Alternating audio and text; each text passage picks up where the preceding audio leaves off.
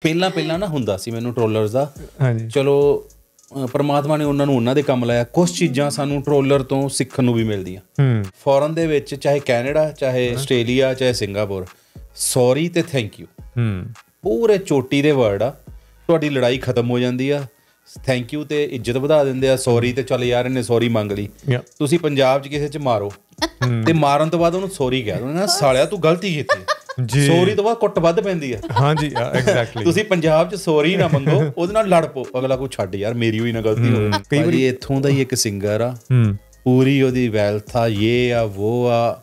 ਮੇਰੇ ਖਿਆਲ ਉਹ ਤੋਂ ਮੈਂ 80 85000 ਰੁਪਏ ਲੈਣਾ। ਜਿਹੜੇ ਪਲੱਸ 2 ਕਰਕੇ ਬੱਚੇ ਆ ਰਹੇ ਆ ਉਹ ਭੁੱਲ ਕੇ ਵੀ ਇੱਥੇ ਨਾ ਨਾ। ਜੇ ਤੁਸੀਂ ਆਉਣਾ ਵਾ ਇੱਥੇ ਇਹ ਸੋਚ ਕੇ ਆਈਓ ਮੈਂ ਪੜਨ ਆ ਰਿਹਾ ਨਾ ਕਿ ਮੈਂ ਨੋਟਾਂ ਦੀ ਮਸ਼ੀਨ। ਤੇ ਪਾਪਾ ਕੋਲੇ ਉਦੋਂ ਵੀ ਚੰਗੇ ਪੈਸੇ ਸੀ ਬਟ ਮੈਂ ਖਰਾਬ ਕਰਤੇ ਉਹਨਾਂ ਦੇ ਪੈਸੇ। ਮੈਨੂੰ ਉਹਨਾਂ ਨੇ ਰੈਡੀਮੇਡ ਦਾ ਸਟੋਰ ਖੋਲ ਕੇ ਦਿੱਤਾ ਹੀ ਬੜਾ ਵੱਡਾ। ਤੇ ਮੈਂ ਕ੍ਰਿਕਟ ਦਾ ਸ਼ੌਕੀਨ ਸੀ। ਮੈਂ ਕ੍ਰਿਕਟ ਖੇਡਣ ਚਲਾ ਜਾਂਦਾ ਸੀ। ਜੁਆਇੰਟ ਫੈਮਿਲੀ ਕਰਕੇ ਮਤਲਬ ਜਦੋਂ ਕੰਮ ਸ਼ੁਰੂ ਕੀਤਾ ਕਰਨਾ ਹੂੰ। ਤੇ ਮੈਂ ਬਰਤਨ ਦੇਖਿਆ ਕਰੋ ਵੀ ਇਹਨਾਂ ਦੇ ਤਾਂ ਬਰਤਨ ਹੀ ਬਹੁਤ ਜ਼ਿਆਦਾ ਹੁੰਦੇ ਆ ਹਨਾ? ਅੰਦਰੋਂ ਫਿਰ ਥੋੜਾ ਜਿਹਾ ਪੰਜਾਬੀ ਆ ਖੂਨ ਤਾਂ ਵਾਲਾ ਮਾਰਦਾ ਹੀ ਆ। ਇੱਕ ਰਹਿਣਾ ਜੱਟਾਂ 'ਚ ਹੁੰਦਾ। ਉਹਨਾਂ ਨਾਲ ਹੀ ਉਹਨਾਂ ਦੇ ਵਿਆਹਾਂ 'ਚ ਹੀ ਰਹਿਣਾ ਉਹਨਾਂ ਤੋਂ ਹੀ ਆਪਾਂ ਕਮਾਨੇ ਪਏ ਆ ਵੈਸੇ ਗੱਲਬਾਤ ਹੁੰਦੀ ਹੈ ਫੈਮਿਲੀ ਦੇ ਵਿੱਚ ਲੈਸੇ ਵੀ ਆਪਣਾ ਇਹ ਇਹ ਕੰਮ ਕਰ ਜਾਂ ਬੰਦ ਹੋ ਗਿਆ ਸੋਸ਼ਲ ਮੀਡੀਆ ਵਾਲਾ ਕਿਸੇ ਟਾਈਮ ਤੇ ਵੀ ਫਿਰ ਕੀ ਪਲਾਨ ਪਲਾਨ ਵੀ ਕੋਈ ਹੈ? ਹਾਂਜੀ ਹੈਲੋ ਸਲਾਮ ਨਮਸਤੇ ਐਂਡ ਸਤਿ ਸ੍ਰੀ ਅਕਾਲ ਸਾਰਿਆਂ ਨੂੰ। ਮੈਂ ਤੁਹਾਡਾ ਹੋਸਟ ਤੇ ਦੋਸਤ ਗੁਰਮੀਤ ਸੋਹੀ ਟੋਰਾਂਟੋ ਤੋਂ ਮਾਈਂਡਫੁਲ ਕਾਸਟ ਦੇ ਇਸ ਐਪੀਸੋਡ ਦੇ ਵਿੱਚ ਤੁਹਾਡਾ ਸਵਾਗਤ ਕਰਦਾ ਹਾਂ। ਇਸ ਪੋਡਕਾਸਟ ਦੇ ਵਿੱਚ ਤੁਹਾਡੇ ਨਾਲ ਜੋ ਅਸੀਂ ਸ਼ਖਸੀਅਤ ਨੂੰ ਮਿਲਾਉਣ ਜਾ ਰਹੇ ਹਾਂ ਉਹ ਕੋਈ ਪਹਿਚਾਨ ਦੇ ਮੁਹਤਾਜ ਨਹੀਂ ਹੈਗੇ। ਪੰਜਾਬ ਤੋਂ ਨਹੀਂ ਬਲਕਿ ਪੂਰੇ ਇੰਡੀਆ ਦੇ ਵਿੱਚ ਬਲਕਿ ਪੂਰੇ ਦੇਸ਼ ਵਿਦੇਸ਼ ਵਿੱਚ ਉਹਨਾਂ ਦੇ ਚਰਚੇ ਆ। ਸੋਸ਼ਲ ਮੀਡੀਆ ਸੈਂਸੇਸ਼ਨ ਦੇ ਨਾਮ ਤੇ ਜਾਣੇ ਜਾਂਦੇ ਆ। ਗੱਲ ਕਰਦੇ ਆ ਨਰੂਲਾ ਫੈਮਿਲੀ ਦੀ। ਉਹਨਾਂ ਦੇ ਹੈੱਡ ਕਪਲ ਜੀ ਸਾਡੇ ਨਾਲ ਅੱਜ ਸ਼ਾਮਲ ਹੈ ਤੇ ਉਹਨਾਂ ਦੇ ਵੀ ਹੈੱਡ ਜਿਹੜੇ ਹੈਗੇ ਆ ਬਿੰਦੂ ਜੀ ਸਾਡੇ ਨਾਲ ਬਿੰਦੂ ਨਰੂਲਾ ਜੀ ਵੀ ਸਾਡੇ ਨਾਲ ਸ਼ਾਮਲ ਹੈ। ਸਤਿ ਸ੍ਰੀ ਅਕਾਲ ਜੀ। ਸਤਿ ਸ਼੍ਰੀ ਅਕਾਲ ਜੀ। ਪਹਿਲਾਂ ਤਾਂ ਜੀ welcome to Canada thank you ਕਿੱਦਾਂ ਲੱਗਿਆ ਕੈਨੇਡਾ ਪਹਿਲਾਂ? ਇਹ ਦੱਸੋ। ਕੈਨੇਡਾ ਵਧੀਆ ਜੋ ਸੁਨਿਆ ਸੀਗਾ ਵਧੀਆ ਰੂਲਸ ਵਧੀਆ ਇੱਥੋਂ ਦੀ ਹਵਾ ਪਾਣੀ ਵਧੀਆ ਬਟ ਪੰਜਾਬ ਨਹੀਂ ਬਣ ਸਕਦਾ ਪੰਜਾਬ ਵਰਗਾ ਨਹੀਂ ਹਾਂ ਮਿਸ ਕਰਦੇ ਹਾਂ ਪੰਜਾਬ ਨੂੰ ਪੰਜਾਬ ਨੂੰ ਮਿਸ ਕਰਦਾ ਥੋੜਾ ਜਿਹਾ ਮੌਸਮ ਵੀ ਜਿਹੜੇ ਮੌਸਮ 'ਚ ਤੁਸੀਂ ਆਏ ਹੋ ਥੋੜਾ ਜਿਹਾ ਉਦੋਂ ਬਾਹਰ ਜਾਣਾ ਔਖਾ ਹੋ ਜਾਂਦਾ ਰਾਈਟ ਮੈਂ ਤਾਂ ਇਹੀ ਦੇਖਿਆ ਵੀ 3 ਮਹੀਨੇ ਸਨੋ ਪਈ ਜਾਂਦੀ ਅੰਦਰ ਹੀ ਬੈਠੇ ਰਹੋ ਕਿਉਂਕਿ ਅਸੀਂ ਕੰਮ ਤਾਂ ਕਰ ਨਹੀਂ ਸਕਦੇ ਆਪਾਂ ਤਾਂ ਵਿਜ਼ਿਟਰ ਆ ਜੀ ਤਾਂ ਜਿਹਨੇ ਵਿਜ਼ਿਟਰ ਆਣਾ ਮੇਰੇ ਖਿਆਲ ਆਹ ਮੌਸਮ ਚ ਨਾ ਆਵੇ ਜੀ ਬਿਲਕੁਲ ਅ, ਆਪਾਂ ਡਿਟੇਲ ਦੇ ਵਿੱਚ ਗੱਲਾਂ ਕਰਾਂਗੇ ਵੀ ਕੈਨੇਡਾ ਦੇ ਵਿੱਚ ਤੁਸੀਂ ਤੁਹਾਨੂੰ ਕੀ ਚੰਗਾ ਲੱਗਿਆ ਕੀ ਚੰਗਾ ਨਹੀਂ ਲੱਗਿਆ ਤੇ ਕੀ ਤੁਹਾਡੀ رائے ਬਣੀ ਹੈ ਹੁਣ ਤੱਕ ਬਟ ਸਟਾਰਟ ਕਰਦੇ ਹਾਂ ਭਾਜੀ ਤੁਹਾਡੀ ਲਾਈਫ ਸਟੋਰੀ ਤੋਂ ਕਈ ਲੋਕਾਂ ਨੂੰ ਪਤਾ ਹੈ ਜੋ ਨਾ ਦੋ ਤੁਹਾਡਾ ਰੂਪ ਦੇਖਦੇ ਨੇ ਸੋਸ਼ਲ ਮੀਡੀਆ ਦੇ ਉੱਪਰ ਹੈ ਨਾ ਨਰੂਲਾ ਫੈਮਿਲੀ ਦਾ ਤੁਸੀਂ ਜੇ ਥੋੜਾ ਜਿਹਾ ਸਾਨੂੰ ਦੱਸੋ ਕਿਉਂਕਿ ਆਪਾਂ ਤਾਂ ਪਰਸਨਲੀ ਕਾਫੀ ਦੇਰ ਤੋਂ ਜਾਣਦੇ ਹਾਂ 15 16 ਸਾਲ ਤੋਂ ਆਪਾਂ ਜਾਣਦੇ ਹੈਗੇ ਰਾਈਟ ਮੈਂ ਤੁਹਾਨੂੰ ਉਸ ਉਸ ਸਮੇਂ ਤੋਂ ਜਾਣਦਾ ਜਦੋਂ ਤੁਸੀਂ ਖੁਦ ਫੋਟੋਗ੍ਰਾਫੀ ਕਰਦੇ ਹੁੰਦੇ ਸੀ ਰਾਈਟ ਤੁਸੀਂ ਇਸ ਬਿਜ਼ਨਸ ਦੇ ਵਿੱਚ ਕਾਫੀ ਦੇਰ ਤੋਂ ਹੈਗੇ ਹੋ ਤੇ ਥੋੜਾ ਜਿਹਾ ਆਪਣੀ ਫੈਮਿਲੀ ਬਾਰੇ ਆਪਣੇ ਬਾਰੇ ਦੱਸੋ ਤੁਸੀਂ ਕਿੱਥੋਂ ਬਿਲੋਂਗ ਕਰਦੇ ਹੋ? ਵੈਸੇ ਤਾਂ ਆਪਾਂ ਹੈਗੇ ਜੀ ਜਗਰਾਉਂ ਤੋਂ। ਜੀ। ਸ਼ੁਰੂ ਤੋਂ ਯਾਨੀ ਕਿ ਮੇਰਾ ਜਨਮ ਵੀ ਜਗਰਾਉਂ 'ਚ ਹੀ ਹੋਇਆ। ਤੇ ਹੁਣ ਇਸ ਟਾਈਮ ਬੱਚਿਆਂ ਮਗਰ ਲੱਗ ਕੇ। ਅਸੀਂ ਕੈਨੇਡੀਅਨ ਆ ਕੈਨੇਡਾ 'ਚ ਫਾਈਨਲੀ ਆ ਗਏ ਹਾਂ। ਹਾਂ ਫਾਈਨਲੀ ਇਸ ਟਾਈਮ ਕੈਨੇਡਾ 'ਚ ਦੇਖੋ ਕਿੰਨਾ ਟਾਈਮ ਠੀਕ। ਸੋ ਫੈਮਿਲੀ ਜੇ ਡਾਇਨਾਮਿਕਸ ਦੀ ਗੱਲ ਕਰੀਏ ਮੈਨੂੰ ਪਤਾ ਤੁਸੀਂ ਜੁਆਇੰਟ ਫੈਮਿਲੀ 'ਚ ਰਹਿੰਦੇ ਹੋ ਹਾਲੇ ਵੀ ਜੋ ਮੈਨੂੰ ਬਹੁਤ ਬਿਊਟੀਫੁਲ ਗੱਲ ਲੱਗਦੀ ਹੈ ਨਾ ਸੋ ਤੁਸੀਂ ਤਿੰਨ ਬ੍ਰਦਰ ਹੋ? ਹਾਂਜੀ ਅਸੀਂ ਤਿੰਨ ਬ੍ਰਦਰ ਆ। ਤੇ ਕਿੰਨੇ ਕੁ ਫੈਮਿਲੀ ਮੈਂਬਰ ਬਣ ਜਾਂਦੇ ਟੋਟਲ ਮਿਲਾ ਕੇ? ਅਸੀਂ ਘਰੇ 17 18 ਜਣੇ ਹੈਗੇ ਆ। 18 ਜਣੇ ਰਾਈਟ ਸੋ ਮੇਰੇ ਖਿਆਲ ਕਾਫੀ ਟਾਈਮ ਤੋਂ ਰਸੋਈ ਇੱਕ ਹੀ ਸੀਗੀ। ਹੂੰ। ਪਿੱਛੇ ਜੇ ਜਦੋਂ ਬੱਚਿਆਂ ਨੇ ਜਿਵੇਂ ਹੁਣ ਕਿਸੇ ਦਾ ਟਾਈਮ 7 ਵਜੇ ਹੋ ਗਿਆ ਕਿਸੇ ਦਾ School 6:30 timing change ਹੋ ਗਈ ਸਕੂਲ। ਟਾਈਮ ਚੇਂਜ ਹੋ ਗਏ ਫਿਰ ਅਸੀਂ ਕਿਚਨ ਉਦੋਂ ਅਲੱਗ ਕੀਤੀ। ਵਾਓ ਵੈਸੇ ਇੱਕ ਗੱਲਾ। ਇੱਕ ਜਗ੍ਹਾ ਹੀ ਪੈਸਾ ਜਾਣਾ। ਉੱਥੋਂ ਹੀ ਸਾਰਿਆਂ ਨੇ ਯੂਜ਼ ਕਰਨਾ ਇੱਕ ਜਗ੍ਹਾ ਹੀ ਰਹਿੰਦੇ ਆ 16 17 ਜਣੇ ਹੀ ਹੈਗੇ ਆ। ਬਹੁਤ ਹੀ ਬਿਊਟੀਫੁਲ ਚੀਜ਼ ਹੈ ਨਾ। ਅੱਜ ਦੀ ਡੇਟ ਵਿੱਚ ਇਦਾਂ ਇਮੇਜਿਨ ਵੀ ਕਰਨਾ ਵੀ ਹੈ ਨਾ 17 18 ਜਣੇ ਇਕੱਠੇ ਕਿਤੇ ਇੱਕ ਘਰ ਵਿੱਚ ਰਹਿ ਰਹੇ ਹੋ ਤੇ ਬਹੁਤ ਕਮੈਂਡੇਬਲ ਭਾਜੀ ਬਹੁਤ ਵਧੀਆ ਲੱਗਦਾ ਇਦਾਂ ਦੀਆਂ ਸਟੋਰੀ ਸੁਣ ਕੇ ਨਾ। ਤੇ ਇਕੱਠਿਆਂ 'ਚ ਬਰਕਤ ਆ ਭਾਜੀ। ਜੀ। ਜੇ ਭਰਾ ਇਕੱਠੇ ਆ ਤਾਂ ਬਰਕਤ ਆ। ਜਿਹੜੇ ਜਿਹੜੇ ਵੀ ਘਰਾਂ 'ਚ ਭਰਾ ਇਕੱਠੇ ਆ ਤਾਂ ਬਰਕਤ ਆ। ਬਹੁਤ ਬਰਕਤ ਪੈਂਦੀ। ਬਿਲਕੁਲ ਤੁਸੀਂ ਬਿਜ਼ਨਸ ਵੀ ਇਕੱਠਾ ਕਰਦੇ ਹੋ ਨਾ ਬਿਜ਼ਨਸ ਵੀ ਸਾਡਾ ਇੱਕ ਹੀ ਆ ਸਾਰਿਆਂ ਦਾ। ਸੋ ਤੁਹਾਡੀ ਮੈਰਿਜ ਹੋਈ ਨੂੰ ਮਤਲਬ 24 25 ਸਾਲ ਹੋ ਚੁੱਕੇ ਹੁਣ। ਹਾਂਜੀ 10 ਤਰੀਕ ਨੂੰ ਸਾਡੀ ਦਿਨ ਸਾਡੀ ਸਿਲਵਰ ਜੁਬਲੀ ਆ। ਵਾਓ। 25ਵੀਂ ਸਾਲਗਿਰਾ ਸਾਡੀ ਉਸ ਸੋ ਟਾਈਮ ਕ੍ਰੈਡਿਟ ਤਾਂ ਤਕਰੀਬਨ ਤੁਹਾਨੂੰ ਹੀ ਜਾਂਦਾ ਕਿਉਂਕਿ ਤੁਸੀਂ ਦੋਨੋਂ ਵੱਡੇ ਹੈਗੇ ਹੋ ਨਾ ਫੈਮਿਲੀ ਦੇ ਵਿੱਚ ਮਤਲਬ ਭਾਈਆਂ ਦੇ ਵਿੱਚੋਂ ਬ੍ਰਦਰ ਦੇ ਵਿੱਚੋਂ। ਕ੍ਰੈਡਿਟ ਜਾਂਦਾ ਮੇਰੇ ਪਾਪਾ ਨੂੰ। ਹੂੰ। ਮੰਮਾ ਪਾਪਾ ਦੋਨਾਂ ਹਾਂ ਮੇਰੇ ਮੰਮਾ ਪਾਪਾ ਉਹਨਾਂ ਦੀ ਸੋਚ ਬਹੁਤ ਵਧੀਆ ਵਾ। ਰਾਈਟ ਉਹਨਾਂ ਦੀ ਸੋਚ ਵਧੀਆ ਕਰਕੇ ਤਾਂ ਫਿਰ ਅਸੀਂ ਉਹਨਾਂ ਦੇ ਕਦਮਾਂ ਤੇ ਚੱਲ ਕੇ। ਉਹਨਾਂ ਕਰਕੇ ਨਾ ਫੈਮਿਲੀ ਸਾਡੀ ਜੁੜੀ ਹੋਈ ਆ। ਹਮ ਵੈਸੇ ਤਾਂ ਤੁਹਾਨੂੰ ਪਤਾ ਕਿ ਹਰ ਫੈਮਿਲੀ 'ਚ ਕੁਝ ਥੋੜਾ ਬਹੁਤਾ ਅਣਬਣ ਚੱਲਦੀ ਰਹਿੰਦੀ ਹੁੰਦੀ ਹੈ ਨਾ ਥੋੜਾ ਬਹੁਤਾ ਨੋਕ ਚੋਕ ਚੱਲਦੀ ਆ ਬਟ ਉਹਨਾਂ ਦੇ ਕਰਕੇ ਉਹ ਚੀਜ਼ ਲੱਗਦੀ ਨਹੀਂ। ਮਤਲਬ ਕੋਈ ਪ੍ਰੋਬਲਮ ਵੀ ਆਂਦੀ ਉਹ ਉਹ ਸਮਝਾ ਦਿੰਦੇ। ਇੰਨੇ ਆਰਾਮ ਨਾਲ ਸਮਝਾਉਂਦੇ ਆ ਕਿ ਸਾਨੂੰ ਸਮਝ ਆਉਂਦੀ ਆ। ਤੇ ਇਸ ਕਰਕੇ ਤਾਂ ਅਸੀਂ ਫਿਰ ਬੈਲੈਂਸ ਜਿਹਾ ਬਣਾ ਕੇ ਤੁਸੀਂ ਹਾਂਜੀ, ਰੱਖਿਆ ਹਾਂਜੀ, ਹੋਇਆ balance ਬੜੇ ਬਣਾ ਇਦਾਂ ਦੇ ਮੂਮੈਂਟ ਤਾਂ ਆਉਂਦੇ ਆ ਕਈ ਵਾਰੀ ਵੀ ਲੱਗਦਾ ਹੋਏਗਾ ਵੀ ਜਦੋਂ ਵੀ ਚਲੋ ਸੈਪਰੇਟ ਹੋ ਕੇ ਰਹਿ ਲਈ ਹੈ ਨਾ ਨਹੀਂ ਮੇਰੇ ਪਾਪਾ ਨੇ ਨਾ ਪਿੱਛੇ ਜੇ ਇੱਕ ਕੋਠੀ ਪਾਈ ਸੀ ਉੱਥੇ ਜਗਰਾਉਂ ਸੈਂਟਰ ਸਿਟੀ ਹੂੰ ਤੇ ਉਹਨਾਂ ਨੇ ਪੁੱਛਿਆ ਹਾਂ ਵੀ ਕਪਿਲ ਤੂੰ ਜਾਣਾ? ਮੇਰੇ ਛੋਟੇ ਬ੍ਰਦਰ ਨੇ ਤੂੰ ਜਾਣਾ ਤੇ ਸਾਡੇ ਚੋਂ ਕੋਈ ਵੀ ਨਹੀਂ ਮੰਨਿਆ। ਅਖੀਰੀ ਉੱਥੇ ਕਬੂਤਰਾਂ ਕਬੂਤਰਾਂ ਨੇ ਘਰ ਪਾ ਲਏ ਤੇ ਫਿਰ ਅਖੀਰੀ ਉਹ ਸੇਲ ਕੀਤੀ। ਸੇਲ ਕੀਤੀ ਫਿਰ ਉਹ ਅਸੀਂ। ਅਸੀਂ ਕੋਈ ਵੀ ਨਹੀਂ ਗਏ ਅਲੱਗ ਨਹੀਂ ਹੋਏ ਅਸੀਂ। ਤੇ ਤੁਸੀਂ ਉਹ ਲਾਸਟ ਆਪਣੇ ਪੁਰਾਣੇ ਘਰ 'ਚ ਹੀ ਰਹਿੰਦੇ ਰਹੇ ਤਿੰਨੇ ਹਾਂ ਜਿਹੜੇ ਘਰ 'ਚ ਅਸੀਂ ਸ਼ੁਰੂ ਤੋਂ ਰਹਿ ਰਹੇ ਹਾਂ ਅਸੀਂ ਉਹੀ ਘਰ 'ਚ ਰਹਿ ਰਹੇ ਹਾਂ। ਜੀ। ਵਿਆਹ ਵੀ ਹੋ ਗਏ ਬ੍ਰਦਰ ਦੇ ਵੀ ਤਿੰਨ ਬੱਚੇ ਸੀ ਮੇਰੇ ਵੀ ਸੀ ਮੇਰੇ ਛੋਟੇ ਬ੍ਰਦਰ ਦੇ ਵੀ ਦੋ ਬੱਚੇ ਹੋ ਗਏ। ਛੋਟਾ ਬ੍ਰਦਰ ਵੀ ਨਾ ਮੇਰੇ ਮਾਮਾ ਜੀ ਦਾ ਬੇਟਾ। ਸਾਰਿਆਂ ਨੂੰ ਇਹੀ ਆ ਕਿ ਇਹ ਤਿੰਨ ਭਰਾ ਹੈ ਤਿੰਨ ਭਰਾ ਹੀ ਆ। ਉਹਦੇ ਮਦਰ ਦੀ ਡੈਥ ਹੋ ਗਈ ਸੀ ਉਹ 2 ਸਾਲ ਦਾ ਹੀ ਸੀ। ਓਕੇ। ਉਹ ਸਾਡੇ ਕੋਲ ਆ ਗਿਆ ਬਸ ਫਿਰ ਉਹ ਸ਼ੁਰੂ ਤੋਂ ਸਾਡੇ ਨਾਲ ਹੀ ਆ। ਜਗਰਾਉਂ 'ਚ ਸ਼ਾਇਦ ਹੀ ਜਿਹੜੇ ਤਾਂ ਬਹੁਤ ਪੁਰਾਣੇ ਜਾਣਦੇ ਉਹਨਾਂ ਨੂੰ ਪਤਾ ਨਹੀਂ ਸਾਰਿਆਂ ਨੂੰ ਜਿਵੇਂ ਤੁਹਾਨੂੰ ਪਤਾ ਤਿੰਨ ਬ੍ਰਦਰ ਹੋ ਹਾਂਜੀ ਸਾਨੂੰ ਦੇਖੋ ਆਪ ਕਿੰਨੀ ਵਾਰ ਮਿਲੇ ਹਾਂ ਘਰ ਵੀ ਆਏ ਹਾਂ ਤੁਹਾਡੇ ਅਸੀਂ ਇਕੱਠੇ ਰਹਿਣ ਕਰਕੇ ਉਹ ਨਾਲ ਹੀ ਸ਼ੁਰੂ ਤੋਂ ਰਹਿ ਰਿਹਾ ਸਾਰਿਆਂ ਨੂੰ ਆਇਆ ਸਾਨੂੰ ਵੀ ਨਹੀਂ ਕਦੀ ਇਦਾਂ ਲੱਗਿਆ ਕਿ ਮਾਮਾ ਜੀ ਦਾ ਬੇਟਾ। ਕੀ ਬਾਤ ਹੈ। ਸੋ ਅ, ਔਰ ਤੁਸੀਂ ਇਹ ਬਿਜ਼ਨਸ ਜਿਹੜਾ ਕਰਦੇ ਹੋ ਫੋਟੋਗ੍ਰਾਫੀ ਵੀਡੀਓਗ੍ਰਾਫੀ ਮੈਨੂੰ ਲੱਗਦਾ ਕਾਫੀ ਲੰਮਾ ਸਮਾਂ ਹੋ ਗਿਆ ਕਿੰਨਾ ਟਾਈਮ ਹੋ ਗਿਆ ਹੋਣਾ? 24 ਸਾਲ ਤਾਂ ਮੈਨੂੰ ਕਰਦੇ ਨੂੰ ਹੋ ਗਏ। 24 ਸਾਲ। 24 ਇਹ ਬਹੁਤ ਪੁਰਾਣਾ ਬਿਜ਼ਨਸ ਆ ਸਾਡਾ ਕਿੰਨੇ ਮੇਰੇ ਪਾਪਾ ਨੇ ਸ਼ੁਰੂ ਕੀਤਾ ਸੀ ਮੇਰੇ ਖਿਆਲ 76 ਦੇ ਵਿੱਚ। ਵਾਓ। ਉਦੋਂ ਦਾ ਚੱਲ ਰਿਹਾ। ਉਦੋਂ ਬਾਅਦ ਆਪਾਂ ਜਗਰਾਉਂ ਸੀ ਫਿਰ ਇੱਕ ਲੁਧਿਆਣੇ ਖੋਲੀ ਆਸਟ੍ਰੇਲੀਆ ਹੈਗੀ ਆ ਇੱਥੇ ਸੈਮ ਨੇ ਸ਼ੁਰੂ ਕਰਤਾ। ਕੈਨੇਡਾ ਦੇ ਇੱਥੇ ਸੈਮ ਕੋਲੇ ਵਧੀਆ ਕੰਮ ਹੈਗਾ ਕੈਨੇਡਾ ਦੇ ਵਿੱਚ ਵਿੱਚ। ਰਾਈਟ ਮੈਂ ਦੱਸਦਾ ਅਸੀਂ ਥੋੜੇ ਦਿਨ ਪਹਿਲਾਂ ਸਾਡੇ ਕੋਲ ਬਰਥਡੇ ਬੁੱਕ ਸੀ ਸੈਮ ਕੋਲੇ। ਹੂੰ। ਤੇ ਮੈਂ ਕਿਹਾ ਸੈਮ ਮੈਨੂੰ ਲੈ ਕੇ ਚੱਲ। ਮੈਂ ਉੱਥੇ ਜਾ ਕੇ ਕੈਮਰਾ ਚਲਾਇਆ ਤੇ ਬਹੁਤ ਵਧੀਆ ਲੱਗਿਆ। ਇੱਕ ਮੁੰਡਾ ਉੱਠ ਕੇ ਆਇਆ ਕਹਿੰਦਾ ਅੰਕਲ ਤੁਹਾਡੀ ਆ ਚੀਜ਼ ਮੈਨੂੰ ਇੰਨੀ ਵਧੀਆ ਲੱਗੀ ਵੀ ਤੁਹਾਡੇ ਕੋਲ ਸਾਰਾ ਕੁਝ ਹੈਗਾ। ਤੁਸੀਂ ਫਿਰ ਵੀ ਕੈਮਰਾ ਚੱਕ ਕੇ ਲੱਗੇ ਪਏ ਹੋ। ਮੈਂ ਨਾ ਵੀ ਕੰਮ ਕਰਾਂ ਤਾਂ ਮੇਰਾ ਬਹੁਤ ਵਧੀਆ ਸਰਦਾ ਵਾ। ਜੀ। ਬਟ ਉਹ ਜਿਹੜਾ ਹੁਣ ਖੂਨ ਦੇ ਵਿੱਚ ਫੋਟੋਗ੍ਰਾਫੀ ਹੈ ਮੈਂ ਫਿਰ ਨਹੀਂ ਮੈਂ ਤੁਹਾਨੂੰ ਦੇਖਿਆ ਤੇ ਮੈਂ ਤੁਹਾਨੂੰ ਮਿਹਨਤ ਕਰਦਿਆਂ ਨੂੰ ਬਹੁਤ ਦੇਖਿਆ ਕਿਉਂਕਿ ਹੁਣ ਲੋਕਾਂ ਦੇ ਸਾਹਮਣੇ ਜੋ ਪਿਕਚਰ ਆਉਂਦੀ ਆ ਉਹ ਨਰੂਲਾ ਫੈਮਿਲੀ ਦੀ ਲਾਈਕ ਫੇਮਸ ਜਿਹੜੀ ਪਪੂਲਰ ਫੈਮਿਲੀ ਹੋ ਗਈ ਹੈ ਰਾਈਟ ਪਰ ਤੁਸੀਂ ਮੈਨੂੰ ਲੱਗਦਾ ਬਹੁਤ ਗਰਾਊਂਡ ਵਰਕ ਕੀਤਾ ਮਿਹਨਤ ਤੁਸੀਂ ਦੇਖਿਆ ਤੁਹਾਡਾ ਵਿਆਹ ਮੈਂ ਹੀ ਲਾਇਆ। ਹਾਂਜੀ ਹਾਂਜੀ। 15 ਕੁ ਸਾਲ ਪਹਿਲਾਂ ਦੀ ਗੱਲ ਹੈ ਜੀ। ਤੇ ਉਸ ਟਾਈਮ ਦੇਖਿਆ ਥੋੜੀ ਛੋਟੀ ਸ਼ਾਪ ਹੁੰਦੀ ਸੀ ਉਸ ਨਾਲ ਨਹੀਂ? ਬੜੀ ਛੋਟੀ ਜੀ ਸ਼ਾਪ ਸੀ। ਮੇਰੇ ਕੋਲ ਗੱਡੀ ਵੀ ਰੱਖੀ ਹੁੰਦੀ ਐਨੀ। ਮਰੂਤੀ ਦੀ ਇੱਕ ਐਨੀ ਗੱਡੀ ਆਂਦੀ ਸੀ ਪੁਰਾਣੀ ਲਈ ਸੀ ਮੈਂ। ਯਾਨੀ ਕਿ ਬੜਾ ਛੋਟੇ ਤੋਂ ਸਟਾਰਟਅਪ ਕੀਤਾ ਮੈਂ। ਤੇ ਤੁਸੀਂ ਉਹ ਟਾਈਮ ਦੇਖਿਆ ਵਾ ਮਤਲਬ ਜਦੋਂ ਮੇਰੇ ਪਾਪਾ ਕੋਲੇ ਉਦੋਂ ਵੀ ਚੰਗੇ ਪੈਸੇ ਸੀ ਬਟ ਮੈਂ ਖਰਾਬ ਕਰਤੇ ਉਹਨਾਂ ਦੇ ਪੈਸੇ। ਮੈਨੂੰ ਉਹਨਾਂ ਨੇ ਰੈਡੀਮੇਡ ਦਾ ਸਟੋਰ ਖੋਲ ਕੇ ਦਿੱਤਾ ਸੀ ਬੜਾ ਵੱਡਾ। ਤੇ ਮੈਂ ਕ੍ਰਿਕਟ ਦਾ ਸ਼ੌਕੀਨ ਸੀ। ਮੈਂ ਕ੍ਰਿਕਟ ਖੇਡਣ ਚਲਾ ਜਾਂਦਾ ਸੀ। ਹਾਂ। ਤੇ ਉਹ ਫੇਲ ਹੋ ਗਿਆ।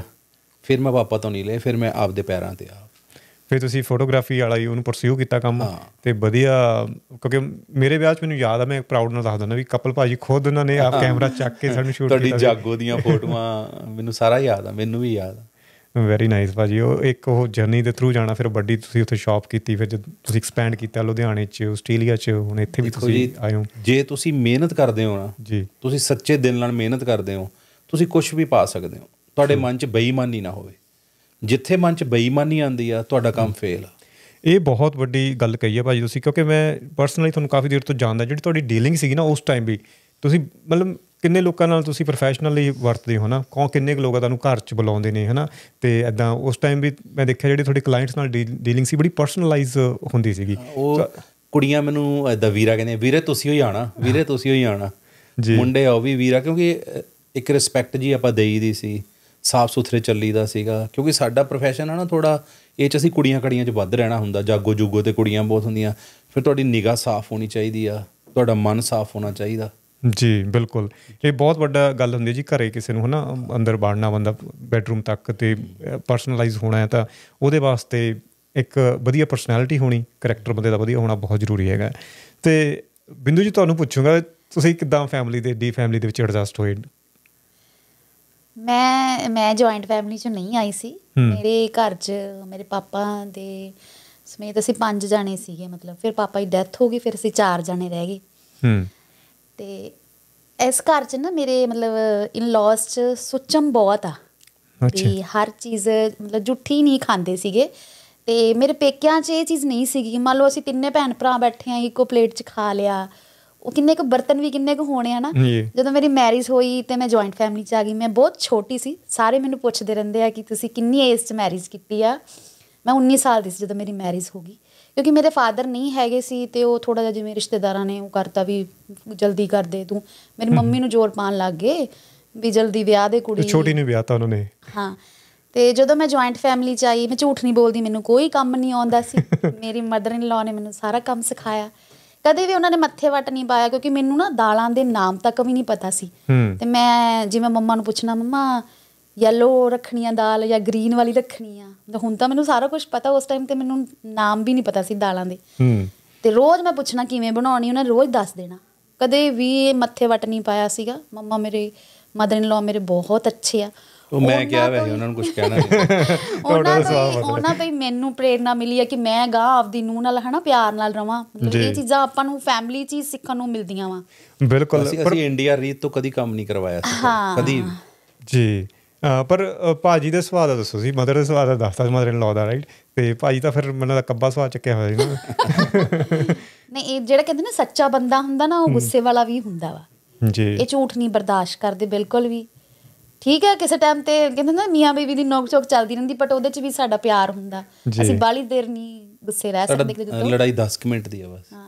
ਵਿਆਹ ਤੋਂ ਪਹਿਲਾਂ ਜਦੋਂ ਪਹਿਲਾਂ ਪਹਿਲਾਂ ਹੋਇਆ ਸੀ ਉਦੋਂ ਥੋੜਾ ਟਾਈਮ ਵੱਧ ਲੱਗ ਜਾਂਦਾ ਸੀ। ਹਾਂ ਕਿਉਂਕਿ ਉਹ ਥੋੜਾ ਜਿਹਾ ਅੰਡਰਸਟੈਂਡਿੰਗ ਹੌਲੀ ਹੌਲੀ ਬੰਦੇ ਏਜ ਦੀ- ਉਨੀ ਕੁ ਸੀਗੀ। ਜਿਵੇਂ ਜਿਵੇਂ। ਸਮਝੀ ਗਏ ਅਸੀਂ ਹੁਣ ਕੀ ਆ ਵੀ 5 ਮਿੰਟ ਦੀ ਲੜਾਈ ਆ ਬਸ। ਫਿਰ ਪਤਾ ਕੀ ਆ ਕਿਤੇ ਯਾਦ ਆ ਸਕਦੇ ਨੇ ਇਹੀ ਰਹਿਣੀ ਆ ਮੈਂ।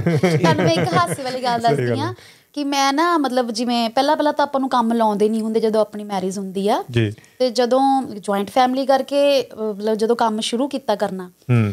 ਤੇ ਮੈਂ ਬਰਤਨ ਦੇਖਿਆ ਕਰੋ ਵੀ ਇਹਨਾਂ ਦੇ ਤਾਂ ਬਰਤਨ ਹੀ ਬਹੁਤ ਜ਼ਿਆਦਾ ਹੁੰਦੇ ਆ ਹਨਾ। ਮੈਂ ਨਾ ਉਹਦੀ ਮੰਮੀ ਨੂੰ ਦੱਸਿਆ ਮੈਂ ਕਿਹਾ ਮੰਮੀ ਆਪਣੇ ਤਾਂ ਚਾਰ ਬਰਤਨ ਹੁੰਦੇ ਸੀ ਤੇ ਇਹਨਾਂ ਦੇ ਤਾਂ ਬਰਤਨ ਹੀ ਬਹੁਤ ਹੁੰਦੇ ਆ ਹਨਾ। ਕਿਉਂਕਿ ਮੈਂ ਕੰਮ ਸਹੀ ਦੱਸਾਂ ਮੈਂ ਕਰਦੀ ਸੀ ਮਤਲਬ ਇੰਨਾ ਕੰਮ ਨਹੀਂ ਕੀਤਾ ਸੀਗਾ।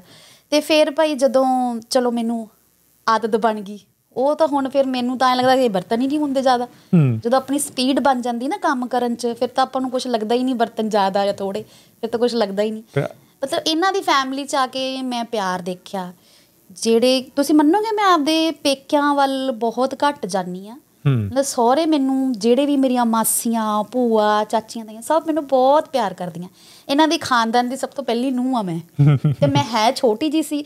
ਛੋਟੀ ਕਰਕੇ ਸਾਰਿਆਂ ਨੇ ਮੈਨੂੰ ਪਿਆਰ ਬਹੁਤ ਜ਼ਿਆਦਾ ਦਿੱਤਾ। ਸਾਰਿਆਂ ਨੇ ਹੁਣ ਵੀ ਮੈਨੂੰ ਸਾਰੇ ਬਹੁਤ ਪਿਆਰ ਕਰਦੇ ਚਾਹੇ ਮੈਂ ਵੱਡੀ ਹੋ ਗਈ ਸਭ ਤੋਂ।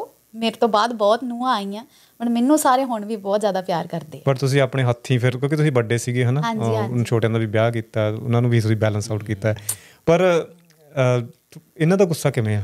ਕਹਿੰਦੇ ਤੁਸੀਂ ਕਹਿੰਦੇ ਸੀ ਵੀ ਉਹਨਾਂ ਨੇ ਗਾਂ ਦਿੱਤੀ ਹੈ ਕਹਿੰਦੇ ਸਾਡੀ ਕੁੜੀ ਗਾਂ ਵਰਗੀ ਹੈ। ਕਦੇ ਸਿੰਘਾਂ ਦੇ ਵੀ ਚੱਕ ਲੈਂਦੇ ਆ? ਨਹੀਂ ਇਹ ਇਹ ਜਲਦੀ ਮੰਨ ਜਾਂਦੀ ਆ। ਅੱਛਾ। ਮੈਂ ਹਜੇ ਲੇਟ ਮੰਨਦਾ ਇਹਨੂੰ ਪਤਾ ਵਾ ਫਿਰ ਵੀ ਚੱਲ ਛੱਡ। ਹੂੰ। ਇਹ ਜਲਦੀ ਮੰਨ ਜਾਂਦੀ ਕਿਉਂਕਿ ਮੈਂ ਵਿਗੜਿਆ ਫਿਰ ਮੈਂ ਬਾਹਲਾ ਟਾਈਮ ਪਾ ਦਿੰਦਾ। ਮੈਨੂੰ ਗੁੱਸਾ ਜ਼ਿਆਦਾ ਵੀ ਨਹੀਂ ਆਉਂਦਾਗਾ ਮਤਲਬ ਮੈਨੂੰ ਆਏ ਹੁੰਦਾ ਹੁੰਦਾ ਕਿ ਮੈਂ ਕਿਸੇ ਗੱਲ ਤੋਂ ਕਿਸੇ ਨਾਲ ਹਰਟ ਨਾ ਕਰਾਂ ਕਿਸੇ ਨੂੰ। ਕੋਸ਼ਿਸ਼ ਕਰਦੀ ਹੁੰਨੀ ਆ ਕਿ ਜ਼ਿਆਦਾਤਰ ਪੋਜ਼ਿਟਿਵ ਜੀ ਰਵਾਂ। ਚੰਗੀ ਗੱਲ ਆ ਭਾਜੀ ਇਹ ਤਾਂ ਔਖਾ ਹੋ ਜਾਂਦਾ ਇਹ ਗੁੱਸੇ ਵਾਲੀਆਂ ਨੂੰ ਹੈਂਡਲ ਕਰਨਾ। ਤੇ ਭਾਜੀ ਗੱਲ ਕਰਦੇ ਹਾਂ ਆਪਾਂ ਜਿਹੜੀ ਤੁਹਾਡੀ ਸੋਸ਼ਲ ਮੀਡੀਆ ਤੇ ਪਪੂਲੈਰਿਟੀ ਹੋਈ ਆ ਆਲ ਆਫ ਸਡਨ ਤੇ ਜਿਹੜਾ ਮੈਨੂੰ ਯਾਦ ਆ ਆਈ ਥਿੰਕ ਪਿਛਲੇ 4-5 ਸਾਲ ਤੋਂ ਕੋਵਿਡ ਦੇ ਟਾਈਮ ਤੋਂ ਜ਼ਿਆਦਾ ਹੋਇਆ ਰਾਈਟ ਤੇ ਕਰੈਕਟ ਕਰ ਦਿਓ ਜੇ ਐਫ ਐਮ ਰੋਂਗ ਮੈਨੂੰ ਪਤਾ ਨਹੀਂ ਕਦੋਂ ਤੁਸੀਂ ਸਟਾਰਟ ਕੀਤਾ ਸੀ ਬਟ ਜਿਹੜਾ ਮੈਨੇ ਨਜ਼ਰ 'ਚ ਵੀਡੀਓਜ਼ ਆਇਆ ਸੀ ਉਹ ਕਿਸਾਨੀ ਦੇ ਤੌਰ ਤੇ ਤੁਸੀਂ ਇੱਕ ਵੀਡੀਓ ਆਇਆ ਸੀ ਤੁਹਾਡਾ ਜੋ ਤੁਸੀਂ ਬੜਾ ਬਲੰਟਲੀ ਉੱਥੇ ਸਟੈਂਡ ਲਿਆ ਸੀਗਾ ਹਨਾ? ਖਾਸ ਕਰਕੇ ਉਸ ਟਾਈਮ ਹਿੰਦੂ ਇੰਨੇ ਸਮਾਜ 'ਚ ਕੋਈ ਲੱਗਦਾ ਤੁਸੀਂ ਪਹਿਲੇ ਬੰਦੇ ਸੀ ਜਿਹੜੇ ਆ ਕੇ ਕਿਹਾ ਸੀਗਾ ਵੀ ਯਾਰ ਕਿਸਾਨਾਂ ਤੋਂ ਬਿਨਾਂ ਕੀ ਹੈ ਹਨਾ? ਸੋ ਮਤਲਬ ਉਹ ਕੀ ਪਲਾਨ ਸੀ ਜਾਂ ਆਲ ਆਫ ਸਡਨ ਕਿਸ ਤਰ੍ਹਾਂ ਮਤਲਬ ਉਹ ਬਣੀ ਗੱਲ? ਉਹ ਭਾਜੀ ਪਤਾ ਕੀ ਆ ਉਹਨਾਂ ਜਿਵੇਂ ਡੇਲੀ ਮੈਂ ਨਿਊਜ਼ ਦੇਖਦਾ ਹੁੰਦਾ ਸੀ ਡੇਲੀ ਮੈਂ ਦੇਖਣਾ ਵੀ ਯਾਰ ਆ ਕੀ ਹੋ ਰਿਹਾ ਵਾ। ਫਿਰ ਹੌਲੀ ਹੌਲੀ ਉਹਦੇ ਬਾਰੇ ਸਮਝਿਆ। ਫਿਰ ਦੇਖਿਆ ਵੀ ਜਿਹੜੀ ਚੀਜ਼ ਮੰਨ ਲਓ ਕੋਈ ਚੀਜ਼ ਹੁਣ ਮੇਰੇ ਭਲੇ ਲਈ ਹੈ ਮੈਨੂੰ ਚਾਹੀਦੀ ਹੀ ਨਹੀਂ। ਜੀ। ਮੇਰੇ ਤੇ ਥੋਪੀ ਜਾ ਰਹੀ ਸੀ ਉਹ ਚੀਜ਼। ਤੇ ਇੱਕ ਮੇਰਾ ਵਾਹ ਸੀਗਾ ਕਿਸਾਨਾਂ ਨਾਲ ਹੀ ਜੱਟਾਂ 'ਚ ਹੀ ਰਹੇ ਆਪਾਂ ਇਹਨਾਂ ਦੇ ਵਿਆਹ ਲਾਏ ਆ ਇਹਨਾਂ ਤੋਂ ਹੀ ਖਾਦਾ ਮੈਂ ਹੁਣ ਵੀ ਬਾਰ-ਬਾਰ ਇਹੀ ਕਹਿਣਾ ਹੁੰਨਾ ਜਿੰਨੇ ਵੀ ਆਪਣੇ ਪੰਜਾਬ ਦੇ ਵਿੱਚ ਆ ਖਾਸ ਕਰੇ ਵੈਸੇ ਤਾਂ 올 ਓਵਰ ਵਰਲਡ ਦੇ ਵਿੱਚ ਹੂੰ। ਕਿੱਥੋਂ ਚੱਲਦਾ ਪੈਸਾ ਕਿੱਥੋਂ ਚੱਲਦਾ? ਫਸਲਾਂ ਤੋਂ ਹੀ ਆਉਂਦਾ ਪੈਸਾ। ਰਾਈਟ ਇੱਕ ਫਸਲ ਹੀ ਪ੍ਰਮਾਤਮਾ ਨੇ ਇਹੀ ਜੀ ਚੀਜ਼ ਦਿੱਤੀ ਆ। Agriculture state ਆਪਣੀ ਬਿਲਕੁਲ ਜੀ, ਹਾਂ। ਇੱਥੋਂ ਹੀ ਪੈਸਾ ਆਉਂਦਾ। ਫਿਰ ਮੈਂ ਸੋਚਿਆ ਯਾਰ ਵੀ ਇਹ ਧੱਕਾ ਹੋ ਰਿਹਾ ਇਹਨਾਂ ਨਾਲ। ਹੂੰ। ਤੇ ਅੰਦਰੋਂ ਫਿਰ ਥੋੜਾ ਜਿਹਾ ਪੰਜਾਬੀ ਆ ਖੂਨ ਤਾਂ ਵਾਲਾ ਮਾਰਦਾ ਹੀ ਆ। ਇੱਕ ਰਹਿਣਾ ਜੱਟਾਂ 'ਚ ਹੁੰਦਾ। ਹੂੰ। ਉਹਨਾਂ ਨਾਲ ਹੀ ਉਹਨਾਂ ਦੇ ਵਿਆਹਾਂ 'ਚ ਹੀ ਰਹਿਣਾ। ਉਹਨਾਂ ਤੋਂ ਹੀ ਆਪਾਂ ਕਮਾਨੇ ਪਏ ਆ। ਹੁਣ ਉਹ ਅੱਜ ਦੀ ਡੇਟ 'ਚ ਕੀ ਉਦੋਂ ਕੀ ਹੋ ਗਿਆ ਸੀ? ਉਹ ਦਿਖਣ ਲੱਗ ਗਿਆ ਸੀ ਯਾਰ ਇਹਨਾਂ ਦੀਆਂ ਜ਼ਮੀਨਾਂ ਹੱਥੋਂ ਜਾਣਗੀਆਂ। ਜੀ। ਜੇ ਉਹੀ ਗਰੀਬ ਹੋ ਗਏ ਤਾਂ ਦੁਕਾਨਦਾਰ ਤਾਂ ਆਪੇ ਹੀ ਮਾਰਿਆ ਗਿਆ। ਕੁਛ ਇੱਕ ਮਾਨਵਤਾ ਦੇ ਨਾਤੇ ਵੀ। ਜੀ। ਫਿਰ ਅਸੀਂ ਘਰੋਂ ਬੱਚੇ ਜਾਣਾ ਚਾਹੁੰਦੇ ਡਲੋਜੀ ਅੱਛਾ। ਕਹਿੰਦੇ ਵੀ ਆਪਾਂ ਘੁੰਮਣ ਜਾਣਾ। ਮੈਂ ਕਿਹਾ ਨਹੀਂ ਵੀ ਮੈਂ ਤੁਹਾਨੂੰ ਨਾ ਕਿਤੇ ਹੋਰ ਲੈ ਕੇ ਚੱਲਦਾ ਫਿਰ ਆਪਾਂ ਡਲੋਜੀ ਚੱਲਾਂਗੇ। ਹੂੰ। ਮੈਂ ਕਿਹਾ ਬੱਚਿਆਂ ਨੂੰ ਪਤਾ ਲੱਗੇ ਵੀ ਇਹ ਕਿਵੇਂ ਵਿਚਾਰੇ ਉਸ ਟਾਈਮ ਤੁਸੀਂ ਦੇਖਿਆ ਹੋਣਾ ਕਿੰਨੀਆਂ ਮੌਤਾਂ ਵੀ ਹੋਈਆਂ ਕਿੰਨੇ ਇਲਜ਼ਾਮ ਵੀ ਲਾਏ ਗਏ ਇਹਨਾਂ ਤੇ ਕਿੰਨਾ ਕੁਝ ਹੋਇਆ। ਉਹ ਬੜਾ ਵੀਡੀਓ ਜਿਹੜਾ ਵਾਇਰਲ ਵੀ ਬਹੁਤ ਹੋਇਆ ਤੇ ਕਿਉਂਕਿ ਫਲੋਲੈਸ ਜਿਹੜੀ ਗੱਲਬਾਤ ਸੀ ਕਿਉਂਕਿ ਉਹ ਪਤਾ ਲੱਗ ਰਿਹਾ ਸੀ ਵੀ ਦਿਲ ਤੋਂ ਨਿਕਲੀ ਹੋਈ ਗੱਲ ਸਿੱਧੀ ਹੈ। ਨਾ ਤੇ ਕੋਈ ਫਿਲਟਰ ਨਹੀਂ ਕੁਝ ਨਹੀਂ ਹੈ। ਉਹ ਤਾਂ ਨਾ ਅਸੀਂ ਤੁਰੇ ਜਾਈਏ। ਸਾਡੇ ਤਾਂ ਕੋਈ ਮਾਈਂਡ 'ਚ ਨਹੀਂ ਸੀ ਕੋਈ ਇੰਟਰਵਿਊ ਲਓ ਕਿਉਂਕਿ ਜੀ। ਮੈਂ ਕਦੀ ਇਦਾਂ ਇੰਟਰਵਿਊ ਪਹਿਲਾਂ ਦਿੱਤੀ ਨਹੀਂ ਉਹ ਮੇਰੀ ਫਰਸਟ ਇੰਟਰਵਿਊ ਸੀ। ਇੰਟਰਵਿਊ ਸੀ ਇਹਨਾਂ ਦਾ। ਅਸੀਂ ਇਕੱਠੇ ਤੁਰੇ ਜਾਈਏ ਤੇ ਇੱਕ ਅੱਖਰ ਚੈਨਲ ਵਾਲਾ ਸੀ ਮੁੰਡਾ। ਨਾਮ ਸੀ ਉਹਦਾ ਸ਼ਰਮਾ ਮਗਰ। ਕਰਨ ਸ਼ਰਮਾ ਮੇਰੇ ਖਿਆਲ ਹਾਂ। ਤੇ ਕਹਿੰਦਾ ਭਾਜੀ ਇੱਕ ਮਿੰਟ ਆਪਾਂ ਗੱਲ ਕਰ ਲਈਏ 2 ਮਿੰਟ। ਜੀ। ਕਰ ਲਓ। ਉਹ ਫਲੋ ਫਲੋ ਚ ਨਿਕਲ ਮੇ ਤੋਂ ਬਾਲਾ ਕੁਛ ਗਿਆ।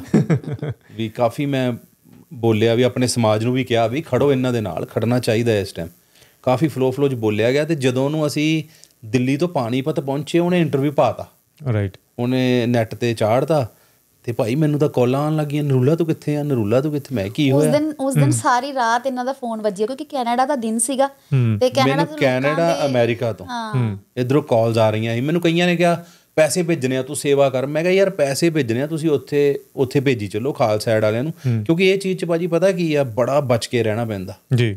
ਮੰਨ ਲਓ ਮੈਨੂੰ ਕਿਸੇ ਨੇ ਪੈਸੇ ਦੇ ਦੇ ਫਿਰ ਉਹਦੇ ਕੋਲ ਸਬੂਤ ਆ ਜਾਣਾ ਮੈਂ ਨਰੂਲੇ ਨੂੰ ਪੈਸੇ ਭੇਜੇ ਵੀ ਆ ਮੈਨੂੰ ਐਵੇਂ ਕਹਾਂ ਨਹੀਂ ਨਹੀਂ ਬਿਲਕੁਲ ਤੁਸੀਂ ਪਹਿਲਾਂ ਸੋਸ਼ਲ ਕੰਮ ਕਰਦੇ ਰਹੇ ਬਿਲਕੁਲ। ਅਸੀਂ ਉਧਰ ਉੱਥੇ ਦੇਤੇ ਫਿਰ ਮੈਂ ਬਾਅਦ ਚ ਐਂਡ ਤੇ ਕੀ ਸੋਚਿਆ ਵੀ ਅਖੀਰੀ ਨਾ ਆਪਣੇ ਸਮਾਜ ਦੇ ਵਿੱਚ ਇਦਾਂ ਦੇ ਲੋਕ ਵੀ ਹੈਗੇ ਤੁਹਾਨੂੰ ਸੁੱਟਣ ਵਾਲੇ। ਹੂੰ। ਇਹ ਤਾਂ ਪੈਸੇ ਇਕੱਠੇ ਕਰਦਾ ਇਹਦਾ ਸੁੱਖ ਨਾਲ ਕੰਮ ਤਾਂ ਆਪਣਾ ਬੜਾ ਸੋਹਣਾ ਚੱਲਦਾ ਪਿਆ ਸੀ ਵਧੀਆ ਬੱਚਿਆਂ ਦਾ ਵੀ ਚੱਲਦਾ ਪਿਆ ਸੀ।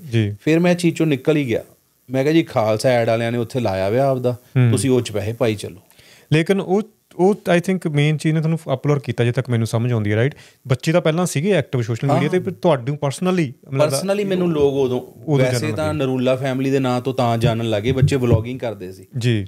ਵਲੌਗਿੰਗ ਦੇ ਵਿੱਚ ਉਹ ਸਾਨੂੰ ਵੀ ਲੈ ਲੈਂਦੇ ਸੀ। ਮਾੜਾ ਮਾੜਾ ਲੋਕਾਂ ਨੂੰ ਪਤਾ ਸੀ ਬਟ ਸਟਾਰਟਿੰਗ ਟਿਕਟੌਕ ਤੋਂ ਹੋਈ ਸੀ ਹਾਂਜੀ। ਕਿਉਂਕਿ ਕਰੋਨਾ ਕਰਕੇ ਲਾਕਡਾਊਨ ਸੀ ਸਾਰੇ ਸਾਰੇ ਤਕਰੀਬਨ ਘਰੇ ਹੀ ਬੈਠੇ ਹੁੰਦੇ ਸੀਗੇ। ਉਹ ਬੱਚਿਆਂ ਨੂੰ ਦੇਖ ਕੇ ਅਸੀਂ ਵੀ ਬਣਾਉਣ ਲੱਗੇ ਵੀਡੀਓ ਤੇ ਵੈ ਜ਼ਿਆਦਾ ਮੇਰਾ ਪਤਾ ਲੱਗਿਆ ਕਿਸਾਨੀ ਸੰਘਰਸ਼ ਵੇਲੇ। ਉਹ ਤਿੰਨ ਚਾਰ ਵੀਡੀਓ ਮੇਰੇ ਵਾਇਰਲ ਵੀ ਬਹੁਤ ਹੋਈਆਂ। ਜਿਹੜੀ ਮੈਂ ਤੁਹਾਨੂੰ ਕਿਹਾ ਨਹੀਂ ਕੋਠੀ ਵੇਚਦੀ ਸੀ। ਹਾਂਜੀ। ਸਾਡੇ ਭਰਾਵਾਂ ਲਈ ਪਾਈ ਸੀ। ਜੀ। ਉਹ ਕੋਠੀ ਦੇ ਵਿੱਚ ਫਿਰ ਮੈਂ ਪਾਪਾ ਤੋਂ ਪੈਸੇ ਲਏ ਥੋੜੇ ਜਿਹੇ। ਹੂੰ। ਉਹ ਫਿਰ ਉੱਥੇ ਦੇ ਕੇ ਆਇਆ। ਮੈਂ ਕਹਿ ਕੇ ਆਇਆ ਸੀ ਚਾਹੇ ਕੋਠੀਆਂ ਵੇਚਣੀਆਂ ਪੈ ਜਾਣ ਘਰ ਵੇਚਣੇ ਪੈ ਜਾਣ ਤੇ ਉਹ ਪੱਤਰਕਾਰ ਨੇ ਚਲਾਤੀ ਕੋਠੀ ਵੇਚ ਕੇ ਆਇਆ। ਕੋਠੀ ਤਾਂ ਵੈਸੇ ਵੇਚੀ ਸੀ ਆਪਾਂ। ਚਲੋ ਜਿਹੜੇ ਉਹ ਚੋਂ ਮੈਨੂੰ ਥੋੜੇ ਮੋਟੇ ਮਿਲੇ ਸੀ ਉਹਦੇ ਵਿੱਚੋਂ ਮੈਂ ਉੱਥੇ ਦਸਵੰਧ ਆਪਦਾ ਪਾ ਨਹੀਂ ਬਿਲਕੁਲ। ਔਰ ਇੱਕ ਗੱਲ ਮੈਂ ਹੋਰ ਇਹ ਚ ਐਡ ਕਰਨਾ ਚਾਹੁੰਦਾ ਕਿਉਂਕਿ ਆਪਾਂ ਪਹਿਲਾਂ ਤੋਂ ਜਾਣਦੇ ਆ ਤੁਸੀਂ ਇਹ ਸੋਸ਼ਲ ਜਿਹੜਾ ਵਰਕ ਹੈ ਤੁਸੀਂ ਫੇਮਸ ਤੁਸੀਂ ਬਾਅਦ ਚ ਬਹੁਤ ਬਾਅਦ ਚ ਹੋਏ ਜਾ ਕੇ ਆਪਣੇ 2022 ਅ, 2020 ਦੇ ਵਿੱਚ ਜਾਂ 2019 ਦੇ ਵਿੱਚ ਸ਼ਾਇਦ ਹਨਾ? ਲੇਕਿਨ ਇਹ ਜਿਹੜਾ ਕੰਮ ਤੁਸੀਂ ਪਹਿਲਾਂ ਹੁਣ ਵੀ ਮੈਨੂੰ ਯਾਦ ਆ ਤੁਸੀਂ ਬੱਚਿਆਂ ਨੂੰ ਖਾਣਾ ਖਵਾਉਂਦੇ ਹੁੰਦੇ ਸੀ ਦੁਕਾਨ ਦੇ ਮੂਹਰੇ ਇਕੱਠਿਆਂ ਨੂੰ ਬਿਠਾ ਕੇ ਮੇਰੇ ਰਾਈਟ ਤੁਸੀਂ ਫੇਸਬੁੱਕ ਚੈੱਕ ਕਰ ਸਕਦੇ ਹੋ। ਹਾਂ ਪੁਰਾਣਾ ਕਈ ਲੋਕ ਹੁਣ ਮੈਨੂੰ ਕਹਿੰਦੇ ਹੁੰਦੇ ਆ ਫੇਮਸ ਹੋਣ ਦੇ ਮਾਰੇ ਕਰਦੇ ਆ। ਯੈਸ ਮੇਰਾ ਤੁਸੀਂ ਦੇਖ ਸਕਦੇ ਹੋ 2016 ਚ ਵੀ ਕਿਸੇ ਦਾ ਘਰ ਬਣਾ ਕੇ ਦਿੱਤਾ ਸੀ। ਯਾ ਮੈਨੂੰ ਯਾਦ ਆ ਤੁਸੀਂ ਪਹਿਲਾਂ ਮੈਨੂੰ ਵੀ ਮੈਸੇਜ ਪਾਉਂਦੇ ਰਹੇ ਸਾਰਿਆਂ। ਨੂੰ ਕਹਿੰਦੇ ਹੁੰਦੇ ਤੁਹਾਡੇ ਸੀ ਵਰਗੇ ਭਰਾ ਨਾਲ ਰਲ ਕੇ ਮੇਰੇ ਦੋਸਤਾਂ ਨੇ ਰਲ ਕੇ। ਮੇਰਾ ਕੀ ਹੁੰਦਾ ਇੱਕ ਟੀਚਾ ਹੁੰਦਾ ਯਾਰ ਵੀ ਜੇ ਅਸੀਂ 50 ਬੰਦੇ ਰਲ ਕੇ ਜੀ। 4-4000 ਪਾ ਕੇ ਕਿਸੇ ਦਾ ਘਰ ਬਣ ਰਿਹਾ 2-4 ਲੱਖ ਚ 5 ਲੱਖ ਤੇ ਆਪਾਂ ਨੂੰ ਕਰ ਦੇਣਾ ਚਾਹੀਦਾ। ਮੈਨੂੰ ਯਾਦ ਆ ਤੁਸੀਂ ਉਦੋਂ ਵੀ ਅਪਰੋਚ ਕਰ ਦਿੰਦੇ ਵੀ ਆਪਾਂ ਆਹ ਕੰਮ ਕਰਨ ਲੱਗੇ ਆ ਤੁਸੀਂ ਕੰਟਰੀਬਿਊਟ ਕਰੋ ਆਪਾਂ ਕਰਦੇ ਰਹੇ ਹਾਂ ਇਕੱਠੇ ਮਿਲ ਕੇ। ਸੋ ਇਹ ਜਿਹੜੇ ਲੋਕਾਂ ਨੂੰ ਇੱਕ ਕਨਫਿਊਜ਼ਨ ਹੈ ਵੀ ਕਿਤੇ ਫੇਮਸ ਹੋਣ ਜਾਂ ਪਪੂਲੈਰਿਟੀ ਵਾਸਤੇ ਲੋਕ ਇਹ ਕੰਮ ਕਰਦੇ ਨੇ ਸੋਸ਼ਲ ਨਹੀਂ ਇਹ ਭਾਜੀ ਨੂੰ ਮੈਂ 15 16 ਸਾਲ ਤੋਂ ਜਾਣਦਾ ਉਸ ਟਾਈਮ ਤੋਂ ਹੀ ਇਹ ਪਹਿਲਾਂ ਛੋਟੇ ਲੈਵਲ ਤੇ ਆਪਣੀ ਦੁਕਾਨ ਤੇ ਬੱਚਿਆਂ ਨੂੰ ਜੂਸ ਪਿਆਤਾ ਉਹਨਾਂ ਨੂੰ ਲੰਚ ਕਰਾਤਾ ਉਹਨਾਂ ਨੂੰ ਕੱਪੜੇ ਲੈਤੇ ਫਿਰ ਲੋਕਾਂ ਦੇ ਘਰ ਪਾ ਕੇ ਦੇਣੇ। ਸੋ ਇਹਨਾਂ ਦੇ ਮੈਂ ਮੈਂ ਇਸ ਲਈ ਬਾਰ-ਬਾਰ ਕਹਿਣਾ ਹੁੰਦਾ ਜੇ ਫੇਮਸ ਹੋਇਆ ਤਾਂ ਇਹਦੇ ਪਿੱਛੇ ਕੋਈ ਰੀਜ਼ਨ ਹੁੰਦਾ ਤੇ ਇਹਦੇ ਪਿੱਛੇ ਕਰਮ ਹੁੰਦੇ ਆ ਬੰਦੇ ਦੇ। ਹੋ ਸਕਦਾ ਲੋਕ ਪਰਮਾਤਮਾ ਨੇ। ਹਾਂ, ਲੋਕ ਸਾਨੂੰ ਕਹਿੰਦੇ ਆ ਕਿ ਦਿਖਾਵਾ ਕਰਦੇ ਆ। ਹੁਣ ਮੈਨੂੰ ਸਾਨੂੰ ਕਮੈਂਟ ਆਉਂਦੇ ਆ। ਇਹ ਇਹ ਕਈ ਵਾਰੀ ਪੜੂਗੀ ਆਹ ਦੇਖ ਲਓ। ਮੈਂ ਉਹਨਾਂ ਨੂੰ ਕੀ ਕਹਿਣਾ ਹੁੰਨਾ ਆਹ ਦਿਖਾਵਾ ਤੁਸੀਂ ਵੀ ਕਰ ਲਓ ਯਾਰ। ਜੀ ਬਿਲਕੁਲ। ਅਸੀਂ ਤਾਂ ਤਾਂ ਇਹ ਪਾਉਨੇ ਸੋਸ਼ਲ ਮੀਡੀਆ ਦੇ ਕਿ ਸਾਨੂੰ ਦੇਖ ਕੇ ਤੁਹਾਡਾ ਵੀ ਜ਼ਮੀਰ ਜਾਗੂ ਹਨਾ। ਵੀ ਤੁਸੀਂ ਮੰਨ ਲਓ ਆਪਾਂ ਕਿਤੇ ਬਾਹਰ ਕੁਝ ਖਾਣ ਪੀਣ ਜਾਂਦੇ ਆ। ਤੁਸੀਂ ਮੰਨੋਗੇ ਭਾਜੀ ਕੋਈ ਟਾਈਮ ਨਹੀਂ ਲੱਗਦਾ 1000 2000 ਰੁਪਏ ਚ ਆਪਾਂ ਖਾ ਕੇ ਵਾਪਸ ਮੁੜ True. ਉਹੀ 1000 2000 ਚ ਕਿਸੇ ਗਰੀਬ ਦਾ ਇੱਕ ਮਹੀਨੇ ਦਾ ਰਾਸ਼ਨ ਵੀ ਆ ਜਾਂਦਾ ਜੀ। ਹਨਾ? ਅਸੀਂ ਆ ਚੀਜ਼ਾਂ ਨਾ ਸਕਿਪ ਕਰਦੇ ਆ ਇਹ ਚੀਜ਼ਾਂ ਅਸੀਂ ਬਹੁਤ ਸਾਡੇ ਡਿਨਰ ਸਕਿਪ ਹੁੰਦੇ ਆ ਬਾਹਰ ਦੇ। ਹੂੰ। ਅਸੀਂ ਕੀ ਕਰਦੇ ਹਾਂ ਪੈਸਿਆਂ ਨਾਲ ਕਿਸੇ ਨੂੰ ਰਾਸ਼ਨ ਦੇਤਾ। ਯਾ ਕਿਸੇ ਦੀ ਦਵਾ- ਆ ਮੇਰੇ ਮੋਬਾਈਲ 'ਚ ਅੱਜ ਵੀ ਆਇਆ ਹੋਇਆ ਵਾ ਰਾਤ ਦਾ ਆਇਆ। ਆਪਣਾ ਹੁਣ ਦੇਖੋ ਇਹ ਤਾਂ ਆਪਣੀ ਹੁਣ ਚੱਲੀ ਆ ਨਾ। ਗੱਲਬਾਤ ਹੈ ਜੀ। ਆ ਕੁਦਰਤੀ ਚਲੋ ਆਪਣੀ ਹੁਣ ਆਪਾਂ ਨਾਮ ਨਹੀਂ ਤੁਹਾਨੂੰ ਪੜਾਵਾਂਗੇ ਜੀ। ਇਹਦੇ ਵਿੱਚ ਤੁਸੀਂ ਮੈਸੇਜ ਦੇ ਸਕਦੇ ਮੈਨੂੰ ਰੋਜ਼ ਮੈਸੇਜ ਆ ਜਾਂਦਾ ਕੋਈ ਨਾ ਕੋਈ। ਆਲੋ ਮੈਂ ਨਾਮ ਹਾਈਡ ਕਰਤਾ। ਜੀ। ਤੋ ਇਹਨੂੰ ਆਪਾਂ ਡਿਸਪਲੇ ਕਰਾਂਗੇ। ਜੀ ਬਿਲਕੁਲ ਲੋਕ ਪੁੱਛਦੇ ਨੇ ਹਾਂ ਇਹ ਬੰਦਾ ਕਹਿੰਦਾ ਮੈਂ ਜਗਰਾਉਂ ਦਾ ਰਹਿਣ ਵਾਲਾ। ਵੀ ਮੇਰੇ ਬੱਚਿਆਂ ਦੀ ਇਹਨੂੰ ਕੈਂਸਰ ਆ। ਜੀ। ਮੇਰੇ ਬੱਚਿਆਂ ਦੀ ਫੀਸ ਮੇਰਾ ਇਦਾਂ ਕਰਕੇ ਵੀ ਰਾਸ਼ਨ ਦਾ ਮੇਰਾ ਚੱਲ ਨਹੀਂ ਰਿਹਾ। ਵੀ ਮੈਂ ਰਿਕੁਐਸਟ ਕਰਦਾ ਮੇਰਾ ਕੁਝ ਹੱਲ ਕਰ ਦਿਓ। ਹੁਣ ਆਹੀ ਇਹਨੂੰ ਮੈਂ ਕ੍ਰਾਸ ਚੈੱਕ ਕਰਨ ਲਈ ਆ ਸਾਡੇ ਵਿਸ਼ਾਲ ਜੀ ਆ। ਜੀ। ਮੈਂ ਇਹਨੂੰ ਐਡਰੈਸ ਭੇਜਿਆ ਵੌਇਸ ਕਾਲ ਹੋਈ ਵੀ ਆ। ਮੈਂ ਕਿਹਾ ਯਾਰ ਪਤਾ ਕਰ ਇਹਨਾਂ ਬਾਰੇ ਜੇ ਇੰਨਾ ਹੀ ਬੰਦਾ ਦਿੱਕਤ ਚ ਆ ਤੇ ਅਸੀਂ ਹੁਣ ਇੱਥੇ ਵਿਨੀਪੈਗ ਜਾਣਾ ਸੀ। ਹੂੰ। ਮੇਰਾ ਦੋਸਤ ਆ ਉੱਥੇ। ਰਾਈਟ ਮੈਂ ਕਿਹਾ ਵੀ ਆਪਾਂ ਸਰੀ ਤਾਂ ਚੱਲਣਾ ਆ ਮੌਂਟਰੀਅਲ ਵੀ ਦੇਖ ਲਿਆ। ਆਪਾਂ ਵਿਨੀਪੈਗ ਜੇ ਛੱਡਦੇ ਆ ਵਿਨੀਪੈਗ ਛੱਡ ਦਿੰਨੇ ਆ ਆਪਾਂ ਜਿਹੜਾ ਉੱਥੋਂ ਆਪਣਾ ਫਲਾਈਟ ਦਾ ਖਰਚਾ ਘੁੰਮਣ ਦਾ ਖਰਚਾ ਉਹ ਆਪਾਂ ਇਹਨੂੰ ਦੇ ਦਾਂਗੇ। ਇਹਦੀ ਫੈਮਿਲੀ ਦਾ. ਬੱਚਿਆਂ ਦੀ ਫੀਸ ਵੀ ਹੋ ਜਾਣੀ ਰਾਸ਼ਨ ਵੀ ਹੋ ਜਾਣਾ। ਵੈਰੀ ਕੁਝ ਚੀਜ਼ਾਂ ਸਕਿਪ ਕਰਨੀਆਂ ਪੈਂਦੀਆਂ ਫਿਰ ਲਾਈਫ 'ਚ ਬਹੁਤ ਖੂਬ ਜੀ ਬਿਲਕੁਲ ਬਹੁਤ ਸਹੀ ਹੈ ਭਾਈ ਸੋਸ਼ਲ ਮੀਡੀਆ ਦੀ ਥੋੜਾ ਜਿਹਾ ਸਟਾਰਟ ਕਰਦੇ ਹਾਂ ਵੀ ਜੇ ਤੁਸੀਂ ਇੱਕ ਹੀ ਵੈਲ ਥਾਟ ਆਊਟ ਪਲਾਨ ਸੀਗਾ ਵੀ ਸੋਸ਼ਲ ਮੀਡੀਆ ਤੇ ਕਿੱਦਾਂ ਆਏ ਤੁਸੀਂ? ਕਿਉਂਕਿ ਪੈਸੇ ਦਾ ਤਾਂ ਮੈਨੂੰ ਪਤਾ ਸੀ ਤੁਸੀਂ ਵੈਲ ਟੂ ਡੂ ਸੀਗੇ ਬਿਜ਼ਨਸ ਦੇ ਵਿੱਚ ਨਾ ਪੈਸਾ ਮੋਟੀਵੇਸ਼ਨ ਸੀ ਜਾਂ ਫੇਮ ਚਾਹੁੰਦੇ ਸੀ ਜਾਂ ਕੋਈ ਹੋਰ ਰੀਜਨ ਸੀ? ਕਿੱਦਾਂ ਇਹ ਸਬਬ ਕੁਝ ਵੀ ਨਹੀਂ ਸੋਚਿਆ ਸੀ ਕੁਝ ਅਸੀਂ ਤਾਂ ਭਾਈ ਸੋਚਿਆ ਹੀ ਨਹੀਂ ਸੀ। ਬੱਚੇ ਆਏ ਸੀ ਸੋਸ਼ਲ ਮੀਡੀਆ ਤੇ। ਬੱਚਿਆਂ ਦੇ ਨਾਲ ਨਾਲ ਨਾਲ ਨਾਲ ਜਦੋਂ ਜਾਣਾ ਇਹਨਾਂ ਦੀਆਂ ਫੋਟੋਆਂ ਜੀਆਂ ਕਰਾਂ ਲੱਗ ਜਾਣਾ ਲੋਕਾਂ ਨੇ ਹੂੰ। ਮੈਨੂੰ ਵਧੀਆ ਲੱਗਣਾ ਚਲੋ ਠੀਕ ਆ ਵੀ ਕਿਸੇ ਦੇ ਬੱਚੇ ਤਰੱਕੀ ਕਰਦੇ ਆ ਹਨਾ। ਕੋਈ ਦੁਨੀਆ ਜਾਣਦੀ ਆ। ਉਹ ਹੌਲੀ ਹੌਲੀ ਕੀ ਕੀਤਾ? ਇੱਕ ਦਿਨ ਲੋਕਡਾਊਨ ਚ ਇਦਾਂ ਇਹ ਵੀਡੀਓ ਬਣਾਈ ਜਾਣ ਇਹ ਵੀ ਬਣਾਈ ਜਾਵੇ ਮੈਂ ਵੀ ਵਿੱਚ ਬਣਾਤੀ ਇੱਕ ਆ ਕੇ। ਸਾਡੀ ਉਹ ਵੀਡੀਓ ਜੀ ਚੱਲ ਗਈ ਟਿਕਟੋਕ ਤੇ ਪਾਤੀ। ਪਤਾ ਹੀ ਨਹੀਂ ਲੱਗਿਆ ਮੈਨੂੰ ਹੁਣ ਤੱਕ ਨਹੀਂ ਪਤਾ ਵੀ ਕਿਵੇਂ ਅਸੀਂ ਆ ਗਏ ਕਿ ਇਹ ਤਾਂ ਪ੍ਰਮਾਤਮਾ ਵੱਲੋਂ ਪਲਾਨਡ ਹੋਊਗਾ। ਤੇ ਫਲੋ ਫਲੋ ਦੇ ਵਿੱਚ ਹੀ ਇਹ ਕੰਮ ਸਾਰਾ ਹੋ ਗਿਆ। ਕੁਝ ਮੈਨੂੰ ਪਤਾ ਕੀ ਹੁੰਦਾ ਬਾਜੀ ਟੂ ਬੀ ਓਨੈਸਟ ਸਾਨੂੰ ਪੈਸੇ ਆਉਂਦੇ ਆ ਇਸ ਚੀਜ਼ ਦੇ। ਜੀ। ਸਾਨੂੰ ਇੰਸਟਾ ਤੇ ਰੀਲ ਪਾਉਣ ਦੇ ਪੈਸੇ ਆਉਂਦੇ ਆ ਵੱਡੇ ਵੱਡੇ ਸਿੰਗਰ ਅਪਰੋਚ ਕਰਦੇ ਆ। ਜੀ। ਸਾਨੂੰ ਪੈਸੇ ਦਿੰਦੇ ਆ। ਮੈਨੂੰ ਹੁੰਦਾ ਕਿ ਇਹ ਪੈਸੇ ਨਾਲ ਅਸੀਂ ਜਿਵੇਂ ਦਸਵੰਦ ਕੱਢਦੇ ਆ ਜੀ। ਆਪਦੇ ਤੇ ਵੀ ਖਰਚ ਕਰਦੇ ਆ ਪਲੱਸ ਕਿਸੇ ਦੀ ਹੈਲਪ ਵੀ ਹੋ ਜਾਂਦੀ ਹੈ। ਬਿਲਕੁਲ ਜੀ। ਇਹ- ਇਹਦੇ ਨਾਲ ਹੀ ਜੁੜੀ ਹੋਈ ਗੱਲ ਜਿਹੜੀ ਨੈਗੇਟਿਵਿਟੀ ਆ ਸੋਸ਼ਲ ਮੀਡੀਆ ਦੇ ਅਲੱਗ-ਅਲੱਗ ਪੱਖ ਹੈਗੇ ਨੇ ਹਨਾ। ਤੇ ਟ੍ਰੋਲਰਸ ਵੀ ਬਹੁਤ ਨੇ ਕਮੈਂਟ ਕਰਨ ਵਾਲੇ ਵੀ ਬਹੁਤ ਹੈ। ਇਹ ਤੁਹਾਨੂੰ ਮੈਂਟਲ ਸਟ੍ਰੈਸ ਨਹੀਂ ਦਿੰਦਾ ਕਿੱਦਾਂ ਹੈਂਡਲ ਕਰਦੇ ਹੋ ਚੀਜ਼ ਨੂੰ? ਟਰੋਲਰ ਦਾ ਕੀ ਦਸੀਏ ਜੀ? ਪਹਿਲਾਂ ਪਹਿਲਾਂ ਨਾ ਹੁੰਦਾ ਸੀ ਮੈਨੂੰ ਟਰੋਲਰਸ ਦਾ। ਹਾਂਜੀ। ਚਲੋ ਪ੍ਰਮਾਤਮਾ ਨੇ ਉਹਨਾਂ ਨੂੰ ਉਹਨਾਂ ਦੇ ਕੰਮ ਲਾਇਆ। ਕੁਝ ਚੀਜ਼ਾਂ ਸਾਨੂੰ ਟਰੋਲਰ ਤੋਂ ਸਿੱਖਣ ਨੂੰ ਵੀ ਮਿਲਦੀਆਂ। ਹੂੰ। ਕੁਝ ਅਸੀਂ ਗਲਤੀ ਕਰ ਜਾਂਦੇ ਕਿਤੇ ਜਾ ਕੇ. ਕਿਉਂਕਿ ਜੇ ਤੁਹਾਨੂੰ ਕੋਈ ਸਮਝਾਉਣ ਵਾਲਾ ਨਹੀਂ ਹੋਊਗਾ ਟੌਂਚ ਮਾਰਨ ਵਾਲਾ ਹੀ ਹੋਊਗਾ ਤੁਹਾਨੂੰ ਪਤਾ ਤਾਂ ਲੱਗਦਾ ਨਾ। ਹਾਂ ਜੀ ਉਹਨੇ ਜਦੋਂ ਟੌਂਚ ਮਾਰੀ ਤੁਸੀਂ ਆਹ ਕੀ ਕੀਤਾ ਇਦਾਂ ਕੀ ਕੀਤਾ ਫਿਰ ਮੈਂ ਇਹਨੂੰ ਸਮਝਾਉਣਾ ਯਾਰ ਆਹ ਚੀਜ਼ ਆਪਾਂ ਨਾ ਕਰੀਏ। ਹੂੰ। ਕੁਝ ਚੀਜ਼ਾਂ ਹੁੰਦੀਆਂ ਜਿਹੜੀਆਂ ਲੈਸਨ ਲੈਣੇ ਤੁਸੀਂ ਜਿਹੜੀ ਚੀਜ਼ ਅਸੀਂ ਕਰ ਬੈਨੇ ਆ ਪਰ ਉਹ ਕਰਨੀ ਨਹੀਂ ਚਾਹੀਦੀ ਉਦਾਂ ਦਾ ਕੁਝ ਨਹੀਂ ਕਰਨਾ। ਵੈਸੇ ਤਾਂ ਅਸੀਂ ਬੜਾ ਸੋਚ ਸਮਝ ਅਸੀਂ ਕੇ। ਰਿਪਲਾਈ ਨਹੀਂ ਕਰਦੇ ਕਿਸੇ ਵੀ ਬੈਡ ਜ਼ਿਆਦਾ ਅਸੀਂ, ਹਾਂ, reply ਨਹੀਂ ਕਰਦੇ। ਕਿਉਂਕਿ ਬਹੁਤ ਜਾਣੇ ਹੁੰਦੇ ਆ ਕਿ ਉਹ ਤਾਕ 'ਚ ਹੀ ਬੈਠੇ ਹੁੰਦੇ ਕਿ ਸਾਨੂੰ ਰਿਪਲਾਈ ਕਰਨਾ ਸੀ ਅੱਗੋਂ ਰਿਪਲਾਈ ਕਰੀਏ। ਤੁਸੀਂ ਆ ਮੋਬਾਈਲ ਦੇਖ ਲਓ ਭਰਿਆ ਪਿਆ ਹੋਊਗਾ। ਅਸੀਂ ਰਿਪਲਾਈ ਨਹੀਂ ਕਰਦੇ। ਹਾਂ ਜਿਵੇਂ ਇਹਦੇ ਕਮੈਂਟ ਦੇਖੋ ਪੋਜ਼ਿਟਿਵ ਕਮੈਂਟ ਵੀ ਹੁੰਦੇ। 100 ਦੇ ਵਿੱਚੋਂ ਲੈਸੇ ਅਗਰ ਅਹ, 90 ਕਮੈਂਟ ਤੁਹਾਡੇ ਆਪਾਂ ਕਹਿੰਦੇ ਪੋਜ਼ਿਟਿਵ ਆ 10 ਕਮੈਂਟ ਦੂਜੇ ਵੀ ਹੋਣਗੇ ਰਾਈਟ ਸੋ ਲੇਕਿਨ ਅਸੀਂ ਵੀ ਥੋੜਾ ਬਹੁਤ ਸੋਸ਼ਲ ਮੀਡੀਆ ਕਰਦੇ ਆ ਜਾਂਦੀ ਨਜ਼ਰ ਉਹਦੇ ਤੇ ਹੀ ਆ ਜਿਹੜੇ ਬੰਦੇ ਨੇ ਕਿਸੇ ਗਲਤ ਲਿਖਿਆ ਹੁੰਦਾ ਦੇਖੋ ਸਹੀ ਵੱਲ ਨਹੀਂ ਜਾਂਦਾ ਧਿਆਨ। ਜਿਹੜਾ ਤੁਹਾਡੇ ਬਾਰੇ ਗਲਤ ਬੋਲਦਾ ਫਿਰ ਉਹੀ ਅਸੀਂ ਉਹ ਤੋਂ ਸਿੱਖ ਲੈਂਦੇ ਆ ਜੇ ਤਾਂ ਸਿੱਖਣ ਵਾਲਾ ਵਾ ਜਿਹਨੇ ਤਾਂ ਵਧੀਆ ਸਾਨੂੰ ਕਿਹਾ ਵੀ ਹਾਂ ਜਿਹੜੇ ਲੱਗਦਾ ਮੈਨੂੰ. ਜਿਹੜਾ ਵੈਸੇ ਹੀ ਸਾਨੂੰ ਡੇਗਣ ਨੂੰ ਫਿਰਦਾ ਫਿਰ ਅਸੀਂ ਉਹ ਡਿਲੀਟ ਕਰਕੇ ਸਾਈਡ ਤੇ ਕਰ ਦਈਦਾ।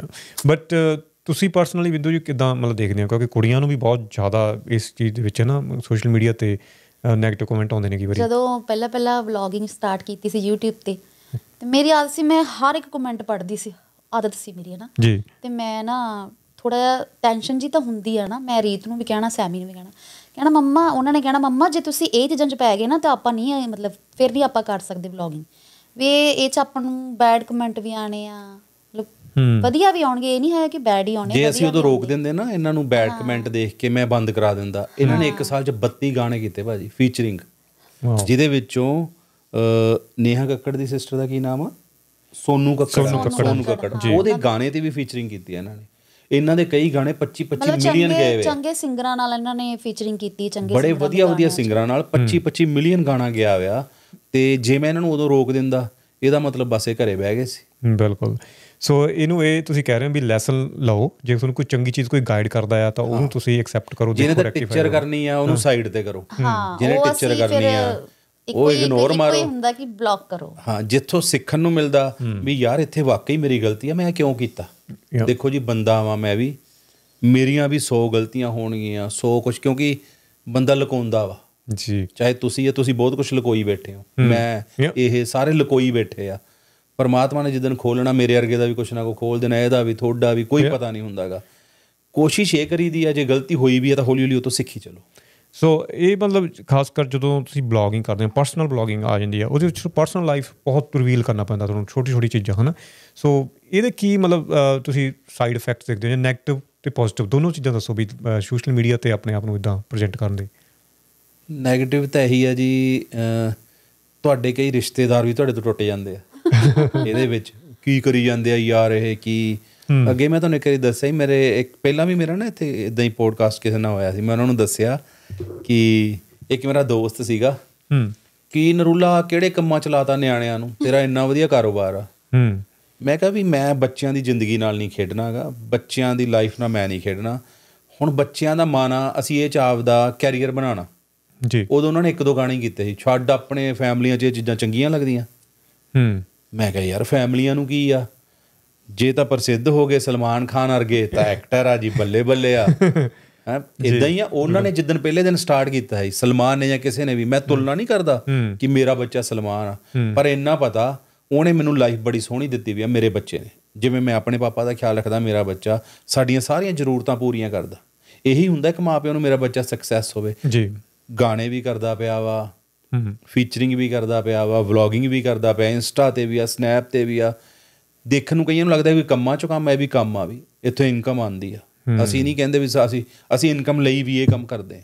ਐਬਸੋਲੂਟਲੀ ਘਰ ਦੀਆਂ ਵੀ ਸਾਰੀ ਰਿਸਪੌਂਸਿਬਿਲਟੀ ਚੁੱਕੀਆਂ ਹੋਈਆਂ ਉਹਨੇ ਇਹ ਨਹੀਂ ਹੈ ਕਿ ਇਹਨਾਂ ਚੀਜ਼ਾਂ ਤੋਂ ਭੱਜਦਾ ਭਾਜੀ ਉਹ। ਕੱਲੇ ਸਾਡੇ ਘਰ ਦੀਆਂ ਨਹੀਂ ਮੈਂ ਕਈ ਵਾਰ ਦੱਸ ਚੁੱਕਿਆ ਮੇਰੇ ਕੋਲ ਪ੍ਰੂਫ ਪਏ ਆ ਬੱਚਿਆਂ ਦੀਆਂ ਫੀਸਾਂ ਜਾ ਰਹੀਆਂ ਕਈ ਸਕੂਲਾਂ ਦੀਆਂ ਹੂੰ ਹੂੰ ਕਈਆਂ ਦੇ ਪੱਕੇ ਰਾਸ਼ਨ ਜਾ ਰਹੇ ਆ ਕਈਆਂ ਦੀਆਂ ਪੱਕੀਆਂ ਦਵਾਈਆਂ ਜਾ ਰਹੀਆਂ ਮਿਸਟਰ ਮਿਸਿਸ ਨਰੂਲਾ ਵੱਲੋਂ ਸੈਮ ਸੋ। ਇਹ ਮੋਟੀਵੇਸ਼ਨ ਤੁਹਾਡੀ ਇਹ ਆ ਵੀ ਤੁਸੀਂ ਇਹਦੇ ਚੋਂ ਮਤਲਬ ਕਿਸੇ ਨਾ ਕਿਸੇ ਲੋਕਾਂ ਦੀ ਹੈਲਪ ਕਰ ਪਾਉਣੇ ਜੋ ਐਕਸਟਰਾ ਪੈਸਾ ਤੁਹਾਨੂੰ ਮਿਲਦਾ ਆ ਤੋ ਪਲੱਸ ਅਗਰ ਅਸੀਂ ਹਰ ਚੀਜ਼ ਦੀ ਵੀਡੀਓ ਬਣਾ ਬਣਾ ਕੇ ਪਾਉਣ ਲੱਗੇ ਪਹਿਲਾਂ ਪਾਈ ਸੀ। ਤੇ ਲੋਕਾਂ ਨੂੰ ਹਾਂ ਲੋਕਾਂ ਨੂੰ ਇਹ ਲੱਗਣਾ ਕਿ ਇਹਨਾਂ ਨੇ ਤਾਂ ਇਹ ਦਿਖਾਵਾ ਕਰਦੇ ਆ। ਦਿਖਾਵਾ ਹੀ ਕਰੀ ਜਾਂਦੇ ਆ ਹੁਣ ਅਸੀਂ ਬਹੁਤ ਚੀਜ਼ਾਂ ਹੈਗੀਆਂ ਜਿਹੜੀਆਂ ਚੁੱਪਚਾਪ ਹੀ ਕਰ ਦਿੰਨੇ ਆ ਕੁਛ ਚੀਜ਼ਾਂ ਚੁੱਪਚਾਪ ਕੁਛ ਚੀਜ਼ਾਂ ਅਸੀਂ ਕਰਨੀਆਂ ਸ਼ੁਰੂ ਕੀਤੀਆਂ ਦਿਖਾ ਕੇ। ਹੂੰ। ਤਾਂ ਕਿ ਲੋਕ ਮੋਟੀਵੇਟ ਹੋਣ। ਇੱਕ ਮਾਨਸਾ ਤੋਂ ਅੱਗੇ ਜਾ ਕੇ ਨਾ ਆਪਣੇ ਰਾਜਸਥਾਨ ਦੇ ਬਾਰਡਰ ਤੇ ਪਿੰਡ ਆ ਉੱਥੇ ਇੱਕ ਜਵਾਕੜੀ ਸੀਗੀ ਵਿਚਾਰੀ ਕੁੜੀ ਤੇ ਮੁੰਡਾ। ਭੈਣ ਭਰਾ ਇਕੱਲੇ ਹੀ ਸੀ ਮਾਪਿਓ ਮਰ ਗਏ ਉਹਨਾਂ ਦੇ ਵਿਚਾਰਿਆਂ ਦੇ। ਹੂੰ। ਤੇ ਮੈਨੂੰ ਕਿਸੇ ਫੈਨ ਨੇ ਵੀਡੀਓ ਭੇਜੀ ਕਿਉਂਕਿ ਉਹ ਮੇਰੀਆਂ ਵੀਡੀਓਜ਼ ਦੇਖਦਾ ਹੀ ਇਹ ਹੈਲਪ ਕਰਦੇ ਆ ਜਾ ਕੇ। ਅਸੀਂ ਕੁਝ ਨਹੀਂ ਕਰਨਾ ਜਾ ਕੇ ਵੀਡੀਓ ਬਣਾ ਕੇ ਅਸੀਂ ਅਪਲੋਡ ਕਰ ਦੇਣੀ ਆ ਜਿੰਨਾ ਦਸਵੰਧ ਆ ਅਸੀਂ ਦੇ ਆਣਾ।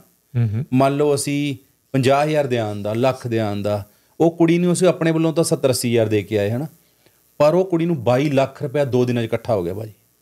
ਤੇ ਬਿਲਕੁਲ ਹੀ ਤੁਸੀਂ ਜੇ ਦੇਖਦੇ ਨਾ ਛੱਤ ਦਾ ਐ ਸੀ ਕਿ ਹੁਣ ਡਿੱਗੀ ਹੁਣ ਡਿੱਗੀ। ਘਰ ਡਿੱਗਣ ਵਾਲਾ ਸੀ। ਮੰਗਦੀ ਕੀ ਪਈ ਸੀ ਲੋਕਾਂ ਤੋਂ? ਮੈਨੂੰ ਨੂਨ ਲੈ ਦਿਓ ਮਿਰਚ ਲੈ ਦਿਓ ਮੈਨੂੰ ਦਾਲ ਲੈ ਦਿਓ ਮੈਨੂੰ ਘਿਓ ਲੈ ਦਿਓ ਮੰਗਦੀ ਉਹਨੇ ਕਿਹਾ ਹੀ ਨਹੀਂ ਮੈਨੂੰ ਪੈਸੇ ਉਹਨੇ ਪੈਸੇ ਨਹੀਂ ਮੰਗੇ ਕੋਈ ਉਹਦੇ ਘਰੇ ਗਿਆ ਉਹਨੇ ਵੀਡੀਓ ਬਣਾਈ ਹਾਂ ਪੁੱਤ ਤੁਹਾਨੂੰ ਕੀ ਚਾਹੀਦਾ? ਕਹਿੰਦੀ ਅੰਕਲ ਮੈਨੂੰ ਨੂਨ ਲੈ ਦਿਓ ਮਿਰਚਾਂ ਲੈ ਦਿਓ। ਯਾਨੀ ਕਿ ਇੱਕ ਸ਼ਰੀਰ ਮੇਰੇ ਰੋਂਗਟੇ ਖੜੇ ਹੋ ਗਏ। ਵੀ ਇਦਾਂ ਦੀ ਦੁਨੀਆ ਵੀ ਹੈਗੀ ਆ ਵੀ ਨੂਨ ਅਸੀਂ ਮਿਰਚ ਵੀ ਰਾਤੀ ਕਰਿਆ ਉਹ ਜਿਹਦਾ ਮੈਸੇਜ ਆਇਆ ਸੀ ਰਾਤੀ ਉਹਨੇ ਸਾਨੂੰ ਵੀਡੀਓ ਭੇਜੀ। ਜੀ। ਅਗਲੇ ਦਿਨ ਅਸੀਂ ਸਵੇਰ ਮੇਰਾ ਬੇਟਾ ਡਾਟਰ ਇਨ ਲੋ ਸਭ ਅਸੀਂ ਸਾਰੇ ਚਲੇ ਅਸੀਂ ਗਏ। ਸਾਰੇ ਜਾਣੇ ਮੈਂ ਕਿਹਾ ਸੀਤ ਆਪਾਂ ਵਲੌਗਿੰਗ ਤਾਂ ਕਰਦੇ ਆ ਯਾਰ ਆ ਚੀਜ਼ ਕਰੀਏ ਆਪਾਂ ਦਿਖਾਣੇ ਆ ਕੋਈ ਦਰਿਆ ਵੀ ਉਸ ਟਾਈਮ ਤੇ ਟੁੱਟ ਗਿਆ ਸੀਗਾ। ਅਸੀਂ ਹਾਂਜੀ ਆ ਉਹ ਮੈਂ ਦੇਖੀ ਸੀ ਤੁਹਾਡੇ ਬਲੌਗ ਤੁਸੀਂ ਉਸ ਉਸ ਟਾਈਮ ਵੀ ਕਾਫੀ ਹੈਲਪ ਕਰ ਰਹੇ ਸੀ। ਬਟ ਫਿਰ ਤੁਸੀਂ ਜੇ ਆਪਾਂ ਇਹਨੂੰ ਇਹ ਕਹਿਣਾ ਹੋਵੇ ਜਿਹੜੀ ਨੈਗੇਟਿਵਿਟੀ ਆ ਸੋ ਇਹਨੂੰ ਤੁਸੀਂ ਇਦਾਂ ਕੇਟਰ ਕਰਦੇ ਹੋ ਵੀ ਜਿਹੜੀ ਤੁਸੀਂ ਹੈਲਪ ਕਰਦੇ ਹੋ ਲੋਕਾਂ ਦੀ ਰਾਈਟ ਤੇ ਉਹ ਉਹਦੇ ਚ ਤੁਹਾਨੂੰ ਸੈਟੀਸਫੈਕਸ਼ਨ ਮਿਲਦੀ ਹੈ ਵੀ ਠੀਕ ਹੈ ਯਾਰ ਹਨਾ ਵੀ ਉਧਰੋਂ ਸੰਤੁਸ਼ਟੀ ਹੁੰਦੀ ਆ ਵੀ ਅਸੀਂ ਕੁਝ ਵਧੀਆ ਕਰ ਰਹੇ ਆ। ਨੈਗੇਟਿਵਿਟੀ ਫਿਰ ਆਪੇ ਹੀ ਪਾਸੇ ਹੋ ਜਾਂਦੀ ਆ ਕਿਉਂਕਿ ਪ੍ਰਮਾਤਮਾ ਬਲ ਦਿੰਦਾ ਨਾ ਇਹ ਚੀਜ਼। ਬਾਜੀ ਅੱਗੇ ਨਾਲੋਂ ਬਹੁਤ ਜ਼ਿਆਦਾ ਫ਼ਰਕ ਪੈ ਗਿਆ ਨੈਗੇਟਿਵਿਟੀ ਜਦੋਂ ਸ਼ੁਰੂਆਤ ਕੀਤੀ ਸੀ ਨਾ ਉਸ ਟਾਈਮ ਤੇ ਤਾਂ ਬਹੁਤ ਜ਼ਿਆਦਾ ਸੀਗੀ। ਹੁਣ ਹੌਲੀ ਹੌਲੀ ਜਿਵੇਂ ਜਿਵੇਂ ਲੋਕਾਂ ਨੂੰ ਪਤਾ ਚੱਲੀ ਜਾਂਦਾ ਕਿਉਂਕਿ ਅਸੀਂ ਕਿਸੇ ਦਾ ਮਾੜਾ ਤਾਂ ਕਰਦੇ ਨਹੀਂ। ਜੀ। ਠੀਕ ਹੈ? ਇੱਕ ਅਸੀਂ ਜੇ ਸੋਸ਼ਲ ਮੀਡੀਆ ਤੇ ਵੀ ਹੈਗੇ ਹਾਂ ਅਸੀਂ ਆਪਣੇ ਇੰਜੋਏ ਲਈ ਕਰਦੇ ਹਾਂ। ਇਹ ਨਹੀਂ ਹੈ ਕਿ ਅਸੀਂ ਕੋਈ ਗਲਤ ਵੀਡੀਓ ਪਾਉਂਦੇ ਆ ਜਾਂ ਗਲਤ ਕੋਈ ਉਦਾਂ ਦਾ ਕੰਮ ਕਰਦੇ ਹਾਂ ਨਾ ਅਸੀਂ ਨਾਰਮਲ ਆਪਣਾ ਵੀ ਇੰਜੋਏ ਹੁੰਦਾ ਲੋਕਾਂ ਲਈ ਵੀ ਹੁੰਦਾ ਹਨਾ? ਵੀ ਚਲੋ ਸੋ ਇੱਕ। ਇਹਦੇ ਚ ਇਹ ਵੀ ਗੱਲ ਹੈਗੀ ਆ ਜੇ ਤੁਸੀਂ ਡਿਸਪਲੇ ਕਰਦੇ ਹੋ ਆਪਣੀ ਲਾਈਫ ਨੂੰ ਤੇ ਫਿਰ ਦੋਨੋਂ ਤਰ੍ਹਾਂ ਦੇ ਉਹਦੇ ਚ ਵਿਊ ਹੋਊਗਾ। ਦੇਖਣ ਵਾਲੇ ਤੇ ਗੱਲ ਹੁੰਦੀ ਹੈ ਨਾ ਅੱਖ ਤੇ ਵੀ ਹੁਣ ਜੇ ਅਸੀਂ ਅਸੀਂ ਦਿਖਾਉਣੇ ਕੋਈ ਵਿਖਾਵਾ ਨਹੀਂ ਹੈਗਾ ਇਹ ਚ ਕਿ ਮੈਂ ਰੀਤ ਨੂੰ ਮਤਲਬ ਬਲੌਗ 'ਚ ਹੀ ਪਿਆਰ ਕਰਦੀ ਆ ਜਾਂ ਜੋ ਵੀ ਆ ਮੈਂ ਸੱਚੀ ਅਸਲ 'ਚ ਇਹਦਾ ਰੀਤ ਨਾਲ ਬੜਾ ਪਿਆਰ ਬਹੁਤ ਜ਼ਿਆਦਾ। ਸਾਰੇ ਬੱਚਿਆਂ ਨਾਲ ਹੀ ਆ ਮੇਰਾ। ਮੈਂ ਕਦੇ ਰੀਤ ਨੂੰ ਆਪਦੀ ਨੂੰ ਸਮਝਿਆ ਹੀ ਨਹੀਂ ਧੀਆਂ ਵਾਂਗੂ ਰੱਖਿਆ ਤੇ ਉਹਨੇ ਵੀ ਕਦੇ ਈਵਨ ਕਿ ਉਹ ਆਪਦੀ ਮੰਮੀ ਨਾਲ ਨਹੀਂ ਗੱਲਾਂ ਕਰਦੀ ਉਹ ਮੇਰੇ ਨਾਲ ਹੀ ਹਰ ਗੱਲ ਸ਼ੇਅਰ ਕਰਦੀ ਹੈ ਨਹੀਂ ਤਾਂ ਕੁੜੀਆਂ ਨੂੰ ਆਦਤ ਹੁੰਦੀ ਹੈ ਨਾ ਕਿ ਹਰ ਗੱਲ ਆਪਣੀ ਮੰਮੀ ਨਾਲ ਸ਼ੇਅਰ ਕਰਨੀ। ਸਮਾਂ ਦੀ ਮੈਂ ਉਹਨੂੰ ਕਹਿੰਦੀ ਹੁੰਨੀ ਕਿ ਰੀਤ ਤੇਰੀ ਮੰਮੀ ਨਾਲ ਗੱਲ ਹੋਏ ਕਿੰਨੇ ਦਿਨ ਹੋ ਗਏ ਫੋਨ ਕਰ ਲਾ ਚੱਲ। ਜੀ। ਸੋ ਜਿਹੜੇ ਬੱਚਿਆਂ ਦੇ ਇਹ ਜਿਹੜਾ ਆਸਪੈਕਟ ਹੈਗਾ ਆਪਣੀ ਫੇਮ ਦਾ ਇੱਕ ਬੰਦਾ ਐਡਿਕਟ ਨਹੀਂ ਹੋ ਜਾਂਦਾ ਵੀ ਯਾਰ ਇੰਨੇ ਵਿਊ ਆਉਂਦੇ ਨੇ ਮੈਨੂੰ ਇਦਾਂ। ਤੇ ਤੁਹਾਨੂੰ ਕੋਈ ਕਦੇ ਡਰ ਲੱਗਦਾ ਵੀ ਜੇ ਕਿਸੇ ਟਾਈਮ ਤੇ ਉਹ ਘਟ ਗਿਆ ਵਿਊ ਆਉਣੇ ਘਟ ਕੋਈ ਜਾਂ ਫੇਮ ਘਟ ਗਈ ਤਾਂ ਟਿਕਟੌਕ ਦੇ ਟਾਈਮ ਤੇ ਇਦਾਂ ਹੀ ਹੋਇਆ ਸੀ ਮੈਂ ਤੁਹਾਨੂੰ ਦੱਸਦੀ ਆ ਜੀ।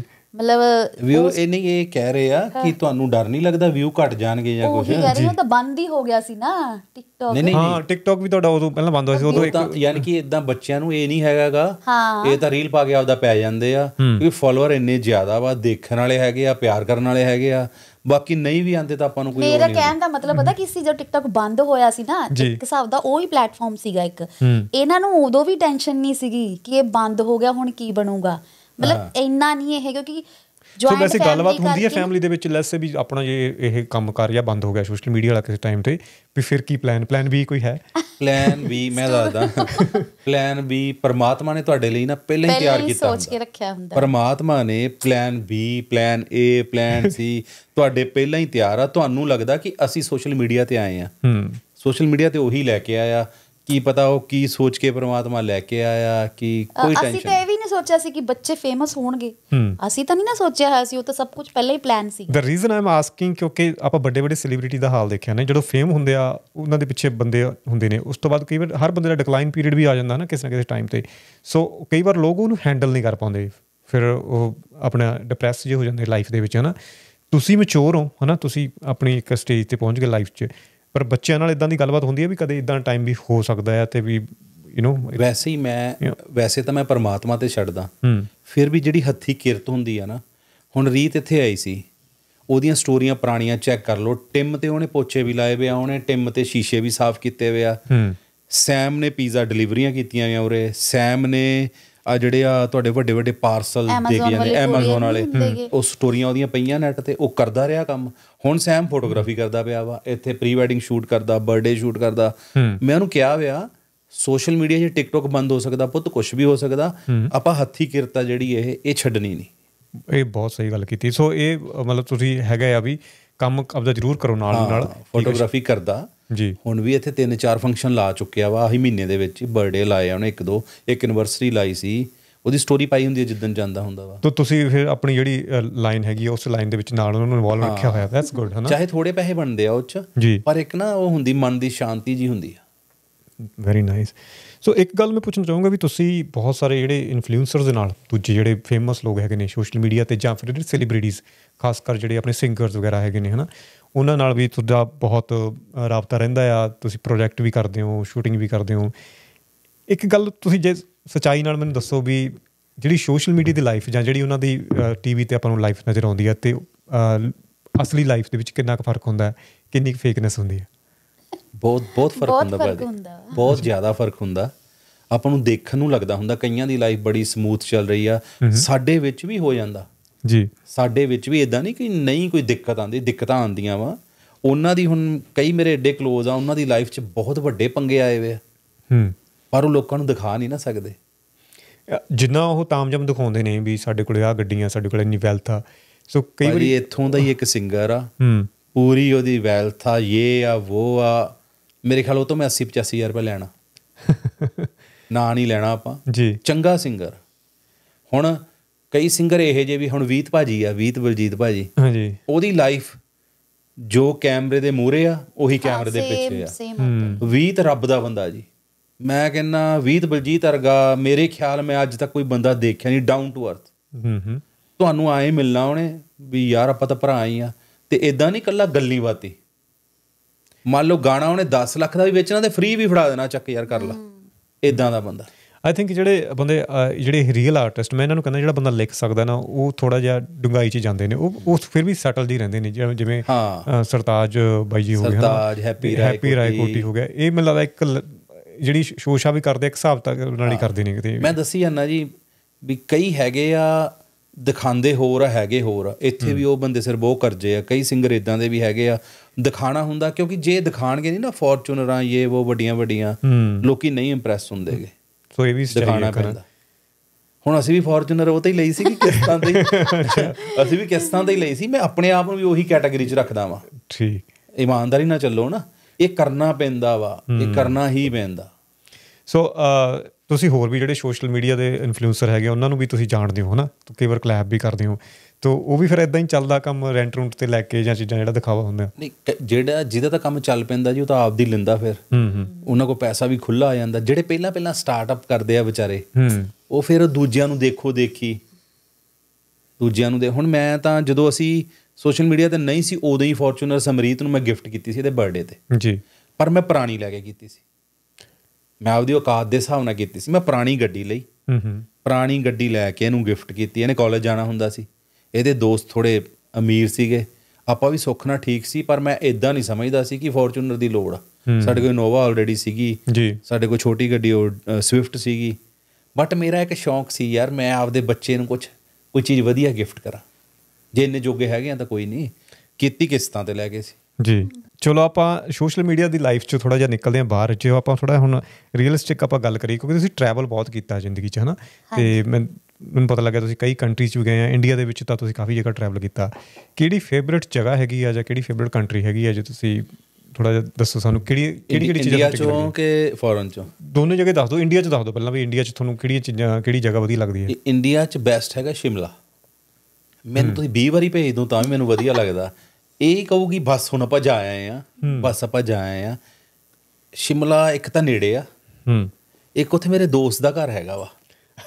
ਮੇਰਾ ਦੋਸਤ ਆ ਜਿਵੇਂ ਤੁਸੀਂ ਦੋਸਤ ਹੋ। ਜੀ। ਤੇ ਮੈਨੂੰ ਕੀ ਹੁੰਦਾ ਘਰ ਦੀ ਰੋਟੀ ਇੱਕ ਟਾਈਮ ਚਾਹੀਦੀ ਚਾਹੀਦੀ ਹੁੰਦੀ ਹੈ ਅੱਛਾ ਅੱਛਾ ਉਹ ਵੀ ਕੁਝ ਤਾਂ ਮੈਂ ਆਪਦੇ ਲਾਲਚ ਨੂੰ ਜਾਣਾ ਹੂੰ। ਕੁਝ ਉਹਦਾ ਘਰ ਹੈਗਾ ਮਾਲ ਰੋਡ ਤੇ ਹੀ ਆ। ਬਸ ਪੌੜੀਆਂ ਉਤਰੋ। ਉਹਦਾ ਘਰ ਆ ਪੌੜੀਆਂ ਚੜ ਜਾਓ ਮਾਲ ਰੋਡ। ਕੀ ਬਾਤ। ਤੇ ਤੁਹਾਡਾ ਬਿੰਦੂ ਜੀ ਤੁਹਾਡਾ ਕਿਹੜਾ ਫੇਵਰਿਟ ਇੰਡੀਆ ਦੇ ਵਿੱਚ? ਮੈਂ ਤਾਂ ਜੀ ਦੇਖੋ ਜਿੱਥੇ ਇਹ ਲੈ ਕੇ ਜਾਣਗੇ ਮੇਰੇ ਲਈ ਤਾਂ ਉਹੀ ਫੇਵਰੇਟ ਹੈ ਠੀਕ ਹੈ ਨਾ? ਕੱਲੀ ਤਾਂ ਮੈਂ ਜਾਣਾ ਨਹੀਂ ਤੇ ਜਾਣਾ ਤਾਂ ਇਹਨਾਂ ਦੇ ਨਾਲ ਹੀ ਆ। ਬਟ ਅਸੀਂ ਜਦੋਂ ਮੇਰਾ ਵਿਆਹ ਹੋਇਆ ਹੋਇਆ ਹਰ ਸਾਲ ਮੈਨੂੰ ਹਰ ਸਾਲ ਇਹ ਲੈ ਕੇ ਹੀ ਜਾਂਦੇ ਘੁਮਾਉਣ ਵਾਸਤੇ। ਪਹਿਲਾਂ ਤੋਂ ਹੀ।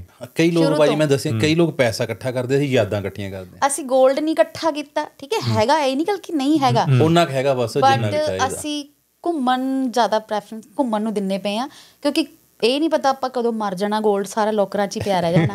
ਸਾਨੂੰ ਐਂ ਹੁੰਦਾ ਅਸੀਂ ਘੁੰਮ ਫਿਰੀਏ ਫੋਰਨ ਚ ਜਿਹਨੇ ਜਾਣਾ ਭਾਜੀ ਸਿੰਗਾਪੁਰ ਸਿੰਗਾਪੁਰ ਬੈਸਟ ਤੁਸੀਂ ਕਿਹੜੀ ਕਿਹੜੀ ਕੰਟਰੀ ਗਏ ਸੋ ਫਾਰ ਅਸੀਂ Indonesia Singapore Malaysia Australia Canada Australia ਦੇ ਅਸੀਂ ਸਾਰੇ ਬ੍ਰਿਸਬਨ ਸਿਡਨੀ ਮੈਲਬਨ ਸਭ ਘੁੰਮ ਮੇ- ਮੇਰੀ ਕੀ ਹੁੰਦੀ ਆ ਨਾ ਮੰਨ ਲਓ ਮੈਂ ਮਲੇਸ਼ੀਆ ਵੀ ਗਿਆ ਮੈਂ ਪੰਜ ਸਟੇਟਾਂ ਘੁੰਮਿਆ।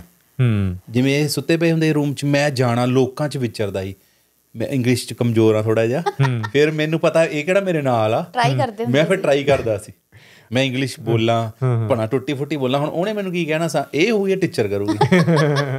ਸਾਡੇ ਨਾਲ ਇੱਕ ਵਾਰੀ ਬਹੁਤ ਮਾੜੀ ਹੋਈ। ਅਸੀਂ ਗਏ ਸਿੰਗਾਪੁਰ ਜੀ। ਸਿੰਗਾਪੁਰ ਗਏ ਉੱਥੇ ਮੇਰੇ ਨਾ ਦੀਦੀ ਆ ਰਿੰਪੀ ਦੀਦੀ। ਹੂੰ। ਉਹ ਵੀ ਮੈਨੂੰ ਕਿਉਂ ਵਧੀਆ ਲੱਗਦਾ? ਇੱਕ ਤਾਂ ਵੈਸੇ ਹੀ ਮੁਲਕ ਬਹੁਤ ਵਧੀਆ। ਇੱਕ ਉੱਥੇ ਸਾਡਾ ਘਰ ਹੈਗਾ ਆਪਦਾ। ਰਿੰਪੀ ਦੀਦੀ ਆ। ਅਸੀਂ ਨਾ ਵੈਜੀਟੇਰੀਅਨ ਆ ਬਿਲਕੁਲ ਹੀ। Pure vegetarian ਆ, ਬਾਹਰ ਅੰਡਾ, meat। ਫੋਰਨ ਕੰਟਰੀ 'ਚ ਜ਼ਿਆਦਾ ਸੀ ਫੂਡ ਚੱਲਦਾ ਵਾ ਜਿਵੇਂ ਸਿੰਗਾਪੁਰ 'ਚ ਵੀ ਜ਼ਿਆਦਾ ਸੀ ਫੂਡ ਆ ਉੱਥੇ ਮਲੇਸ਼ੀਆ ਬੜਾ 'ਚ ਵੀ। ਸਕੂਨ ਜਿਹਾ ਮਿਲਦਾ ਸਿੰਗਾਪੁਰ ਤੋਂ ਬੜਾ ਸਕੂਨ ਮਿਲਦਾ। ਲੋਕ ਬੜੇ ਚੰਗੇ ਆ ਭਾਜੀ। ਇਹਨੇ ਕੀ ਕਰਨਾ? ਸਾਨੂੰ ਦੀਦੀ ਨੇ ਪ੍ਰੈਮ ਦੇ ਦੇਣੀ ਉਹ ਚ ਖਾਣ ਪੀਣ ਵਾਲਾ ਸਮਾਨ ਇਹਨੇ ਕਦੀ ਕਿਸੇ ਗੋਰੀ ਚ ਮਾਰਨਾ ਕਦੀ ਕਿਸੇ ਉਹ ਰੇੜ ਕੇ ਜੇ ਲੈ ਕੇ ਜਾਣੀ ਪੈਂਦੀ ਹੈ ਨਾ ਉਹ ਸੋਰੀ ਮੰਗੀ ਜਾਣ। ਸਾਡੇ ਤੋਂ ਸੋਰੀ। ਸੌਰੀ ਥੈਂਕ ਯੂ ਇਹ ਚੀਜ਼ ਇੱਕ ਤਾਂ ਇੱਕ ਉਹਨਾਂ ਤੁਹਾਨੂੰ ਦੇ ਹੋਰ ਦੱਸਦਾ ਫੋਰਨ ਦੇ ਵਿੱਚ ਚਾਹੇ ਕੈਨੇਡਾ ਚਾਹੇ ਆਸਟ੍ਰੇਲੀਆ, ਆਸਟ੍ਰੇਲੀਆ ਚਾਹੇ ਸਿੰਗਾਪੁਰ। ਸੌਰੀ ਤੇ ਥੈਂਕ ਯੂ ਹੂੰ। ਪੂਰੇ ਚੋਟੀ ਦੇ ਵਰਡ ਆ। ਤੁਹਾਡੀ ਲੜਾਈ ਖਤਮ ਹੋ ਜਾਂਦੀ ਆ। ਥੈਂਕ ਯੂ ਤੇ ਇੱਜ਼ਤ ਵਧਾ ਦਿੰਦੇ ਆ। ਸੌਰੀ ਤੇ ਚੱਲ ਯਾਰ ਇਹਨੇ ਸੌਰੀ ਮੰਗ ਲਈ। ਤੁਸੀਂ ਪੰਜਾਬ 'ਚ ਕਿਸੇ 'ਚ ਮਾਰੋ। ਤੇ ਮਾਰਨ ਤੋਂ ਬਾਅਦ ਉਹਨੂੰ ਸੌਰੀ ਕਹਿ ਦੋ। ਨਾ ਸਾਲਿਆ ਤੂੰ ਗਲਤੀ ਕੀਤੀ। ਜੀ। ਸੌਰੀ ਤੋਂ ਬਾਅਦ ਕੁੱਟ ਵੱਧ ਪੈਂਦੀ ਆ। ਹਾਂਜੀ ਐਗਜ਼ੈਕਟਲੀ ਤੁਸੀਂ ਪੰਜਾਬ 'ਚ ਸੌਰੀ ਨਾ ਮੰਗੋ। ਉਹਦੇ ਨਾਲ ਲੜ ਪੋ ਅਗਲਾ ਕੋ ਛੱਡ ਯਾਰ ਮੇਰੀ ਹੋਈ ਨਾ ਗਲਤੀ ਹੋਵੇ ਜੇ ਪੰਜਾਬ 'ਚ ਸੌਰੀ ਕਹਦਾ ਨਾ ਪੰਜਾਬ ਲਈ ਸੌਰੀ ਨਹੀਂ ਬਣਿਆ ਨਾ ਥੈਂਕ ਯੂ ਬਣਿਆ। ਇਹ ਬਾਹਰਲੇ ਮੁਲਕਾਂ ਲਈ ਆ ਬਿਲਕੁਲ ਜੀ ਬਿਲਕੁਲ। ਤੇ ਸਿੰਗਾਪੁਰ ਮਤਲਬ ਬੇਸਿਕਲੀ ਤੁਹਾਨੂੰ ਕੀ ਜਗ੍ਹਾ ਪਸੰਦ ਆਈ ਜਾਂ ਉੱਥੋਂ ਦਾ ਮਾਹੌਲ ਪਸੰਦ ਆਇਆ ਜਾਂ ਮੌਸਮ ਕੀ ਉੱਥੋਂ ਦੇ ਲੋਕ ਬਹੁਤ ਵਧੀਆ। ਲੋਕ ਬਹੁਤ ਵਧੀਆ ਉੱਥੋਂ ਵੈਦਰ ਦਾ ਵੀ ਅੱਛਾ। ਵੈਦਰ ਵਧੀਆ। ਉੱਥੇ ਘੁੰਮਣ ਫਿਰਨ ਨੂੰ ਵੀ ਬੜਾ ਵਧੀਆ। ਮਰਲੀਆਨਾ ਯੂਨੀਵਰਸਲ ਸਟੂਡੀਓ ਕਿਉਂਕਿ ਸਾਨੂੰ ਪਤਾ ਕਿਉਂ ਵਧੀਆ ਲੱਗਦਾ? ਜ਼ਿੰਦਗੀ 'ਚ ਪਹਿਲਾ ਟ੍ਰਿਪ ਸਾਡਾ ਬਾਹਰ ਦਾ ਸਿੰਗਾਪੁਰ ਦਾ ਹੀ ਸੀ। ਉਹ ਵੀ ਰਿੰਪੀ ਦੀ ਤੁਹਾਡਾ ਬਹੁਤ ਬਹੁਤ ਥੈਂਕ ਯੂ ਰਿੰਪੀ ਦੀ ਨੇ ਸਾਨੂੰ ਘੁਮਾਇਆ। ਰਿੰਪੀ ਇਹਦੀ ਇਹਦੀ ਸਹੇਲੀ ਹੈ ਜਿਵੇਂ ਤੁਸੀਂ ਮੇਰੇ ਫਰੈਂਡ ਆ। ਬਣਿਆ? ਇਹ ਵੀ ਦੱਸੋ ਕਾਰਨ ਕੀ ਬਣਿਆ ਬਾਹਰ ਜਾਣ ਦਾ? ਮੇਰਾ ਦੋਸਤ ਹੈ ਕਿ ਰਾਜਾ ਗਰੇਵਾਲ ਉਹ ਇੱਥੇ ਹੀ ਰਹਿੰਦਾ ਕੈਨੇਡਾ। ਪਤਾ ਨਹੀਂ ਕੈਲਗਰੀ ਆ ਹੁਣ ਮੇਰੀ ਗੱਲ ਨਹੀਂ ਹੋ ਰਹੀ ਬਾਬਾ ਟਾਈਮ ਤੋਂ। ਅਸੀਂ ਉਹਨੂੰ ਚੜਾਣ ਗਏ। ਚੜਾਣ ਗਏ ਸਾਨੂੰ ਬਾਹਰੋਂ ਹੀ ਮੋੜਤਾ। ਨਹੀਂ ਮੈਨੂੰ ਪਤਾ ਨਹੀਂ ਸੀ ਕਿ ਇਦਾਂ ਹੋਣਾ। ਮੈਨੂੰ ਕਹਿੰਦੇ ਸੀ। ਆਪਾਂ ਨਾ ਮੇਰੇ ਦੋਸਤ ਨੂੰ ਛੱਡਣ ਜਾਣਾ। ਮੇਰੇ ਦਿਮਾਗ 'ਚ ਇੱਕ ਤਸਵੀਰ ਬਣੀ ਹੋਈ ਸੀ ਕਿ ਹਾਂ ਜਾਣਾ ਛੱਡਣ ਤੇ ਫਿਰ ਮੈਂ ਪਲੇਨ ਦੇਖ ਕੇ ਆਉਂਗੀ ਇਹ ਉਹ ਹਨਾ। ਜਦੋਂ ਪਹੁੰਚੇ ਇੱਕ ਤਾਂ ਗਰਮੀ ਬਹੁਤ ਸੀ। ਜਦੋਂ ਪਹੁੰਚੇ ਉਹ ਤਾਂ ਅੰਦਰ ਚਲੇ ਗਏ। ਤੇ ਸਾਨੂੰ ਕਹਿੰਦੇ ਜਾਓ। ਮੈਂ ਕਹਾਂ ਆਪਾਂ ਇੰਨੀ ਦੂਰ ਆਇਆ 6 ਘੰਟੇ ਕਿ 7 ਘੰਟੇ ਦਾ ਸਫ਼ਰ ਕਰਕੇ ਆਪਾਂ ਆ ਕਰਨ ਆਏ ਸੀ ਨਾ ਮੈਂ ਇਹਨਾਂ ਨੂੰ ਜਿੱਦ ਕਰਨ ਲੱਗੀ ਮੈਂ ਕਿਹਾ ਮੈਂ ਤਾਂ ਪਲੇਨ ਤੇ ਚੜਨਾ ਜਿਵੇਂ ਮਰਜ਼ੀ ਕਰੋ। ਬਾਜੀ ਮੈਨੂੰ ਸੁਪਨੇ ਆਉਣ ਲੱਗੇ ਪਲੇਨ ਦੇ। ਇੱਕ ਹਫ਼ਤਾ ਦਾ ਨਾ ਮੈਂ ਇਹਨਾਂ ਦੀ ਜਾਨ ਖਾਂਦੀ ਰਹੀ। ਮੈਨੂੰ ਨਹੀਂ ਪਤਾ ਮੈਂ ਬਾਹਰ ਜਾਣਾ ਜਿਵੇਂ ਮਰਜ਼ੀ ਲੈ ਕੇ ਜਾਓ। ਫਿਰ ਕੁਦਰਤੀ ਤੁਸੀਂ ਸੌਰੀ ਹੁਣ ਹੀ ਕਹਿੰਦੇ ਸੀ ਵੀ ਜਿੱਥੇ ਲੈ ਜਾਂਦੇ ਹੋ ਉੱਥੇ ਵੀ ਚਲੇ ਜਾਂਦੇ ਆ। ਮੈਨੂੰ ਪਤਾ ਇਹ ਆ। ਇਹਦੀ ਜਿੱਦ ਤੇ ਹੀ ਗਏ ਸੀ। ਹਾਂ ਮੇਰੀ ਜਿੱਦ ਤੇ ਹੀ ਗਏ ਸੀ ਇੱਥੇ। ਫਿਰ ਨਾ ਕਿਤੇ ਮੇਰੀ ਫਰੈਂਡ ਮਤਲਬ ਦੀਦੀ ਜਿਹੜੇ ਹੈਗੇ ਨਾ ਉਹ ਮੇਰੇ ਫਰੈਂਡ ਸੀ। ਅਸੀਂ ਸਟਿਚਿੰਗ ਵਗੈਰਾ ਇਕੱਠੀ ਸਿੱਖੀ ਸੀ। ਉੱਥੇ ਮੇਰੀ ਮਤਲਬ ਫਰੈਂਡ ਬਣੀ ਸੀ। ਦੀਦੀ ਨੂੰ ਉਹਨਾਂ ਨੇ ਫੋਨ ਕੀਤਾ ਦੀਦੀ ਬਿੰਦੂ ਨਾਲ ਮੇਰੀ ਜਾਨ ਖਾਈ ਜਾਂਦੀ ਆ ਮੈਂ ਕੀ ਕਰਾਂ? ਵੀ ਉਹ ਕਹਿੰਦੀ ਮੈਂ ਇੱਕ ਵਾਰੀ ਪਲੇਨ ਤੇ ਬੈਠਣਾ ਵਾ। ਦੀਦੀ ਕਹਿੰਦੀ ਲੈ ਚੁੱਕੀ ਹੈ ਤੂੰ ਮੈਨੂੰ ਪੇਪਰ ਭੇਜ। ਮੈਂ ਉਸ ਟਾਈਮ ਤੇ ਨਾ ਲੋੜ ਨਹੀਂ ਪੈਂਦੀ ਸੀਗੀ ਮੇਰੇ ਖਿਆਲ ਐਮਬੈਸੀ ਵਗੈਰਾ ਚ ਜਾਣ ਹਾਂ ਦੀ। ਬਸ ਉਧਰੋਂ ਹੀ ਵੀਜ਼ਾ ਉਹਨਾਂ ਦਾ ਇਹਨਾਂ ਨੇ ਉਵੇਂ ਸਾਰਾ ਕੁਝ ਕਰਤਾ। ਮੈਨੂੰ ਨਹੀਂ ਪਤਾ ਮੇਰੇ ਲਈ ਸਰਪ੍ਰਾਈਜ਼ ਸੀਗਾ ਵੀ ਵੀਜ਼ਾ ਆ ਗਿਆ। ਉਹ ਤਾਂ ਬਹੁਤ ਜਲਦੀ ਵੀਜ਼ਾ ਆਇਆ ਸਿੰਗਾਪੁਰ ਦਾ ਲੈ ਗਏ। ਮਤਲਬ ਉਹ ਮੇਰੇ ਲਈ ਪਹਿਲੀ ਵਾਰੀ ਜਾਣਾ ਇੱਕ ਉਹ ਪਹਿਲੇ ਪਹਿਲਾ ਜਿਹੜਾ ਫਸਟ ਟਾਈਮ ਹੁੰਦਾ ਨਾ ਉਹਦਾ ਐਕਸਪੀਰੀਅੰਸ ਹੀ ਲੱਗ ਹੁੰਦਾ ਇੱਕ ਤਾਂ ਅਸੀਂ ਉਹ ਮਾਹੌਲ ਪਹਿਲੀ ਵਾਰੀ ਦੇਖਿਆ। ਉੱਥੋਂ ਦਾ ਰਹਿਣ ਸਹਿਣ ਬੜਾ ਕੈਨੇਡਾ ਨਾਲੋਂ ਵੀ ਉੱਚ ਦਰਜੇ ਦਾ ਰਹਿਣ ਸਹਿਣ ਆ ਜੀ ਸਿੰਗਾਪੁਰ ਦੇ ਬਿਲਕੁਲ, ਵਿੱਚ। ਕੈਨੇਡਾ ਨਾਲੋਂ ਕ੍ਰਾਈਮ ਫ੍ਰੀ ਕੋਈ ਕ੍ਰਾਈਮ ਨਹੀਂ ਅਸੀਂ ਰਾਤ ਨੂੰ ਇੱਥੇ ਤਾਂ ਮੈਂ ਦੇਖਿਆ ਗੱਡੀ ਰੋਕ ਕੇ ਮੁੰਡਿਆਂ ਨੇ ਪਿੱਛੇ ਬੜਾ ਗਲਤ ਕੀਤਾ। ਵਿੱਚ ਉਹ ਕੁੜੀਆਂ ਨੂੰ ਜੋੜੀ ਬੈਠੀ ਸੀ ਬਾਵਾ ਉਹਨਾਂ ਨੂੰ ਗੱਡੀ ਦੇ ਸ਼ੀਸ਼ੇ ਭੰਨ ਗਏ। ਇੱਥੇ ਮੇਰੇ ਖਿਆਲ ਹੁਣ ਨਾ ਇੱਥੇ ਮਾਹੌਲ ਜ਼ਿਆਦਾ ਖਰਾਬ ਹੋ ਗਿਆ ਆਪਾਂ ਕਰਦੇ ਕੈਨੇਡਾ ਦੀ ਗੱਲਬਾਤ ਵੀ। ਖਰਾਬ ਹੋ ਰਿਹਾ। ਸਿੰਗਾਪੁਰ ਤਾਂ ਵਧੀਆ ਲੱਗਦਾ ਭਾਜੀ। ਤੁਸੀਂ 3 ਵਜੇ ਆ ਜਾਓ 4 ਵਜੇ ਆ ਜਾਓ ਰਾਤ ਨੂੰ ਜਿੰਨੇ ਵਜੇ ਮਰਜ਼ੀ ਆ ਜਾਓ ਉੱਥੇ ਕੋਈ ਆ ਦਿੱਕਤ ਦੁੱਕਤ ਆ ਵਾਲੀ ਹੈ ਨਹੀਂਗੀ। ਇੱਥੇ ਮੈਂ ਦੇਖਿਆ ਹੁਣ ਇੱਥੇ ਚੋਰੀਆਂ ਗੱਡੀਆਂ ਹੋ ਰਹੀਆਂ ਜੀ। ਜੀ। ਸਾਡੀ ਵੀ ਰੂਬੀਕੌਨ ਚੱਕੀ ਗਈ ਸੀ ਇੱਥੇ। ਕੈਨੇਡਾ ਕੈਨੇਡਾ ਰਿਹਾ ਹੀ ਨਹੀਂ ਭਾਜੀ। ਬਹੁਤ ਚੇਂਜ ਹੋ ਇਹਦੇ ਤੇ ਪੁੱਛਦਾ ਹੁਣ ਕੈਨੇਡਾ ਦਾ ਤੁਸੀਂ ਐਕਸਪੀਰੀਅੰਸ ਦੱਸੋ ਕਿਉਂਕਿ ਤੁਹਾਡੇ ਬੱਚੇ ਸੈਟਲ ਆ ਇੱਥੇ ਤੇ ਤੁਸੀਂ ਤੇ ਸੈਟਲ ਹੋਣਾ ਚਾਹੁੰਦੇ ਹੋ ਜਾਂ ਕੀ ਭਾਜੀ ਮੈਨੂੰ ਸੈਮ ਲੈ ਕੇ ਆਇਆ ਸੀ। ਕਿ ਐਲਐਮਆਈ ਤੁਹਾਨੂੰ ਦਵਾਉਂਗਾ ਤੁਸੀਂ ਇੱਥੇ ਰਹਿਣਾ। ਅਸੀਂ ਉਹੀ ਸੋਚ ਕੇ ਆਏ ਸੀ ਚਲੋ ਬੱਚਿਆਂ ਕੋਲ ਜਾਣਾ ਹਨਾ? ਪਰ ਮੈਂ ਨਾ ਵੀ ਮੇਰੇ ਡੈਡੀ ਜਦੋਂ ਮੈਨੂੰ ਛੱਡਣ ਆਏ ਤੇ ਉਹ ਉਹ ਚ ਰੋਣ ਲੱਗੇ ਬੱਸ 'ਚ। ਮੈਂ ਆਪਦੇ ਡੈਡੀ ਨੂੰ ਪਹਿਲੀ ਵਾਰੀ ਰੋਂਦੇ ਦੇਖਿਆ। ਹੂੰ। ਹੁਣ ਡੈਡੀ ਦੀ ਉਮਰ 70 ਦੇ ਨੇੜ ਆ ਮੰਮੀ ਦੀ 68 ਦੇ ਨੇੜ ਆ ਤੇ ਮੈਂ ਨਹੀਂ ਉਹਨਾਂ ਨੂੰ ਛੱਡ ਸਕਦਾ। ਸਾਡੇ ਨਾਲ ਨਾ ਇੱਥੇ ਇੱਕ ਇਨਸੀਡੈਂਟ ਹੋ ਗਿਆ ਮਤਲਬ ਸਾਡੇ ਨਾਲ ਨਹੀਂ ਇਹਦੇ ਸੈਮ ਦਾ ਫਰੈਂਡ ਆ ਇੱਕ। ਉਹ ਸਟੱਡੀ ਬੇਸ ਤੇ ਇੱਧਰ ਆਇਆ ਹੋਇਆ ਵਾ। ਤੇ ਉਹ ਭਾਈ ਉਹ ਉਹਦੇ ਨਾ ਫਾਦਰ ਦੀ ਡੈਥ ਹੋ ਗਈ। ਸਾਡੇ ਘਰੇ ਬੈਠਾ ਇਦਾਂ ਘਰੇ ਉਹਨੂੰ ਕਾਲ ਆਈ। ਤੇਰੇ ਡੈਡੀ ਦੀ ਡੈਥ ਹੋ ਗਈ। ਹੂੰ। ਉਹ ਜਾ ਹੀ ਨਹੀਂ ਸਕਦਾ ਹੀ ਉਹਦਾ ਐਗਜ਼ਾਮ ਸੀ। ਸਕਿਆ। ਇਹਨਾਂ ਦੇ ਦਿਮਾਗ ਤੇ ਉਹ ਚੀਜ਼ ਬਣ ਗਈ ਵੀ ਹਾਏ ਵੀ ਮੈਂ ਤਾਂ ਆਪਦੇ ਪਿਓ ਨੂੰ ਮਾਂ ਨੂੰ ਸਾਰਿਆਂ ਨੂੰ ਛੱਡ ਕੇ ਆਇਆ ਹਾਂ। ਫਿਰ ਇਹਨਾਂ ਨੇ ਕਿਹਾ ਵੀ ਅਸੀਂ ਨਹੀਂ ਰਹਿਣਾ। ਜਿਹੜੇ ਜਿਹੜੇ ਵੀ ਬੱਚਿਆਂ ਕੋਲੇ ਨਾ ਉਧਰ ਇਨਕਮ ਸੋਰਸ ਹੈਗੇ ਆ ਜਾਂ ਜਿਨ੍ਹਾਂ ਦੇ ਮਾਪਿਓ ਸੈੱਟ ਆ ਉਹ ਆਪਦੇ ਬੱਚਿਆਂ ਨੂੰ ਇਧਰ ਨਾ ਭੇਜੋ। ਤੁਹਾਡੇ ਬੱਚੇ ਤੁਹਾਡਿਆਂ ਨਾਲੋਂ ਟੁੱਟ ਜਾਣਗੇ। ਤੁਹਾਡੇ ਬੱਚਿਆਂ ਦੇ ਗਾਂ ਬੱਚੇ ਕਦੀ ਇੰਡੀਆ ਹੀ ਨਹੀਂ ਆਉਣਗੇ। ਮੈਂ ਇੱਥੋਂ ਦਾ ਜੋ ਮਾਹੌਲ ਦੇਖਿਆ। ਮੈਂ ਸਟੂਡੈਂਟ ਜਿਹੜੇ ਬਹੁਤ ਜ਼ਿਆਦਾ ਸਫਰ ਕਰ ਰਹੇ ਕਿਉਂਕਿ ਜਿਹਦੇ ਨਾਲ ਵੀ ਅਸੀਂ ਗੱਲ ਕਰਦੇ ਹਾਂ ਕਿਸੇ ਵੀ ਸਟੂਡੈਂਟ ਨਾਲ ਉਹ ਕਹਿੰਦੇ ਅਸੀਂ ਆਪਦੇ ਪੇਰੈਂਟਸ ਨੂੰ ਨਹੀਂ ਦੱਸਦੇ ਬਟ ਤੁਸੀਂ- ਅਸੀਂ ਇੱਥੇ ਔਖੇ ਹਾਂ। ਤੁਸੀਂ ਮੈਸੇਜ ਪੜੋ ਮੈਨੂੰ ਆਏ ਵੇ। ਅੰਕਲ ਥੋੜੀ ਹੈਲਪ ਹੋ ਸਕਦੀ ਆ। ਅੰਕਲ ਥੋੜੀ ਹੈਲਪ ਹੋ ਸਕਦੀ। ਮਿਡਲ ਕਲਾਸ ਫੈਮਲੀਆਂ ਚੋਂ ਇੱਥੇ ਆਉਣ ਲੱਗੇ ਬੱਚੇ। ਜੀ। ਪਹਿਲਾਂ ਤਾਂ ਆਉਂਦੇ ਸੀ 20 20 ਕਿੱਲੇ ਆਣੇ ਦੇ 25 25 ਕਿੱਲੇ ਆਣੇ ਉਹਨਾਂ ਨੂੰ ਬਾਹਲਾ ਫ਼ਰਕ ਨਹੀਂ ਹੁੰਦਾ ਸੀ। ਪਹਿਲਾਂ ਕੰਮ ਵੀ ਮਿਲਦਾ ਸੀ। ਹੁਣ ਤੁਸੀਂ ਇੱਕ ਗੱਲ ਨੋਟ ਕੀਤੀ ਹੈ ਇੱਥੇ ਕੰਮ ਹੈ ਨਹੀਂ। ਇੱਥੇ ਹਾਂ ਜਿਹੜੇ ਅਸੀਂ ਤਾਂ ਚਲੋ ਸਾਡਾ ਤਾਂ ਚੈਨਲ ਹੀ ਬਿਜ਼ਨਸ ਚੈਨਲ ਆ ਇਕਨੋਮੀ ਤੇ ਗੱਲਬਾਤ ਹੁੰਦੀ ਰਹਿੰਦੀ ਹੈ। ਸੋ ਇਸ ਟਾਈਮ ਤੁਸੀਂ ਜਿਵੇਂ ਹਾਲਾਤ ਜਿਵੇਂ ਅਸੈਸ ਕਰ ਰਹੇ ਹੋ ਇੰਡੀਆ ਵਰਸਸ ਕੈਨੇਡਾ ਸੋ ਜਿਵੇਂ ਤੁਸੀਂ ਕਹਿ ਰਹੇ ਹੋ ਵੀ ਨਵੇਂ ਬੰਦੇ ਤੁਸੀਂ ਸੋਚ ਕੇ ਆਓ ਜਿਹੜੇ ਨਵੇਂ ਬੱਚੇ ਵੀ ਆ ਰਹੇ ਆ ਭਾਜੀ ਜਿਹੜੇ ਪਲੱਸ 2 ਕਰਕੇ ਬੱਚੇ ਆ ਰਹੇ ਆ ਹਾਂਜੀ। ਉਹ ਭੁੱਲ ਕੇ ਵੀ ਇੱਥੇ। ਨਾ ਜੇ ਤੁਸੀਂ ਆਉਣਾ ਵਾ ਇੱਥੇ ਇਹ ਸੋਚ ਕੇ ਆਈਓ ਮੈਂ ਪੜਨ ਆ ਰਿਹਾ ਨਾ ਕਿ ਮੈਂ ਨੋਟਾਂ ਦੀ ਮਸ਼ੀਨ। ਮਗਰਲੇ ਪਤਾ ਕੀ ਸੋਚਦੇ ਆ? ਬੱਚਾ ਭੇਜਤਾ ਹੁਣ ਇਹ ਜੀ 6 ਮਹੀਨਿਆਂ ਨੂੰ ਪੈਸੇ ਭੇਜਣ ਲੱਗ ਜੂਗਾ ਕਿਤੇ ਨਹੀਂ ਇੱਥੇ ਉਹ ਚੀਜ਼ ਨਹੀਂ ਰਹੀ। ਹੁਣ ਤਾਂ ਪੈਸੇ ਮੰਗਵਾਉਣੇ ਪੈਂਦੇ ਆ ਬਾਹਰੋਂ। ਹਾਂ ਇੰਡੀਆ ਹੁਣ ਤੋਂ right? ਉਧਰੋਂ ਮੰਗਵਾਣੇ ਮੈਂ ਪੈਂਦੇ ਆ। ਦੱਸਦੀ ਹਾਂ ਕਿ ਅਗਰ ਤੁਸੀਂ 25 30 ਲੱਖ ਰੁਪਇਆ ਲਾ ਕੇ ਕੈਨੇਡਾ ਆਉਣਾ ਤੁਸੀਂ ਉਹੀ ਇੰਡੀਆ 'ਚ ਕੋਈ ਆਪਦਾ ਬਿਜ਼ਨਸ ਸਟਾਰਟ ਕਰੋ ਉਹਨਾਂ ਪੈਸਿਆਂ ਨਾਲ। ਇਹ ਵੀ ਨਹੀਂ ਪਤਾ ਅਸੀਂ ਬੱਚਿਆਂ ਨੂੰ ਵਾਪਸ ਲੈ ਜਾਈਏ। ਹਾਂ ਹੋ ਕਿਉਂਕਿ ਸਕਦਾ। ਸੈਮ ਰੀਤ ਦੀ ਨਾ ਸਾਡੇ ਨਾਲ ਬੌਂਡਿੰਗ ਬਹੁਤ ਜ਼ਬਰਦਸਤ ਆ। ਹੂੰ। ਬਹੁਤ ਵਧੀਆ ਬੌਂਡਿੰਗ ਆ ਸਾਡੇ ਨਾਲ।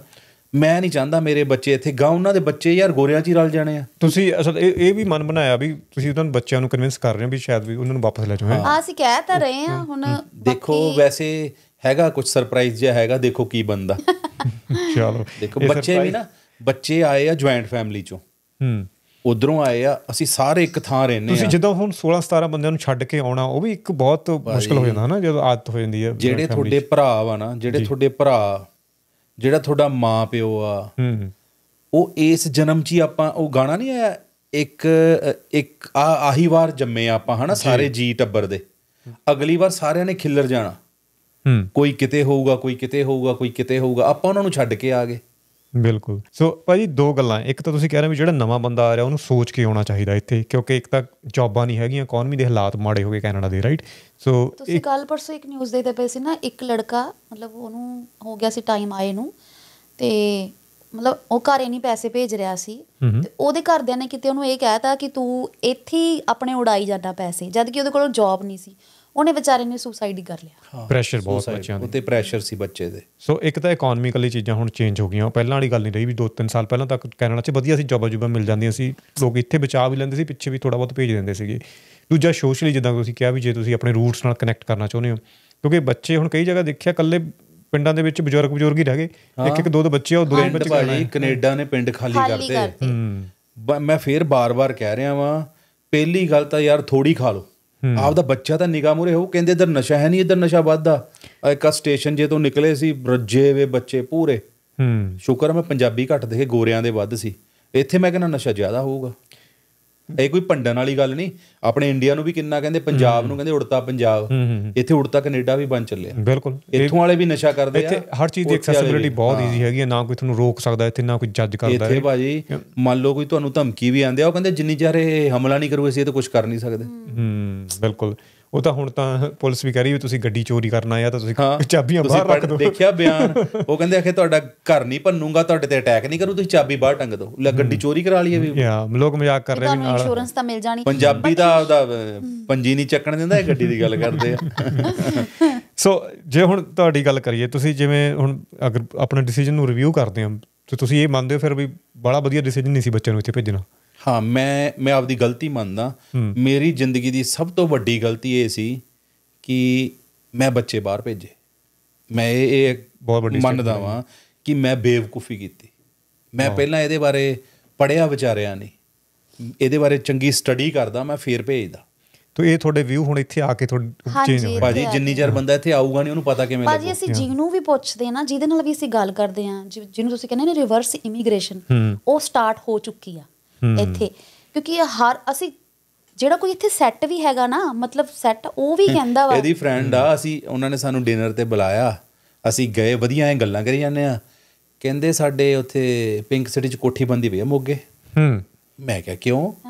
ਤੇ ਕਹਿੰਦੇ ਅਸੀਂ ਬਸ ਵਾਪਸ ਚਲੇ ਜਾਣਾ ਅਸੀਂ ਕਹਿੰਦੇ ਬੁਢਾਪਾ ਨਹੀਂ ਰੋਲਣਾ ਹਾਂ, ਮੈਂ ਘਰੇ ਜਾ ਕੇ ਇਹਨੂੰ ਕਿਹਾ ਮੈਂ ਕਿਹਾ ਆਪਾਂ ਬੇਵਕੂਫ ਆ ਆਪਾਂ ਉਹ ਉਹ ਤਾਂ 25 ਸਾਲ ਦੇ ਰਹਿੰਦੇ ਚੱਲੇ ਆ ਤੇ ਆਪਾਂ ਬੁਢਾਪਾ ਜ਼ਰੂਰੀ ਰੋਲਣਾ ਬਿਲਕੁਲ ਐਕਚੁਅਲੀ ਇਹ ਵੀ ਬਹੁਤ ਵੱਡਾ ਹੁਣ ਟੌਪਿਕ ਹੋ ਗਿਆ ਵੀ ਇੱਕ ਤਾਂ ਚਲੋ ਜਿਹੜੇ ਨਵੇਂ ਆ ਰਹੇ ਆ ਉਹਨਾਂ ਨੂੰ ਆਪਾਂ ਕਹਿ ਰਹੇ ਹਾਂ ਵੀ ਤੁਸੀਂ ਦੇਖ ਕੇ ਆਪਣਾ ਡਿਊ ਡਿਲੀਜੈਂਸ ਕਰਕੇ ਆਓ ਹਨਾ। ਦੂਜਾ ਜਿਹੜੇ ਵੀ ਇੱਥੇ ਸੈਟਲ ਲੋਕ ਵੀ ਪਲਾਨ ਕਰ ਰਹੇ ਨੇ ਆਫ ਕੋਰਸ ਉਹਨਾਂ ਨੂੰ ਵੀ ਹੁਣ ਦਿਖ ਨਹੀਂ ਰਿਹਾ ਕੈਨੇਡਾ ਦੇ ਵਿੱਚ ਕੋਈ ਵੀ। ਮਹਿੰਗਾਈ ਬਹੁਤ ਆ। ਹੂੰ। ਆਪਾਂ ਨੂੰ ਲੱਗਦਾ ਹੀ ਆ ਹੁਣ ਜਿਹਦੇ ਕੋਲੇ ਕੰਮ ਹੈ ਨਹੀਂ ਤੁਸੀਂ ਸੋਚੋ ਗੱਡੀ ਦੀ ਕਿਸ਼ਤ।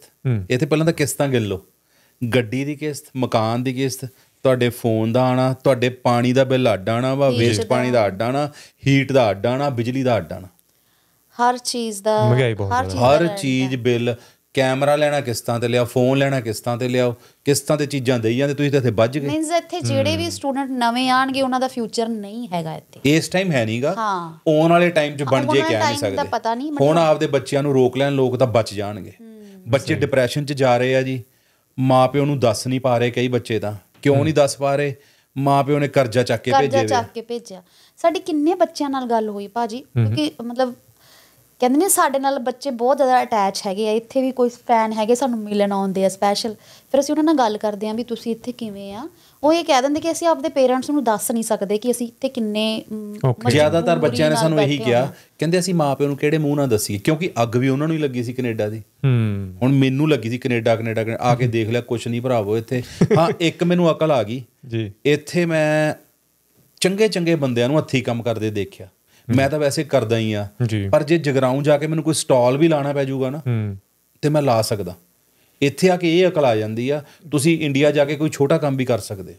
ਟਰੂ ਸੋ ਜਿਹੜੇ ਬੰਦੇ ਇੱਥੇ ਰਹਿ ਕੇ ਗਏ ਆ ਕੰਮ ਕੀਤਾ ਉਹਨਾਂ ਦੇ ਜੀਨਸ ਤਾਂ ਹੈਗਾ ਕੰਮ ਕਰਨ ਦਾ ਮਾਦਾ ਹੈ ਇਸ ਲਈ ਮੈਨੂੰ ਲੱਗਦਾ ਜਿਹੜਾ ਰਿਵਰਸ ਮਾਈਗ੍ਰੇਸ਼ਨ ਇਹ ਸਕਸੈਸਫੁਲ ਹੋ ਸਕਦੀ ਹੈ। ਜੇ ਥੋੜਾ ਜਿਹਾ ਫੰਡ ਵਗੈਰਾ ਇੱਥੋਂ ਲੈ ਕੇ ਜਾਓ 2-4 ਕਰੋੜ। ਉੱਥੇ ਵਧੀਆ ਸੈਟਲ ਹੋ ਸਕਦੇ ਹੋ ਰਾਈਟ ਪਰ ਅੱਜ ਦੀ ਡੇਟ 'ਚ ਤੁਸੀਂ ਜਿਹੜਾ ਪੁਰਾਣਾ ਉਹ ਤਾਂ ਲੈ ਜੂ 2-4 ਕਰੋੜ।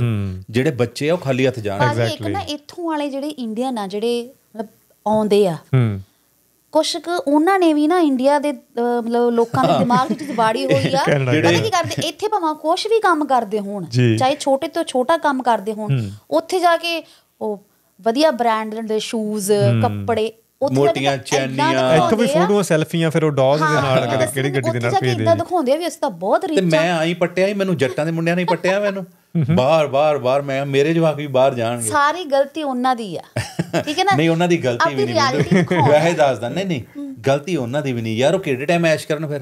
ਜੀ। ਇੱਥੇ ਵੀ ਹੁਣ ਕਮਲਿਆਂ ਵਾਂਗੂ ਕੰਮ ਕਰੀ ਜਾਣ ਉੱਥੇ ਵੀ ਕੰਮ ਨਹੀਂ ਕਰੀ ਹੁਣ ਜਾਣ। ਅਸੀਂ ਆਏ ਆ ਅਸੀਂ ਦੇਖਿਆ ਅਸੀਂ ਸਭ ਨੂੰ ਸੱਚ ਦੱਸਦੇ ਪਏ ਆ ਨਹੀਂ ਇੱਕ ਮਿੰਟ ਸਮਰੀਤ ਹੁਣ ਇੰਡੀਆ ਜਾਊਗਾ ਉਹ ਨਹੀਂ ਪਾ ਕੇ ਜਾਊਗਾ ਬ੍ਰਾਂਡ ਦੇ ਉਹ ਚੀਜ਼ ਤਾਂ ਹੈਗੀ ਨਹੀਂ ਮਤਲਬ ਉਹਨੂੰ ਦੇਖ ਕੇ ਵੀ ਕਈ ਵਿਗੜਨਗੇ ਇਸ ਲਈ ਬ੍ਰਾਂਡ ਉੱਥੇ ਇੱਥੇ ਵੀ ਪਾਉਂਦੇ ਆ ਇਹੋ ਜੀ ਗੱਲ ਨਹੀਂ ਇਸ ਲਈ ਨਹੀਂ ਭਾਜੀ ਜਦੋਂ ਸ਼ੁਰੂ ਹੋਇਆ ਸੀ ਨਾ ਮੈਂ ਦੱਸਦਾ। ਜਦੋਂ ਬਹੁਤ ਦੇਰ ਪਹਿਲਾਂ ਦੀ ਗੱਲ ਇੰਡੀਆ ਦੇ ਵਿੱਚ ਨਾ ਉਦੋਂ ਇੱਕ ਨਾਈਕੀ ਦੇ ਸ਼ੂ ਪਾਣਾ ਸਟੇਟਸ ਸਿੰਬਲ ਸੀ ਵੀ ਇਹਦੇ ਨਾਈਕੀ ਦੇ ਸ਼ੂ ਪਾਏ। ਹੂੰ।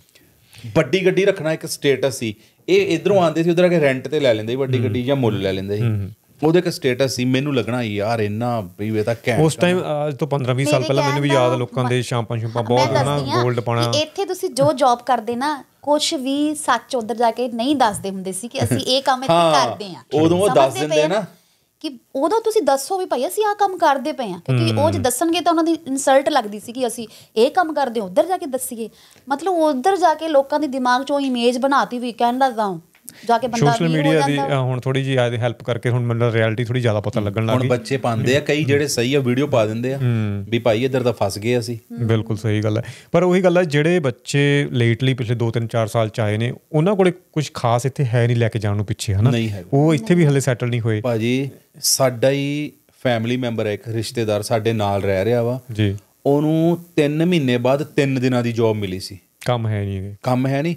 ਫੇਰ ਉਹਨੂੰ ਹੁਣ ਕਹਿੰਦੀ ਜਦੋਂ ਅਸੀਂ ਆਏ ਆ ਕਹਿੰਦੀ 3 ਮਹੀਨੇ ਬਾਅਦ ਮੈਂ ਚੱਲੀ ਆ ਫੇਰ 15 20 ਦਿਨ ਲੰਘ ਇੱਕ ਦਿਨ ਲਈ ਚੱਲੀ ਸੀ ਸੋ ਇਸ ਲਈ ਭਾਜੀ ਮੈਨੂੰ ਲੱਗਦਾ ਸੋਸ਼ਲ ਮੀਡੀਆ ਦੇ ਵਿੱਚ ਕੰਟੈਂਟ ਦੀ ਗੱਲ ਕਰੀਏ ਨਵੇਂ ਬਹੁਤ ਸਾਰੇ ਇਨਫਲੂਐਂਸਰ ਆ ਗਏ ਨੇ ਸੋਸ਼ਲ ਮੀਡੀਆ ਦੇ ਵਿੱਚ ਸੋ ਅ, ਕੋਈ ਹੋਰ ਜੌਬਾਂ ਹੈ ਨਹੀਂ ਮੈਨੂੰ ਲੱਗਦਾ ਵੀ ਸ਼ਾਇਦ ਇਹ ਈਜ਼ੀ ਮਨੀ ਹੈ ਇੱਥੋਂ ਇਹਦੇ ਬਾਰੇ ਮੈਂ ਤੁਹਾਡੇ ਦੋਨਾਂ ਦੀ رائے ਪੁੱਛਣਾ ਚਾਹੁੰਦਾ ਵੀ ਕਿੰਨੀ ਕੀ ਈਜ਼ੀ ਮਨੀ ਆ ਵੀ ਕਿੰਨਾ ਕੁ ਕੰਮ ਨਵਾਂ ਬੰਦਾ ਜੇ ਕੋਈ ਸੋਸ਼ਲ ਮੀਡੀਆ ਤੇ ਸਟਾਰਟ ਕਰਨਾ ਚਾਹੁੰਦਾ ਹੈ ਦੇਖੋ ਭਾਜੀ ਕੋਈ ਵੀ ਕੰਮ ਈਜ਼ੀ ਨਹੀਂ ਹੁੰਦਾ। ਮਿਹਨਤ ਤਾਂ ਹਰ ਹੈ। ਹਰ ਇੱਕ ਕੰਮ 'ਚ ਹੀ ਮਿਹਨਤ ਆ ਲੋਕਾਂ ਨੂੰ ਲੱਗਦਾ ਵੀ ਇਹ ਕਰਨਾ ਕੀ ਹੁੰਦਾ ਵਾ। ਹਰ ਕੰਮ 'ਚ ਮਿਹਨਤ ਆ ਪਰ ਇਹ ਇੱਥੇ ਆਏ ਆ ਜਿਹੜਾ ਇੱਥੇ ਹਿੱਟ ਹੋ ਗਿਆ ਉਹਦੇ ਕੋਲ ਪੈਸਾ ਆ ਜਾਂਦਾ। ਹੂੰ। ਫੇਮ ਵੀ ਆ ਜਾਂਦਾ ਪੈਸਾ ਵੀ ਆ ਜਾਂਦਾ। ਜੇ ਉਹ ਸੰਭਾਲ ਲਵੇ ਤਾਂ। ਤੇ ਕੀ ਐਡਵਾਈਸ ਕਰਨਾ ਚਾਹੋਗੇ? ਲੈਸੇ ਕੋਈ ਬੰਦਾ ਕਹਿੰਦਾ ਵੀ ਯਾਰ ਮੈਨੂੰ ਐਜ਼ ਅ ਕੈਰੀਅਰ ਆਪਸ਼ਨ ਦਿਖਣੀ ਹੈ ਸੋਸ਼ਲ ਮੀਡੀਆ ਨੂੰ। ਕਿਉਂਕਿ ਜੇ ਸਟੈਟਸ ਦੇਖੋ ਨਾ ਹਾਲੇ ਵੀ ਇਹ ਆ ਰਹੀ ਹੈ ਵੀ ਜਿਹੜੀ ਇਹਦੀ ਸੋਸ਼ਲ ਮੀਡੀਆ ਦੀ ਕੰਜ਼ੰਪਸ਼ਨ ਆ ਡੇ ਬਾਏ ਡੇ ਵੱਧਦੀ ਜਾ ਰਹੀ ਹੈ ਰਾਈਟ ਬਣਾਉਣ ਵਾਲੇ ਤੇ ਇੱਕ ਸਾਈਡ ਦੇਖਣ ਵਾਲੇ ਵੀ ਆਦਤ ਬਹੁਤ ਵੱਧ ਰਹੀ ਹੈ ਨਾ ਆਪਾਂ ਟਾਈਮ ਸਪੈਂਡ ਵੱਧ ਹੋ ਰਿਹਾ ਆਪਣੇ ਫੋਨਸ ਦੇ ਨਾਲ। ਇੱਕ ਐਸਟੀਮੇਟ ਆ ਕਿਉਂਕਿ ਅਸੀਂ ਬਿਜ਼ਨਸ ਚੈਨਲ ਆਪਣਾ ਹੈਗਾ ਤੇ ਗੱਲਬਾਤ ਕਰਦੇ ਰਹਿੰਦੇ ਆ ਢਾਈ 200 ਸਮਥਿੰਗ ਬਿਲੀਅਨ ਦੀ ਇਸ ਟਾਈਮ ਰੈਵਨਿਊ ਹੈਗਾ ਇਹ ਸੋਸ਼ਲ ਮੀਡੀਆ ਦੇ ਵਿੱਚੋਂ। ਕਹਿੰਦੇ ਇਹ 450 ਤੋਂ 500 ਬਿਲੀਅਨ ਹੋ ਜਾਣਾ ਅਗਲੇ 4-5 ਸਾਲ ਦੇ ਵਿੱਚ ਰਾਈਟ ਡਬਲ ਹੋ ਜਾਣਾ ਹਰ ਬੰਦਾ ਕੀ ਭਾਲਦਾ ਥੋੜਾ ਜਿਹਾ ਇੰਜੋਏ ਜਿਹਾ ਹੋ ਜੇ ਲਾਈਫ ਦੇ ਵਿੱਚ ਹਰ ਬੰਦਾ ਭਾਲਦਾ। ਜੀ। ਜਦੋਂ ਫ੍ਰੀ ਹੁੰਦਾ ਤੁਸੀਂ ਵੀ ਫ੍ਰੀ ਹੁੰਨੇ ਹੋ। ਜੀ। ਤੁਸੀਂ ਹਮੇਸ਼ਾ ਫੋਨ ਤੇ ਹੀ ਦੇਖੋਗੇ ਆਪਣੇ ਆਪ ਨੂੰ। ਕੋਈ ਹੋਈ ਹੋ ਜਿਹੜਾ ਫੈਮਿਲੀ ਨਾਲ ਟਾਈਮ ਸਪੈਂਡ ਕਰਦਾ ਹੋ ਹੂੰ। ਜਦੋਂ ਤੁਸੀਂ ਫ੍ਰੀ ਹੁੰਨੇ ਹੋ ਮੰਨ ਲਓ ਇੱਥੇ ਤਾਂ ਕੈਨੇਡਾ ਦਾ ਖਾਸ ਕਰਕੇ ਬੱਸ ਦੀ ਵੇਟ ਕਰਦਾ ਪਿਆ ਅੱਧੇ ਘੰਟੇ ਲਈ ਖੜਾ ਉੱਥੇ। ਹੁਣ ਅੱਧਾ ਘੰਟਾ ਰਿਸ਼ਤੇਦਾਰ ਨੂੰ ਨਹੀਂ ਫੋਨ ਲਾਊਗਾ ਕਿਸੇ ਨੂੰ ਉਹ ਆਪਦਾ ਫੋਨ ਦੇਖੂਗਾ। ਐਗਜ਼ੈਕਟਲੀ ਫਿਰ ਉਹ ਫੋਨ ਉਹਨੂੰ ਇਹ ਨਹੀਂ ਪਤਾ ਜਿਹੜਾ ਉਹ ਫੋਨ ਦੇਖ ਰਿਹਾ ਨਰੂਲਾ ਫੈਮਿਲੀ ਦੀ ਰੀਲ ਆ ਗਈ ਨਰੂਲਾ ਫੈਮਿਲੀ ਨੂੰ ਪੈਸੇ ਜਾ ਰਹੇ ਆ। ਹੂੰ। ਸਾਡਾ ਵਲੌਗ ਆ ਗਿਆ ਵਲੌਗ ਦੇਖ ਰਿਹਾ ਸਾਨੂੰ ਪੈਸੇ ਆ ਰਹੇ ਆ। ਜੀ। ਇਦਾਂ ਹੀ ਜੇ ਕੋਈ ਸ਼ੁਰੂ ਕਰਨਾ ਚਾਹੁੰਦਾ ਤਾਂ ਕਰ ਸਕਦਾ। ਇਦਾਂ ਨਹੀਂ ਨਹੀਂ ਕਰ ਸਕਦਾ। ਬਟ ਉਹ ਦੇਖ ਲੈ ਲੋਕ ਛੱਡ ਵੀ ਬਹੁਤ ਰਹੇ ਆ। ਹੂੰ। ਕਰ ਲੈਂਦੇ ਆ ਚੈਨਲ ਬਣਾ ਲਿਆ ਪੈਸਾ ਤਾਂ ਲੱਗਦਾ ਕੁਝ ਨਹੀਂ। ਪਰ ਕੰਟੈਂਟ ਕੋਈ ਹੋਵੇ। ਹੂੰ। ਤੇ ਭਾਜੀ ਕਿੱਦਾਂ ਦਾ ਕੰਟੈਂਟ ਤੁਸੀਂ ਐਡਵਾਈਸ ਕਰਦੇ ਹੋ? ਮਤਲਬ ਅੱਜ ਡੇਟ 'ਚ ਕਿਹੜੀਆਂ ਚੀਜ਼ਾਂ ਜ਼ਿਆਦਾ ਚੱਲਦੀਆਂ ਹੈਗੀਆਂ? ਅਸੀਂ ਭਾਜੀ ਸਹੀ ਦੱਸੀ ਅਸੀਂ ਕੁਝ ਸੋਚ ਕੇ ਬਣਾਉਂਦੇ ਹੀ ਨਹੀਂ। ਜੋ ਸਾਡੀ ਲਾਈਫ 'ਚ ਚੱਲ ਰਿਹਾ ਹੈ ਉਹ ਦਿਖਾ ਦਿੰਦੇ ਆ। ਸੋ ਨਵੇਂ ਬੰਦੇ ਵਾਸਤੇ ਐਂਟਰੀ ਕਿ ਐਂਟਰੀ ਤਾਂ ਚਲੋ ਈਜ਼ੀ ਆ ਬੰਦਾ ਕੋਈ ਵੀ ਬਣਾ ਕੇ ਚੈਨਲ ਸ਼ੁਰੂ ਕਰ ਲੈਂਦਾ। ਬਟ ਪੈਸਾ ਕਮਾਉਣਾ ਐਕਚੁਅਲੀ ਤਾਂ ਇੱਕੋ ਲੈਵਲ ਤੱਕ ਪਹੁੰਚਣਾ ਕਿਉਂਕਿ ਮਿਲੀਅਨ ਵਿਊਜ਼ ਹੁੰਦੇ ਆ ਫਿਰ ਜਾ ਕੇ ਪੈਸੇ ਜ਼ਿਆਦਾ ਨਹੀਂ? ਚੱਲ ਸਕਦਾ? ਟਰੈਵਲਿੰਗ ਤੁਸੀਂ ਨਵੀਂ ਜਗ੍ਹਾ ਤੇ ਜਾਓ ਉਹ ਚੀਜ਼ ਬਾਰੇ ਜਾਣਕਾਰੀ ਦਿਓ। ਹੁਣ ਫੈਮਿਲੀ ਬਲੌਗਰ ਤਾਂ ਬਥੇਰੇ ਹੋ ਗਏ ਬਥੇਰਾ ਲੋਕਾਂ ਨੇ ਦੇਖ ਲਿਆ। ਜਿਹੜੇ ਪੁਰਾਣੇ ਆ ਜਿਵੇਂ ਹੁਣ ਸਾਨੂੰ ਦੇਖ ਹੀ ਰਹੇ ਆ ਆਲਰੇਡੀ ਇੱਕ ਤਰ੍ਹਾਂ ਜਿਵੇਂ ਸਟਾਰ ਪਲੱਸ ਤੇ ਸੀਰੀਅਲ ਚੱਲਦਾ ਹੁੰਦਾ। ਉਹ ਚੀਜ਼ ਹੋ ਜਾਂਦੀ ਉਹ ਤਾਂ ਉਹ ਚੀਜ਼ ਦੇਖ ਰਹੇ ਹੁਣ ਇਹਨਾਂ ਦੀ ਲਾਈਫ 'ਚ ਕੀ ਹੋ ਰਿਹਾ ਅੱਜ ਕੀ ਕੀਤਾ ਅੱਜ ਗੇਮਸ ਖੇਡੀਆਂ ਅੱਜ ਇਹ ਉਹ ਚੱਲ ਰਿਹਾ।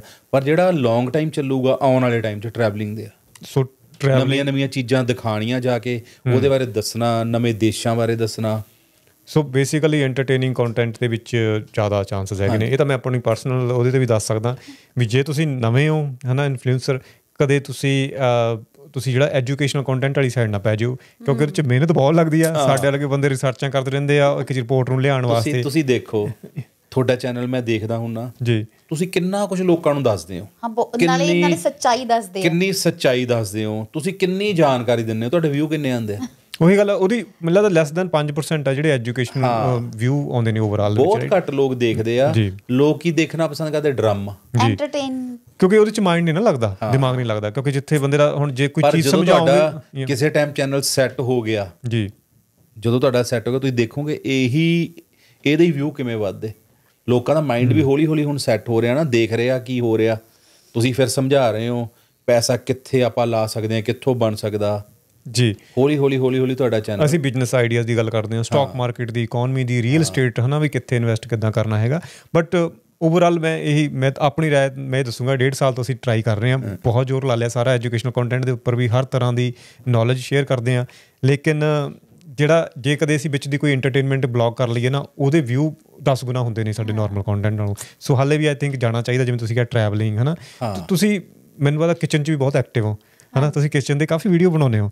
So how is the response in kitchen ਵਾਲੇ ਉਹਦੀ ਸਾਈਡ ਤੋਂ ਫੂਡ ਤੋਂ? ਠੀਕ ਆ ਉਹ ਵੀ ਸਾਡੇ ਬੜੇ ਚੰਗੇ ਵਿਊ ਜਾਂਦੇ ਆ ਉਹ ਤੇ। ਮੇਰਾ ਨਰੂਲਾ ਕਿਚਨ ਦੇ ਨਾਮ ਤੇ ਚੈਨਲ ਹੈਗਾ ਵਾ। ਅੱਛਾ। ਤੇ ਬੜੇ ਵਧੀਆ ਵਿਊ ਜਾਂਦੇ ਆ ਲੋਕ ਦੇਖਦੇ ਆ। ਮੈਂ ਵੈਸੇ ਹੀ ਸਵੇਰੇ ਸਟੋਰੀ ਪਾਦਾ ਨਾ ਕੁਝ ਬਣਾ ਕੇ ਹੂੰ ਹੂੰ। ਤਾਂ ਨਾਲ ਹੀ ਮੈਨੂੰ ਆ ਜਾਂਦੇ ਮੈਸੇਜ ਅੰਕਲ ਵਲੌਗ ਕਦੋਂ ਆਊਗਾ ਇਹਦਾ? ਫਿਰ ਅਸੀਂ ਉਹਦਾ ਵਲੌਗ ਬਣਾ ਹਾਂ। ਰੈਸਪੀ ਦੱਸ। ਇਹ ਇਹਦਾ ਥੋੜਾ ਜਿਹਾ ਡਿਟੇਲ ਦੱਸੋ। ਇੱਕ ਤਾਂ ਆਪਾਂ ਨੂੰ ਪੈਸੇ ਆਉਂਦੇ ਆ ਵਿਊਜ਼ ਤੋਂ ਵੀ ਜਿੰਨਾ ਲੋਕਾਂ ਨੇ ਜਿੰਨਾ ਟਾਈਮ ਵਾਸਤੇ ਦੇਖਿਆ ਕਿੰਨੀਆਂ ਐਡਸ ਵਗੈਰਾ ਉਹਦੇ ਵਿੱਚ ਆਈਆਂ ਉਸ ਬੇਸ ਤੇ ਹਨਾ ਆਪਾਂ ਨੂੰ ਪੈਸਾ ਦਿੰਦਾ ਆ ਪਲੇਟਫਾਰਮ ਇੱਕ ਇੱਕ ਜਦੋਂ ਤੁਸੀਂ ਇੱਕ ਬ੍ਰਾਂਡ ਤੁਹਾਡਾ ਬਣ ਜਾਂਦਾ ਇੱਕ ਲੈਵਲ ਤੇ ਚਲੇ ਜਾਂਦੇ ਹੋ ਫਿਰ ਤੁਸੀਂ ਪ੍ਰੋਮੋਸ਼ਨਸ ਦੇ ਵੀ ਪੈਸੇ ਆਉਂਦੇ ਨੇ ਹਨਾ? ਸੋ ਵੱਡੀਆਂ ਰੇਸ਼ ਜ਼ਿਆਦਾ ਹੈ ਕੰਪਨੀਆਂ ਤੁਹਾਨੂੰ ਅਪਰੋਚ ਕਰਦੀਆਂ। ਹੂੰ। ਹੁਣ ਮਾਮਾ ਅਰਥ ਕਿੱਡੀ ਵੱਡੀ ਕੰਪਨੀ ਉਹ ਸੈਮ ਰੀਤ ਕੋਲੇ ਉਹਨਾਂ ਦੀ ਰੈਗੂਲਰ ਪ੍ਰਮੋਸ਼ਨ ਹੂੰ। 버ਗਰ ਕਿੰਗ ਕਿੱਡਾ ਵੱਡਾ ਬ੍ਰਾਂਡ ਆ। ਜੀ। ਆਪਣੀ ਫੈਮਿਲੀ ਨੂੰ ਉੱਥੇ ਫ੍ਰੀ ਆ। ਜੋ ਮਰਜ਼ੀ ਖਾਓ ਪਿਓ ਸਾਡੀ ਸਟੋਰੀ ਪਾ ਦਿਓ। ਰਾਈਟ ਸਟੋਰੀ ਪਵਾਉਂਦੇ ਆ ਉਹ। ਘਰੇ ਵੀ ਭੇਜ ਦਿੰਦੇ ਆ। ਹੂੰ। ਫਿਰ ਨਵਰਤਨ ਤੇਲ ਜਿਹਦੀ ਅਮਤਾਬ ਬਚਨ ਮਸ਼ਹੂਰੀ ਕਰਦਾ ਉਹਦੀ ਅਸੀਂ ਕੀਤੀ ਵੀ ਆ। ਸਾਡੇ ਵਲੌਗ ਪਿਆ।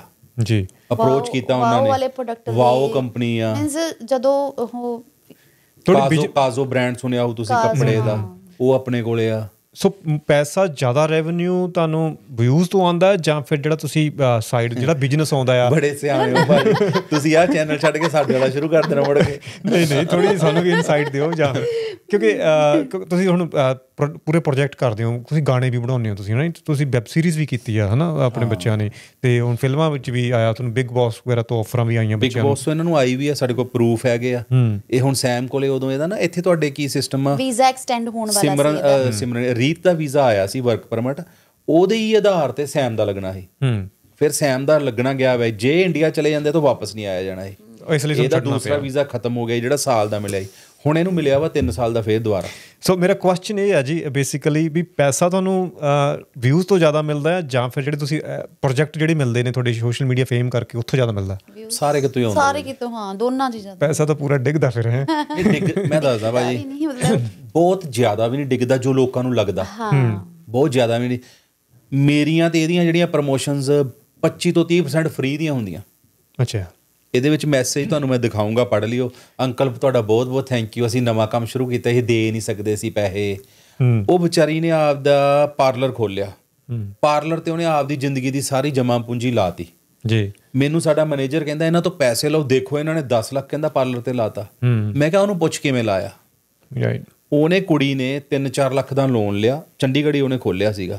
4 ਲੱਖ ਦਾ ਲੋਨ ਲਿਆ। 2-3 ਲੱਖ ਦੇ ਰਿਸ਼ਤੇਦਾਰਾਂ ਤੋਂ ਫੜਿਆ। ਫਿਰ ਉਹਨੇ ਸੈਲੂਨ ਖੋਲਿਆ ਹੁਣ ਕਹਿੰਦੀ ਆਂਟੀ ਦੀ ਵਿਜ਼ਿਟ ਕਰਾਣੀ ਆ ਤੁਸੀਂ ਸਟੋਰੀਆਂ ਪਾਣੀਆਂ ਹੂੰ। ਮੈਂ ਤੁਹਾਨੂੰ ਪੈਸੇ ਨਹੀਂ ਦੇ ਸਕਦੀ। ਆ ਮੇਰੀ ਜ਼ਿੰਦਗੀ ਦੀ ਸੱਚਾਈ ਆ। ਮੈਂ ਕਿਹਾ ਚਾ ਪੁੱਤ ਕੋਈ ਗੱਲ ਨਹੀਂ ਆਪਾਂ ਹੀ ਕਰ ਦਿੰਦੇ ਤੁਸੀਂ ਇਮੋਸ਼ਨਲੀ ਬਹੁਤ ਹੈ ਨਾ ਸੈਂਟੀਮੈਂਟਲੀ ਚਲੋ ਕਿਸੇ ਦਾ ਜੇ ਸਾਡਾ ਕੀ ਲੱਗਿਆ? ਨਹੀਂ ਬਿਲਕੁਲ ਸਹੀ ਗੱਲ ਹੈ ਮਤਲਬ ਉਹ ਤਾਂ ਹੈ ਵੀ ਇਹ ਤੁਸੀਂ ਉਸ ਪੋਜੀਸ਼ਨ 'ਚ ਹੈਗੇ ਹੈਲਪ ਕਰਨ ਨੂੰ ਕਿਸੇ ਦਾ ਬੈਨੀਫਿਟ। ਹੋ ਜੇ ਤਾਂ ਚਲੋ ਕੋਈ ਗੱਲ। ਠੀਕ ਹੈ ਵੀ ਜਦੋਂ ਚਲੋ ਸਕਸੈਸ ਹੋਊਗੀ ਤਾਂ ਬਾਅਦ 'ਚੋਂ ਫੇਰ ਲੈ ਲਾਂਗੇ ਪੈਸੇ ਹਨਾ। ਸਾਡੇ ਲਈ ਕਹਿੰਦੇ ਨਹੀਂ ਹੁੰਦੇ ਕਿ ਦੁਆਵਾਂ ਬਹੁਤ ਕੰਮ ਆਈਆਂ ਸਾਡੇ ਲਈ। ਹੂੰ। ਬਹੁਤ ਕੰਮ ਆਈਆਂ। ਸਾਡੇ ਮਾੜੇ ਟਾਈਮ ਨਾ ਦੁਆਵਾਂ ਨੇ ਕਢਾਏ ਆ। ਕਿਸੇ ਦੀ ਬਦਦੁਆ ਨਾ ਲਵੇ ਜ਼ਿੰਦਗੀ ਦੇ ਵਿੱਚ। ਦੁਆਵਾਂ ਹੀ ਲਵੋ। ਦੁਆਵਾਂ ਤੁਹਾਨੂੰ ਬਚਾ ਜਾਣਗੀਆਂ ਬਦਦੁਆ ਤੁਹਾਡਾ ਬੇੜਾ ਗਰ ਕਰ ਦੇਣਗੀਆਂ। ਤੇ ਹੁਣ ਕਰੰਟ ਪ੍ਰੋਜੈਕਟ ਜੇ ਕੋਈ ਤੁਸੀਂ ਹੈਗੇ ਆ ਦੱਸਣਾ ਚਾਹੋਗੇ ਕਿ ਕਿਹੜੇ ਪ੍ਰੋਜੈਕਟ ਤੇ ਮਤਲਬ ਕੰਮ ਕਰ ਰਹੇ ਹੋ? ਸਾਡਾ Song ਆ ਰਿਹਾ ਵਾ 10 ਤਰੀਕ ਨੂੰ ਐਨੀਵਰਸਰੀ ਦਾ। 10th ਅਪ੍ਰੈਲ ਨੂੰ ਸਾਡੀ ਐਨੀਵਰਸਰੀ ਹੈ ਸਿਲਵਰ ਜੁਬਲੀ ਕਹਿ ਲਓ ਮਤਲਬ ਇੱਥੇ ਤਾਂ ਅਸੀਂ ਨਹੀਂ ਸੈਲੀਬ੍ਰੇਟ ਕਰਾਂਗੇ ਥੋੜਾ ਬਹੁਤਾ ਹੋਊਗਾ। ਇੰਡੀਆ ਹੈਗਾ ਬੜਾ ਵੱਡਾ ਪ੍ਰੋਗਰਾਮ ਰੱਖਿਆ। ਇੰਡੀਆ ਸਾਨੂੰ ਮੈਨੂੰ ਸ਼ੌਂਕ ਆ ਕਿ ਮੈਂ ਦੁਬਾਰਾ ਆਪਣੀ ਮੈਰਿਜ ਕਰਵਾਵਾਂ ਪ੍ਰੋਪਰ ਉਵੇਂ ਹੀ ਤਰੀਕੇ ਨਾਲ। ਜੀ ਅਹ, 10 ਅਪ੍ਰੈਲ ਡੇਟ ਨੋਟ ਕਰ ਲਓ ਜੀ 10 ਅਪ੍ਰੈਲ ਨੂੰ ਰਿਲੀਜ਼ ਹੋਣਾ ਗਾਣਾ? ਹਾਂਜੀ ਹਾਂਜੀ। ਦੱਸ ਤੇ ਨਰੂਲਾਸ ਦੇ ਚੈਨਲ ਤੇ ਤੁਹਾਨੂੰ ਗਾਣਾ ਵੱਜੇਗਾ। ਨਰੂਲਾ ਫੈਮ ਬੀਟ ਤੇ ਆਊਗਾ। ਸਾਡੇ ਚੈਨਲ ਹੈਗੇ ਆ Narula fam beat Narula kitchen ਜੀ। ਮਿਸਟਰ ਨਰੂਲਾ। ਮਿਸਿਸ ਨਰੂਲਾ ਸਿਮਰਨ ਨਰੂਲਾ। ਸਾਰੇ ਤੁਹਾਨੂੰ ਇਸ ਵੀਡੀਓ ਦੀ ਡਿਸਕ੍ਰਿਪਸ਼ਨ 'ਚ ਮਿਲ ਜਾਣਗੇ ਤੇ ਬਾਕੀ ਤੁਹਾਨੂੰ ਪਤਾ ਹੀ ਆ ਸਾਰੇ ਜਾਣਦੇ ਹੀ ਆ। ਸੋ ਭਾਜੀ ਬਹੁਤ ਵਧੀਆ ਗੱਲਬਾਤ ਰਹੀ ਮਜ਼ਾ ਆ ਗਿਆ ਹਨਾ? ਤੁਸੀਂ ਦਿਲ ਖੋਲ ਕੇ ਸਾਰੀਆਂ ਗੱਲਾਂ ਹਨਾ ਦੱਸੀਆਂ ਹੈਗੀਆਂ। ਤੇ ਚਾਹੇ ਉਹ ਤੁਹਾਡੀ ਫੈਮਿਲੀ ਦੀ ਗੱਲ ਹੋਵੇ ਚਾਹੇ ਆਪਣੇ ਕੈਨੇਡਾ ਦੀ ਗੱਲ ਹੋਵੇ ਚਾਹੇ ਸੋਸ਼ਲ ਮੀਡੀਆ ਬਾਰੇ ਮੈਂ ਮਤਲਬ ਜਿਹੜੇ ਤੁਸੀਂ ਡਿਟੇਲ ਚ ਗੱਲਾਂ ਦੱਸੀਆਂ ਹੈਗੀਆਂ। ਐਨੀਥਿੰਗ ਐਟ ਦ ਲਾਸਟ ਤੁਸੀਂ ਕੁਝ ਕਹਿਣਾ ਚਾਹੋਗੇ ਕੁਝ ਐਡ ਕਰਨਾ ਚਾਹੋਗੇ? ਤੁਸੀਂ ਦੋਨੇ ਬਿੰਦੂ ਜੀ ਤੁਸੀਂ ਵੀ ਤੇ ਤੁਸੀਂ ਭਾਜੀ ਮੈਸੇਜ ਇਹੀ ਹੈ ਜੀ ਪੂਰਾ ਫੈਮਿਲੀ ਦੇ ਵਿੱਚ ਰਹੋ। ਤੁਹਾਡੀ ਜੁਆਇੰਟ ਫੈਮਿਲੀ ਹੋਵੇ ਐਵੇਂ ਨਾ ਇਕੱਲੇ ਇਕੱਲੇ ਜੇ ਹੋਈ ਚੱਲੋ। ਜੋ ਪਹਿਲਾਂ ਆਪਣੇ ਜੋ ਅੱਜ ਤੋਂ ਤੁਸੀਂ 25 ਸਾਲ ਪਿੱਛੇ ਚਲੇ ਜਾਓ 20 ਸਾਲ 15 ਸਾਲ ਹੀ ਚਲੇ ਜਾਓ ਹਰ ਘਰ ਖੁਸ਼ ਸੀਗਾ ਛੋਟੇ ਘਰ ਹੁੰਦੇ ਸੀ ਸਾਰੇ ਇਕੱਠੇ ਰਹਿੰਦੇ ਸੀ ਹੁਣ ਤਾਂ ਆਪਣਾ ਇੰਡੀਆ ਵੀ ਕੈਨੇਡਾ ਹੀ 6 ਬੰਦਾ 6 ਜਾਂਦਾ। 7 7 ਬੱਚੇ ਹੁੰਦੇ ਸੀ ਹੁਣ ਤਾਂ ਇੱਕ ਜਾਂ ਦੋ। ਹਾਂ ਇਹ ਜ਼ਰੂਰ ਆ ਵੀ ਲੋਕੀ ਕਹਿੰਦੇ ਆ ਵੀ ਇੱਕ ਬੱਚਾ ਕਰਨਾ ਮੈਂ ਕਹਿੰਦਾ ਤਿੰਨ ਬੱਚੇ ਘੱਟੋ ਘੱਟ ਹੋਣ। ਯਾਰ ਬੱਚਿਆਂ ਦੀਆਂ ਉਹ ਹੈ ਨਹੀਂ ਮਾਸੀਆਂ ਹੀ ਹੈ ਨਹੀਂ ਭੂਆ ਹੀ ਹੈ ਨਹੀਂ ਹੁਣ। ਜਾਂ ਜਾਂਦਾ ਕੁਛ ਵੀ ਨਹੀਂ ਜ਼ਿਆਦਾ ਚਾਚਾ ਨਹੀਂ ਹੁੰਦਾ ਜਾਂ ਮਾਸੀ ਨਹੀਂ ਹੁੰਦੀ ਜਾਂ ਭੂਆ ਨਹੀਂ ਹੁੰਦੀ। ਖਤਮ ਹੋ ਗਏ। ਕਿੱਥੇ ਗਏ ਇਹ? ਤਾਂ ਹੀ ਤਾਂ ਰਿਸ਼ਤੇ ਖਤਮ ਹੋ ਗਏ ਉਹ ਭਾਜੀ ਆਪਣਾ ਨਾ ਮਾਈਂਡ ਇਹਨਾਂ ਨੇ ਉਹ ਕਰਤਾ। ਅਖੇ ਜੀ ਪਹਿਲਾਂ ਤਾਂ ਕੀਤਾ ਹੀ ਹਮ ਦੋ ਹਮਾਰੇ ਦੋ। ਫਿਰ ਕਹਿੰਦੇ ਜੀ ਬੱਚਾ ਇੱਕ ਹੀ ਬਹੁਤ ਆ। ਹੁਣ ਭਾਜੀ ਮੇਰੀਆਂ ਤਿੰਨ ਚਾਰ ਮਾਸੀਆਂ ਦੋ ਮਾਮੇ ਆ। ਹੂੰ। ਮੇਰੇ ਚਾਚੇ ਆ। ਕਿੰਨਾ ਵਧੀਆ ਲੱਗਦਾ। ਮੈਂ ਵਾਪਸ ਪਤਾ ਕਿਉਂ ਚੱਲਿਆ ਭਾਜੀ? ਇੱਕ ਮੇਰੇ ਡੈਡੀ ਕਰਕੇ ਇੱਕ ਮੇਰੀ ਭੂਆ ਕਰਕੇ। ਹੂੰ। ਮੇਰੀ ਭੂਆ ਦੇ ਆਵਾਜ਼ ਸੀ ਆਉਣ ਲੱਗੇ। ਕਪਲ ਸਾਰੇ ਜਾਈ ਜਾਂਦੇ ਮੈਨੂੰ ਕੋਈ ਪ੍ਰੋਬਲਮ ਨਹੀਂ ਜਾਇਆ। ਤੂੰ ਚੱਲਿਆ ਨਾ ਮੇਰੇ ਇੱਥੋਂ ਕੁਝ ਨਿਕਲਦਾ ਪਿਆ। ਨਾਲੇ ਕਿ ਉਹਨਾਂ ਨੂੰ ਅਸੀਂ ਕਈ ਵਾਰੀ 6-6 ਮਹੀਨੇ ਮਿਲਦੇ ਵੀ ਨਹੀਂ। ਸਾਡਾ ਪਿਆਰ ਬਹੁਤ ਆ। ਹੂੰ। ਅਸੀਂ ਫੰਕਸ਼ਨਾਂ ਤੇ ਇਕੱਠੇ ਹੁੰਨੇ ਆ। ਕਈ ਵਾਰੀ ਚੰਡੀਗੜ੍ਹ ਚਲੇ ਜਾਂਦੇ ਨਾ ਅਸੀਂ 5-6 ਮਹੀਨੇ ਬਾਅਦ ਆਣਾ ਬਟ ਉਹਨਾਂ ਨੂੰ ਮਿਲ ਕੇ ਆਣਾ ਮੈਂ। ਜਿੰਨੀਆਂ ਮੇਰੇ ਭੂਆ ਮਾਸੀਆਂ ਚਾਚੀਆਂ ਸਾਰਿਆਂ ਨਾਲ ਮੇਰਾ ਪਿਆਰ ਆ। ਉਹ ਭੂਆ ਕਹਿੰਦੀ ਤੂੰ ਚੱਲਿਆ ਤਾਂ ਹੈ ਮੇਰੇ ਇੱਥੋਂ ਕੁਝ ਨਿਕਲਦਾ ਪਿਆ। ਤੇ ਫਿਰ ਮੈਂ ਸੋਚਿਆ ਛੱਡ ਯਾਰ ਰਿਸ਼ਤੇ ਸਾਰੇ ਖਤਮ ਕਰਕੇ ਇੱਥੇ ਆ ਗਏ ਆ। ਇੱਥੇ ਤਾਂ ਨਵੇਂ ਦੋਸਤ ਮੇਰੇ ਬੱਚਿਆਂ ਨੇ ਇੱਥੇ ਰਹਿ ਜਾਣਾ ਉਹਨਾਂ ਦੇ ਨਵੇਂ ਦੋਸਤ ਆ ਜੇ ਤਾਂ ਇਹਨਾਂ ਨੂੰ ਥੋੜਾ ਟਾਈਮ ਹੋਇਆ ਜੇ ਤਾਂ ਚਲੇ ਜਾਣਗੇ ਤਾਂ ਬਚ ਜਾਣਗੇ। ਨਹੀਂ ਤਾਂ ਮੇਰੇ ਰਿਸ਼ਤੇਦਾਰ ਇਹਨਾਂ ਨੂੰ ਕਿਵੇਂ ਯਾਦ ਰਹਿਣਗੇ? ਤੁਸੀਂ ਮੰਨੋਗੇ ਇਹ ਬੱਚਿਆਂ ਨੂੰ ਜਿਵੇਂ ਗਾਂ ਪਾਪਾ ਦੇ ਜਾਂ ਮੰਮਾ ਦੇ ਰਿਸ਼ਤੇਦਾਰੀ ਹੈਗੀ ਉਹਨਾਂ ਨੂੰ ਵੀ ਮਿਲਾ ਕੇ ਲਿਆਉਂਦੇ ਆ ਕਿ ਉਹ ਮਤਲਬ ਦੇਖਣ ਬੱਚੇ ਵੀ ਮੇਰੇ ਉਹ ਯਾਨੀ ਕਿ ਰਿਸ਼ਤੇਦਾਰੀ ਜਿਹੜੇ ਵੀ ਬੂਆ ਹੈਗੀ ਦੇ ਮੁੰਡੇ ਆ ਮੈਂ ਉਹਨਾਂ ਨੂੰ ਵੀ ਇਹਨਾਂ ਨੂੰ ਮਿਲਾ ਕੇ ਲਿਆਣਾ ਗਾ ਉਹਨਾਂ ਦੇ ਬੱਚਿਆਂ ਨੂੰ ਵੀ ਤੁਸੀਂ ਮਿਲੋ ਇਹ ਮੇਰੇ ਰਿਸ਼ਤੇਦਾਰ ਆ। ਫਿਰ ਇਹਨਾਂ ਨੂੰ ਕਹਿੰਦਾ ਉਹਨਾਂ ਦੇ ਸੁੱਖ ਦੁੱਖ ਤੇ ਜਾਣਾ ਵਿਆਹ ਤੇ ਜਾਣਾ ਤੇ ਇਹ ਯਾਨੀ ਕਿ ਪਿੱਛੇ ਜੇ ਚੜ੍ਹਾਈ ਵਾਲੀ ਸੀਗੀ ਬਹੁਤ ਜ਼ਿਆਦਾ ਇਹਨਾਂ ਨੂੰ ਲੋਕ ਯਾਨੀ ਕਿ ਫੋਟੋਆਂ ਫੋਟੋਆਂ ਇਹ ਉਹ। ਇਹਨਾਂ ਨੇ ਕਹਿਣਾ ਸੀ ਉੱਥੇ ਜਾਣਾ ਨਹੀਂ। ਅਸੀਂ- ਮੈਂ ਚੱਲੋ ਮੇਰੇ ਨਾਲ। ਜਾਣਾ ਤਾਂ ਨਹੀਂ ਕਿ ਉਹ ਸਾਰਾ ਲੋਕ ਕਰਦੇ ਆ ਮਤਲਬ ਜਿਵੇਂ ਉਹ ਲੋਕਾਂ ਤਾਂ ਦਾ ਧਿਆਨ ਉੱਧਰ ਨੂੰ ਪਿਆਰ ਹੋ ਜਾਂਦਾ। ਕਿਉਂਕਿ ਥੋੜਾ ਜਿਹਾ ਹਾਂ ਇੱਕ ਫੇਮ ਹੋਣ ਕਰਕੇ ਵੀ ਥੋੜਾ ਵਿਆਹ ਤੇ ਇਹਨਾਂ ਨੂੰ ਇਹ ਹੁੰਦਾ ਵੀ ਚੱਲ ਲੋਕਾਂ ਦਾ ਧਿਆਨ ਇੱਧਰ ਹੋ ਜਾਂਦਾ ਵਾ ਸਾਰਾ। ਮੈਂ ਕਿਹਾ ਨਹੀਂ ਵੀ ਆਪਾਂ ਸਾਰੇ ਸੋ ਇਹ ਵੀ ਇੱਕ ਤਰ੍ਹਾਂ ਦਾ ਡਰਾਬੈਕ ਹੈ। ਨਾ ਜੋ ਥੋੜਾ ਜਿਹਾ ਹੁੰਦਾ ਫਿਰ ਲੋਕ ਜ਼ਿਆਦਾ ਹਨਾ ਫਿਰ ਥੋੜਾ ਪਰਸਨਲ ਟਾਈਮ ਜਾਂ ਨਿਕਲ ਜਾਂਦਾ ਹਨਾ ਫੋਟੋ ਫੋਟੋ ਕਰਾ ਲਓ ਅਸੀਂ ਕਿਸੇ ਖਾ ਪੀ ਨਹੀਂ ਸਕਦੇ। ਮੰਨ ਲਓ ਅਸੀਂ ਕਿਤੇ ਰੈਸਟੋਰੈਂਟ 'ਚ ਜਾਂਦੇ ਆ ਉੱਥੇ ਫੋਟੋਆਂ ਵਾਲੇ ਆ ਜਾਂਦੇ ਬੱਚਿਆਂ ਲਈ ਬਾਲੇ ਸਾਨੂੰ ਤਾਂ ਚਲੋ ਮਾੜਾ ਮੋਟਾ ਆਪਣੀ ਤਾਂ ਨਹੀਂ ਨਹੀਂ ਨਹੀਂ ਭਾਈ ਜੋ ਤੁਹਾਡੀ ਵੀ ਬਹੁਤ ਵੱਡੀ ਫੋਲੋਇੰਗ ਹੈਗੀ ਆ। ਤੇ ਤੁਸੀਂ ਬਿੰਦੂ ਜੀ ਕੁਝ ਐਂਡ ਤੇ ਕਹਿਣਾ ਚਾਹੋਗੇ ਜਾਂ ਮੈਸੇਜ ਜਾਂ ਫਿਰ ਕੁੜੀਆਂ ਖਾਸ ਕਰ ਜਿਹੜੀਆਂ ਸੋਸ਼ਲ ਮੀਡੀਆ ਕਰਦੀਆਂ ਹੈਗੀਆਂ ਜਿਨ੍ਹਾਂ ਦੇ ਕਮੈਂਟਸ ਵਗੈਰਾ ਇਦਾਂ ਆਉਂਦੇ ਨੇ anything you want to say vulgar ਕੁਝ ਵੀ ਨਾ ਪਾਓ ਤੁਸੀਂ ਹਨਾ? ਨਾਰਮਲ ਤੁਸੀਂ ਜੋ ਮਰਜ਼ੀ ਪਾਓ ਸੂਟ ਪਾ ਕੇ। ਮਤਲਬ ਇਹੀ ਆ ਕਿ ਆਪਦਾ ਤੁਸੀਂ ਇਹ ਮੈਂ ਇਹ ਤਾਂ ਨਹੀਂ ਕਹਿੰਦੀ ਕਿ ਤੁਸੀਂ ਬੰਦ ਕਰ ਦਿਓ ਕਿਉਂਕਿ ਮੈਂ ਖੁਦ ਕਰਦੀ ਆ ਬਟ ਮੈਂ ਵਲਗਰ ਵੀ ਨਾ ਕੁਝ ਵੀ ਨਾ ਪਾਓ ਤੁਸੀਂ ਆਪਦਾ ਨਾਰਮਲ ਲਾਈਫ ਆਪਣੀ। ਇੰਜੋਏ ਵੀ ਕਰੋ ਕਿਉਂਕਿ ਰੋਸਟਰ ਜਿਹੜੇ ਉਹ ਇਦਾਂ ਦੀ ਚੀਜ਼ਾਂ ਹੀ ਚੱਕਦੇ ਆ ਕਿ ਹਾਂ ਇਹਨੇ ਇਦਾਂ ਦੀ ਵੀਡੀਓ ਪਾਈ ਹੋਈ ਹੈ ਉਹੀ ਨਾ ਦੀ ਫਿਰ ਰੋਸਟਰ ਤੋਂ ਸਿੱਖਣ ਨੂੰ ਵੀ ਮਿਲਦਾ ਆਪਾਂ ਨੂੰ। ਜੇ ਆਪਾਂ ਕੁਝ ਗਲਤ ਕਰਾਂਗੇ ਉਹਦੇ ਟੋਕਦੇ ਆ ਉਹ। ਉਹ ਚੈੱਕ ਕਰਦੇ ਪਹਿਲਾਂ ਮੈਂ ਖਿੱਚਦਾ ਸੀ ਰੋਸਟਰਸ ਦੇ। ਹੁਣ ਮੈਂ ਖਿੱਚਦਾ ਨਹੀਂ। ਮੈਂ ਕਹਿੰਦਾ ਇਹ ਵੀ ਪੂਰਾ ਇੱਕ ਪੂਰੀ ਇੰਡਸਟਰੀ ਬਣ ਗਈ ਇੱਕ ਨਿਸ਼ ਬਣ ਗਈ ਹੈ ਨਾ ਰੋਸਟਰ ਤੁਸੀਂ ਦੇਖ ਲਓ ਰੋਸਟਰ ਕਿੰਨੇ ਆ। ਯਾ ਨਹੀਂ ਨਹੀਂ, ਇਹ ਵੀ ਚੰਗੀ ਗੱਲ ਹੈ। ਰੋਸਟਰ ਗਲਤ ਵੀ ਕਰਦੇ ਆ ਗਾਲ ਕੱਢ ਕੇ ਗੱਲ ਕਰਦੇ ਆ। ਯਾਰ ਉਹ ਉਹ ਬਹੁਤ ਮਾੜੀ ਗੱਲ। ਤੁਸੀਂ ਕਿਸੇ ਨੂੰ ਭੈਣ ਦੀ ਗਾਲ ਕੱਢ ਰਹੇ ਹੋ ਮਾਂ ਦੀ ਗਾਲ ਕੱਢ ਰਹੇ ਹੋ। ਮੰਨ ਲਓ ਮੈਂ ਕੋਈ ਕੰਟੈਂਟ ਪਾਇਆ ਤੁਹਾਨੂੰ ਨਹੀਂ ਵਧੀਆ ਲੱਗਿਆ। ਆ ਇਦਾਂ ਨਹੀਂ ਕਰਨਾ ਚਾਹੀਦਾ ਉਹ ਇਹ ਕਹਿ ਲਓ। ਤੁਸੀਂ ਭੈਣ ਦੀ ਗਾਲ ਕੱਢ ਕੇ ਕਹਿੰਨੇ ਪਏ ਹੋ ਉਹ ਪਰਮਾਤਮਾ ਦੇ ਘਰ ਦੇਰ ਆ ਅੰਧੇਰ ਨਹੀਂ। ਉਹ ਉਹ ਕਰਮਾਂ ਦੀ ਸਜ਼ਾ ਮਿਲਦੀ ਹੋਈ ਮਿਲਦੀ ਅੱਜ ਨਹੀਂ ਕੱਲ ਮਿਲ ਜੂ। ਅਸੀਂ ਕੁਝ ਕਰਾਂਗੇ ਸਾਨੂੰ ਵੀ ਮਿਲ ਜੂ। ਯਾ ਉਹ ਕ੍ਰਿਟਿਸਾਈਜ਼ ਕਰਨਾ ਇੱਕ ਚੀਜ਼ ਹੁੰਦੀ ਆ ਉਹਨੂੰ ਯੂ نو ਡਿਫੇਮ ਕਰਨਾ ਜਾਂ ਤੁਸੀਂ ਹਨਾ ਬਲਗੈਰਿਟੀ ਤੱਕ ਲੈ ਕੇ ਜਾਣਾ ਉਹਨੂੰ ਲੱਗ ਚੀਜ਼ ਕੁਝ ਵੀ ਪੁੱਠਾ ਬੋਲ ਲੋ ਤੁਸੀਂ ਕਿਸੇ ਨੂੰ ਮਾਂ ਭੈਣ ਦੀ ਗਾਲ ਨਾ ਕੱਢੋ ਕੋਈ ਇੰਨਾ ਮਜਬੂਰ ਨਾ ਹੋ ਜੇ ਕਿਸੇ ਟਾਈਮ ਉਹ ਤੁਹਾਡੇ ਤੇ ਭਾਰੀ ਪੈ ਜੇ ਚੀਜ਼। ਬਿਲਕੁਲ ਇਹ ਕੋਈ ਨਾ ਕੋਈ ਸ਼ੇਰ ਨੂੰ ਸਵਾ ਸ਼ੇਰ ਮਿਲ ਜਾਂਦਾ ਕਹਿੰਦੇ ਪਰਮਾਤਮਾ ਦੇ ਘਰ ਕੋਈ ਪਤਾ ਨਹੀਂ ਹੁੰਦਾ। ਸੋ ਇਹ ਤੁਹਾਡਾ ਇਹ ਕਹਿਣਾ ਵੀ ਜੇ ਕੁੜੀਆਂ ਜਿਹੜੇ ਸੋਸ਼ਲ ਮੀਡੀਆ 'ਚ ਇਹਨਾਂ ਨੂੰ ਮਤਲਬ ਡਿਪਰੈਸ ਹੋ ਜਾਂਦੀਆਂ ਕਮੈਂਟ ਵਗੈਰਾ ਦੇਖ ਕੇ ਵੀ ਤੁਸੀਂ ਕਰੋ ਫਿਰ ਸਟੈਂਡ ਲਓ ਆਪਣਾ ਜੇ ਤੁਸੀਂ ਕਰਨਾ ਫਿਰ ਇੱਕ ਵਾਰੀ ਡਿਸਾਈਡ ਕਰ ਲਿਆ ਨਾ ਫਿਰ ਟੈਨਸ਼ਨ ਨਾ ਲਓ ਕਰਦੇ ਆ ਤੁਹਾਡੀ ਤੁਹਾਡੀ ਫੈਮਿਲੀ ਮੰਨਦੀ ਆ ਤੁਹਾਨੂੰ ਠੀਕ ਲੱਗਦਾ ਕਰੋ। ਨਹੀਂ ਤਾਂ ਵੈਸੇ ਗਲਤ ਵੀਡੀਓਜ਼ ਤਾਂ ਨਾ ਹੀ ਬਣਾਓ। ਅੱਜ ਕੱਲ ਤੁਸੀਂ ਦੇਖਿਆ ਹੋਊਗਾ ਕੁੜੀਆਂ ਕਿੰਨਾ ਜ਼ਿਆਦਾ ਗਲਤ ਵੀ ਬਣਾ ਰਹੀਆਂ ਉਹ ਵੀ ਗਲਤ ਗੱਲ ਆ। ਜੀ। ਫਿਰ ਉਹ ਰੋਸਟਰ ਨੂੰ ਸਿਰਫ ਮੌਕਾ ਲਾਈਕ ਮਿਲਦਾ ਤੇ ਵਿਊ ਲੈਣ ਲਈ ਨਹੀਂ ਕਰਨਾ ਚਾਹੀਦਾ ਇਹ ਚੀਜ਼ ਨਾ। ਟਰੂ ਹਾਂ ਇਹ ਵੀ ਹੋ ਗਿਆ ਨਾ ਲੋਕਾਂ ਦੇ ਵੀ ਇਥਿਕਸ ਵੀ ਬਹੁਤ ਗਿਰ ਗਏ ਨੇ। ਕਈ ਵਾਰੀ ਥੋੜਾ ਜਿਹਾ ਜ਼ਿਆਦਾ ਲਾਈਕ ਲੋਈ ਦੇ ਚੱਕਰ ਚ ਨਾ ਤੁਸੀਂ ਚੈੱਕ ਨਹੀਂ ਕਰਦੇ ਯਾਰ ਵਿਊ ਘੱਟ ਆਏ ਵਿਊ ਇਹ ਇਹੀ ਚੱਕਰ ਹੁੰਦਾ ਫਿਰ। ਉਹ ਐਕਚੁਅਲੀ ਇਹ ਪ੍ਰੈਸ਼ਰਾਈਜ਼ ਕਰਦਾ ਹੈ ਕਈ ਵਾਰੀ। ਤੋ ਬੰਦਾ ਕ੍ਰੀਏਟੀਵਿਟੀ ਕਰਨ ਨੂੰ ਵੀ ਪ੍ਰੈਸ਼ਰਾਈਜ਼ ਕਰਦਾ ਤੇ ਗਲਤ ਫਲਤ ਕੰਮ ਕਰਨ ਨੂੰ ਵੀ ਫਿਰ ਅਗਲਾ ਕਹਿੰਦਾ ਯਾਰ ਫਲਾਣੇ ਦੇ ਤਾਂ ਇਦਾਂ ਹੀ ਵਿਊ ਆ ਗਏ ਨਾ ਵੀ ਇਦਾਂ ਵੀਡੀਓ ਆਪਾਂ ਬਣਾਈਏ। ਬਟ ਐਨੀਵੇ ਸੋ ਬਹੁਤ ਸੋਹਣੀ ਆਪਣੀ ਗੱਲਬਾਤ ਰਹੀ। ਥੈਂਕ ਯੂ ਸੋ ਮੱਚ ਤੁਸੀਂ ਟਾਈਮ ਕੱਢਿਆ ਇੱਥੇ ਆ ਕੇ ਕੈਨੇਡਾ ਦੇ ਵਿੱਚ ਆਪਾਂ ਮਿਲੇ। ਸੋ ਥੈਂਕ ਯੂ ਸੋ ਮੱਚ ਭਾਜੀ। ਬਹੁਤ ਧੰਨਵਾਦ ਜੀ। ਸਤਿ ਸ਼੍ਰੀ ਅਕਾਲ।